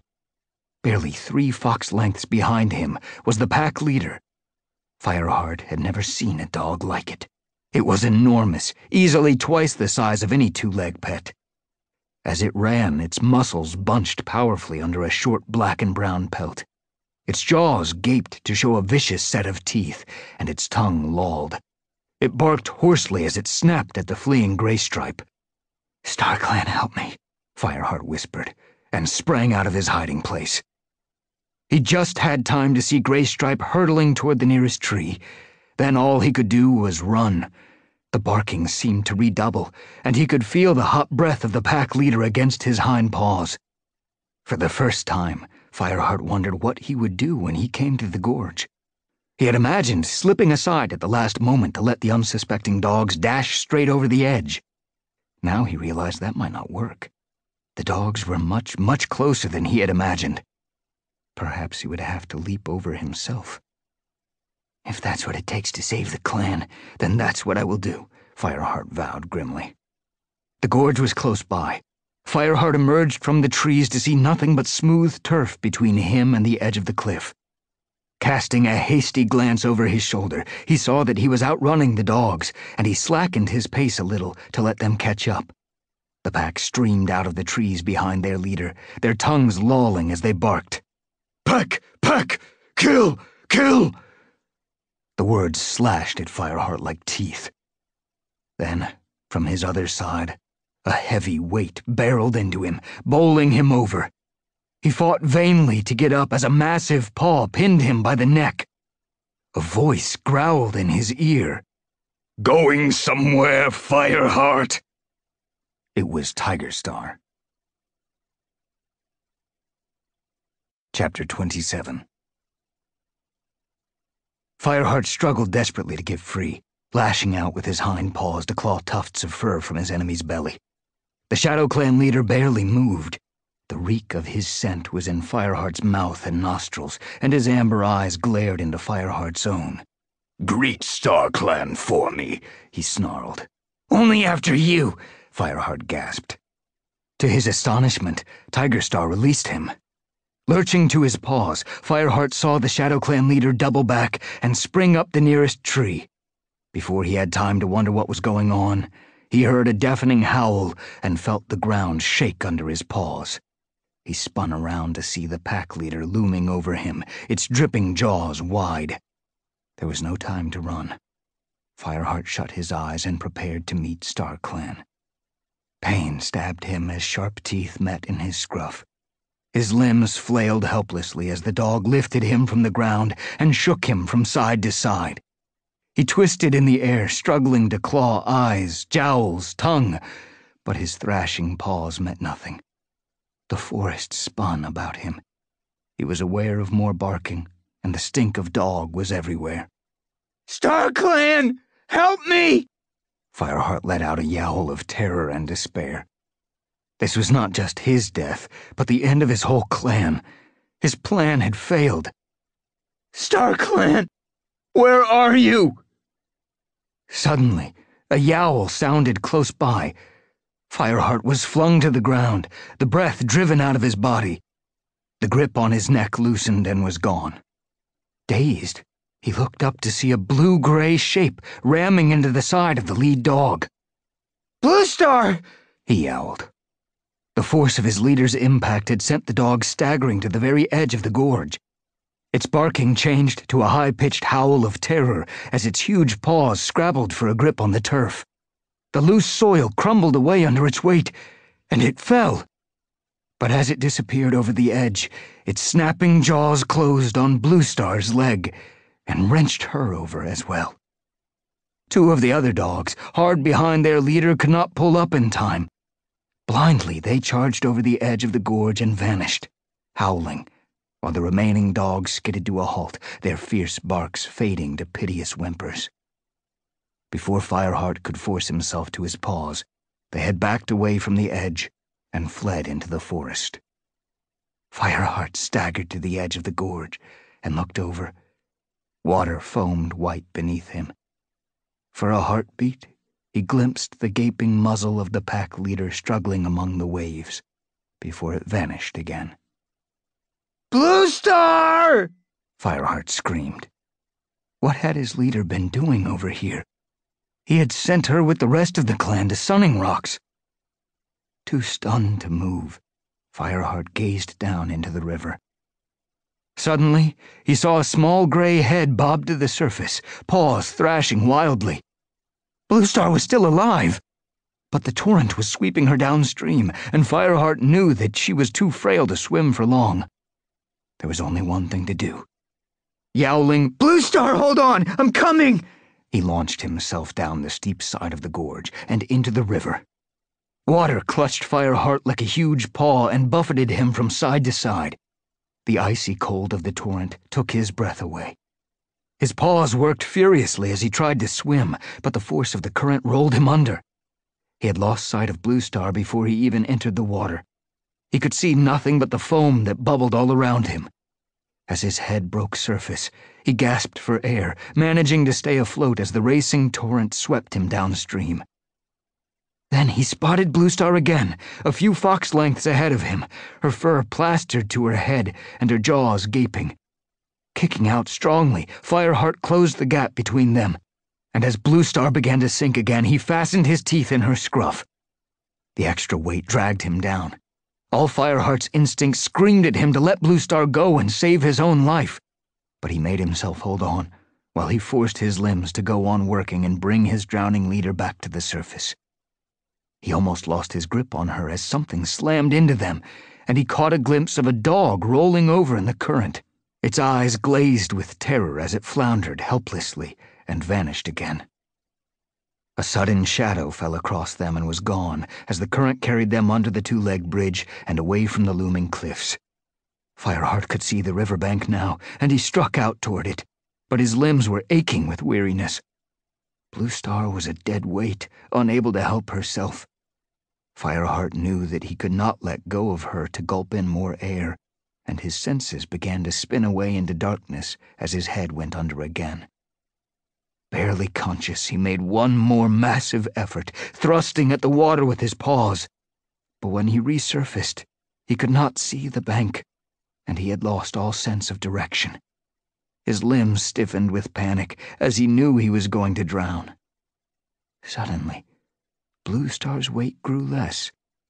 Blinking water out of his eyes, Fireheart saw another head bobbing in the water beside him, teeth firmly gripping Bluestar's fur. He recognized the blue-gray pelt and almost forgot to swim in his shock. It was Mistyfoot. At the same moment, he heard Stonefur's voice from his other side. Let go! We've got her now!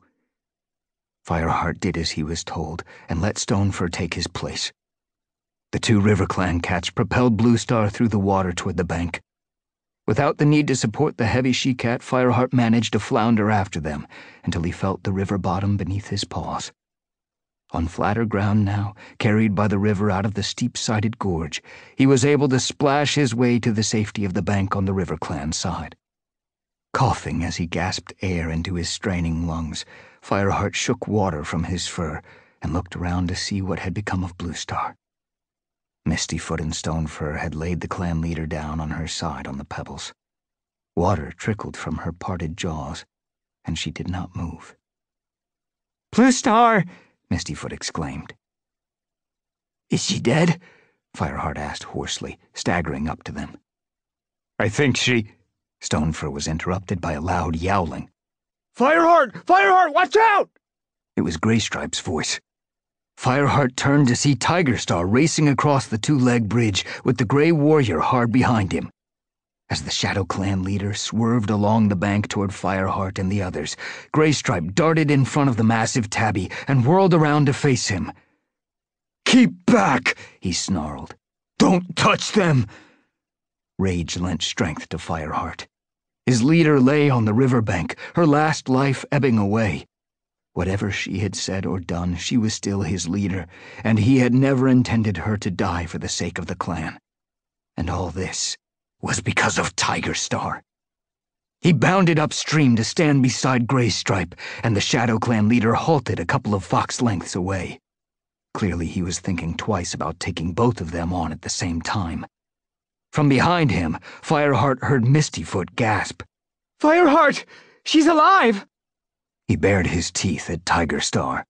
Come one step closer, and I'll throw you in the river with the dogs, he growled. Graystripe, make him stay back. Graystripe nodded, unsheathing his claws, and Tigerstar let out a long hiss of fury and frustration. Fireheart raced back to Bluestar and crouched down beside her. She still lay on the pebbles, though now Fireheart could see her chest rising and falling with each jagged breath. Bluestar, he whispered. Bluestar, it's Fireheart. You're all right now. You're safe. Her eyes blinked open and focused on the two RiverClan warriors. For a heartbeat, she did not seem to recognize them. And then her eyes stretched wide, softening with pride. You saved me, she murmured. Shh. Don't try to talk, Mistyfoot urged her. Bluestar seemed not to hear. I want to tell you something. I want to ask you to forgive me for sending you away. Oakheart promised me Graypool would be a good mother to you. She was, Stonefur meowed tersely. Fireheart tensed. Last time they spoke to Bluestar, the two RiverClan warriors had spat venom at her, hating her for what she had done. Would they turn on her now, defenseless as she was? I owe Graypool so much, Bluestar went on. Her voice was faint and uneven. Oakheart, too, for mentoring you so well. I watched you as you grew up, and I saw how much you had to give to the clan who adopted you. A shudder passed through her body, and she stopped speaking for a moment. If I had made a different choice, you would have given all your strength to ThunderClan. Forgive me, she rasped. Mistyfoot and Stonefur exchanged an uncertain glance. She suffered a lot of pain for her choice, Fireheart couldn't help putting in. Please forgive her. For a heartbeat, the two warriors still hesitated. Then Mistyfoot bent her head to lick her mother's fur, and Fireheart felt his legs shake with relief. We forgive you, Bluestar, she murmured. We forgive you, Stonefur echoed. Weak as she was, Bluestar began to purr with delight. Fireheart's throat felt tight as he watched the two RiverClan cats crouch over his leader, their mother, sharing tongues with her for the first time. A furious hiss from Graystripe made him turn his head to see that Tigerstar had taken a step forward. The massive tabby's eyes were wide with astonishment. Fireheart knew that until now, Tigerstar had not known who was the mother of the kits that ThunderClan had given away. Don't come any nearer, Tigerstar, he hissed. This has nothing to do with you. Turning back to Bluestar, he saw that her eyes were closing and her breath was coming fast and shallow. What can we do? he asked Mistyfoot anxiously. This is her last life, and she'll never make it back to the ThunderClan camp. Will one of you go and fetch your medicine cat? It's too late for that, Fireheart. It was Stonefur who replied, his voice low and gentle. She is on her way to StarClan. No! Fireheart protested. He crouched beside Bluestar and pressed his muzzle against hers. Bluestar, Blue Star, wake up! We'll get help for you! Hold on just a bit longer! Bluestar's eyes flickered open again, looking not at Fireheart, but at something just past his shoulder. Her gaze was clear and filled with peace. Oakheart, she murmured. Have you come for me? I'm ready. No! Fireheart protested again. All his recent difficulties with Bluestar faded away. He remembered only the noble leader she had been, wise and inspiring, and how she had mentored him when he came into the clan as a kittypet and in the end, StarClan had been kind to her. She had come out of the shadows to die as nobly as she had lived, saving her clan by sacrificing herself. Bluestar, don't leave us, he begged. I must, his leader whispered. I have fought my last battle. She was panting in her effort to speak. When I saw the clan at Sunning Rocks, the strong helping the weak. And I knew you and the others had gone to confront the pack. I knew my clan was loyal. I knew StarClan had not turned their backs on us. I knew. Her voice failed, and she struggled to continue. I knew that I could not leave you to face the danger alone. Bluestar, Fireheart's voice shook with the pain of parting, and yet his heart leaped to hear that his leader knew he was not a traitor. Bluestar fixed her blue gaze on him. Fireheart thought he could already see the shimmer of StarClan in her eyes. Fire will save the clan, she murmured. And Fireheart remembered the mysterious prophecy that he had heard from his earliest days in ThunderClan. You never understood, did you?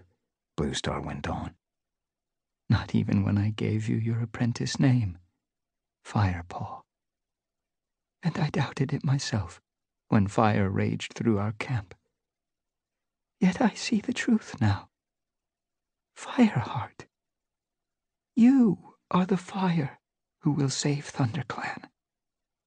Fireheart could do nothing but stare at his beloved leader. He felt as if his whole body had turned to stone. Above his head, wind tore the clouds into shreds, letting a ray of sunshine strike down and touch his pelt to flame, just as it had in the clearing when he first arrived in the clan, so many moons ago. You will be a great leader. Bluestar's voice was the merest whisper. One of the greatest the forest has ever known. You will have the warmth of fire to protect your clan and the fierceness of fire to defend it. You will be Firestar, the light of ThunderClan. No, Fireheart protested. I can't. Not without you, Bluestar. But it was too late. Bluestar sighed softly, and the light died from her eyes. Mistyfoot let out a low wailing sound and pressed her nose to her mother's fur. Stonefur crouched close to her, his head bowed. Bluestar! Fireheart meowed desperately. But there was no response. The leader of ThunderClan had given up her last life and gone to hunt with StarClan forever. Fireheart rose stiffly to his paws. He had to dig his claws into the earth as his head spun, and for a moment he feared that he might fall into the sky.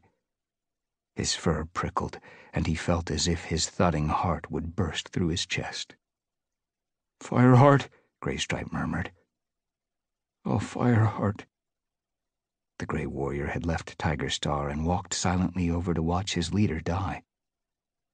Now Fireheart saw that his friend's amber gaze was fixed on him with something like awe, and as their eyes met, Graystripe dipped his head in deepest respect. Fireheart stiffened in horror, longing to protest. He wanted the comfort of their old, easy friendship, not this formal acknowledgement from a warrior to his clan leader. Beyond Graystripe, he saw Tigerstar staring at the cats huddled on the shore, amazement and fury in his eyes. Before Fireheart could say anything, the ShadowClan leader spun around and raced across the Twoleg bridge, back toward his own territory. Fireheart let him go. He had to deal with his own terrified, hunted clan before he tried to settle old scores. But what Tigerstar had done that day would never be forgotten, not by any cat in ThunderClan. We'll need to fetch some of the others, he mewed hoarsely to Graystripe. We must get Bluestar's body back to camp. Graystripe dipped his head again. Yes, Fireheart. We'll help, Stonefur offered, standing up and facing the ThunderClan cats. We would be honored, added Mistyfoot, her eyes clouded with sorrow. I would like to see our mother laid to rest in her clan. Thank you. Both of you, meowed Fireheart. He took a deep breath, drew himself up, and shook his drying fur. He felt as if the weight of the whole clan had descended on his shoulders. And yet, in a heartbeat, it began to seem possible that he could bear it. He was the leader of ThunderClan now. With the death of the lead dog, the threat of the pack had gone from the forest, and his clan was waiting for him, safe at Sunning Rocks. Sandstorm would be waiting for him, too. Come on, he meowed to Graystripe. Let's go home. This is MacLeod Andrews. We hope you have enjoyed this unabridged production of Warriors Number 5 A Dangerous Path by Erin Hunter. This program was recorded at the Media Staff and produced by Common Mode. Paul Fowley, Technical Director. The director was Michael Cox. Executive Producer, Caitlin Gehring. Text copyright 2004 by Working Partners Limited. Production copyright 2017 by HarperCollins Publishers, all rights reserved. Thank you for listening.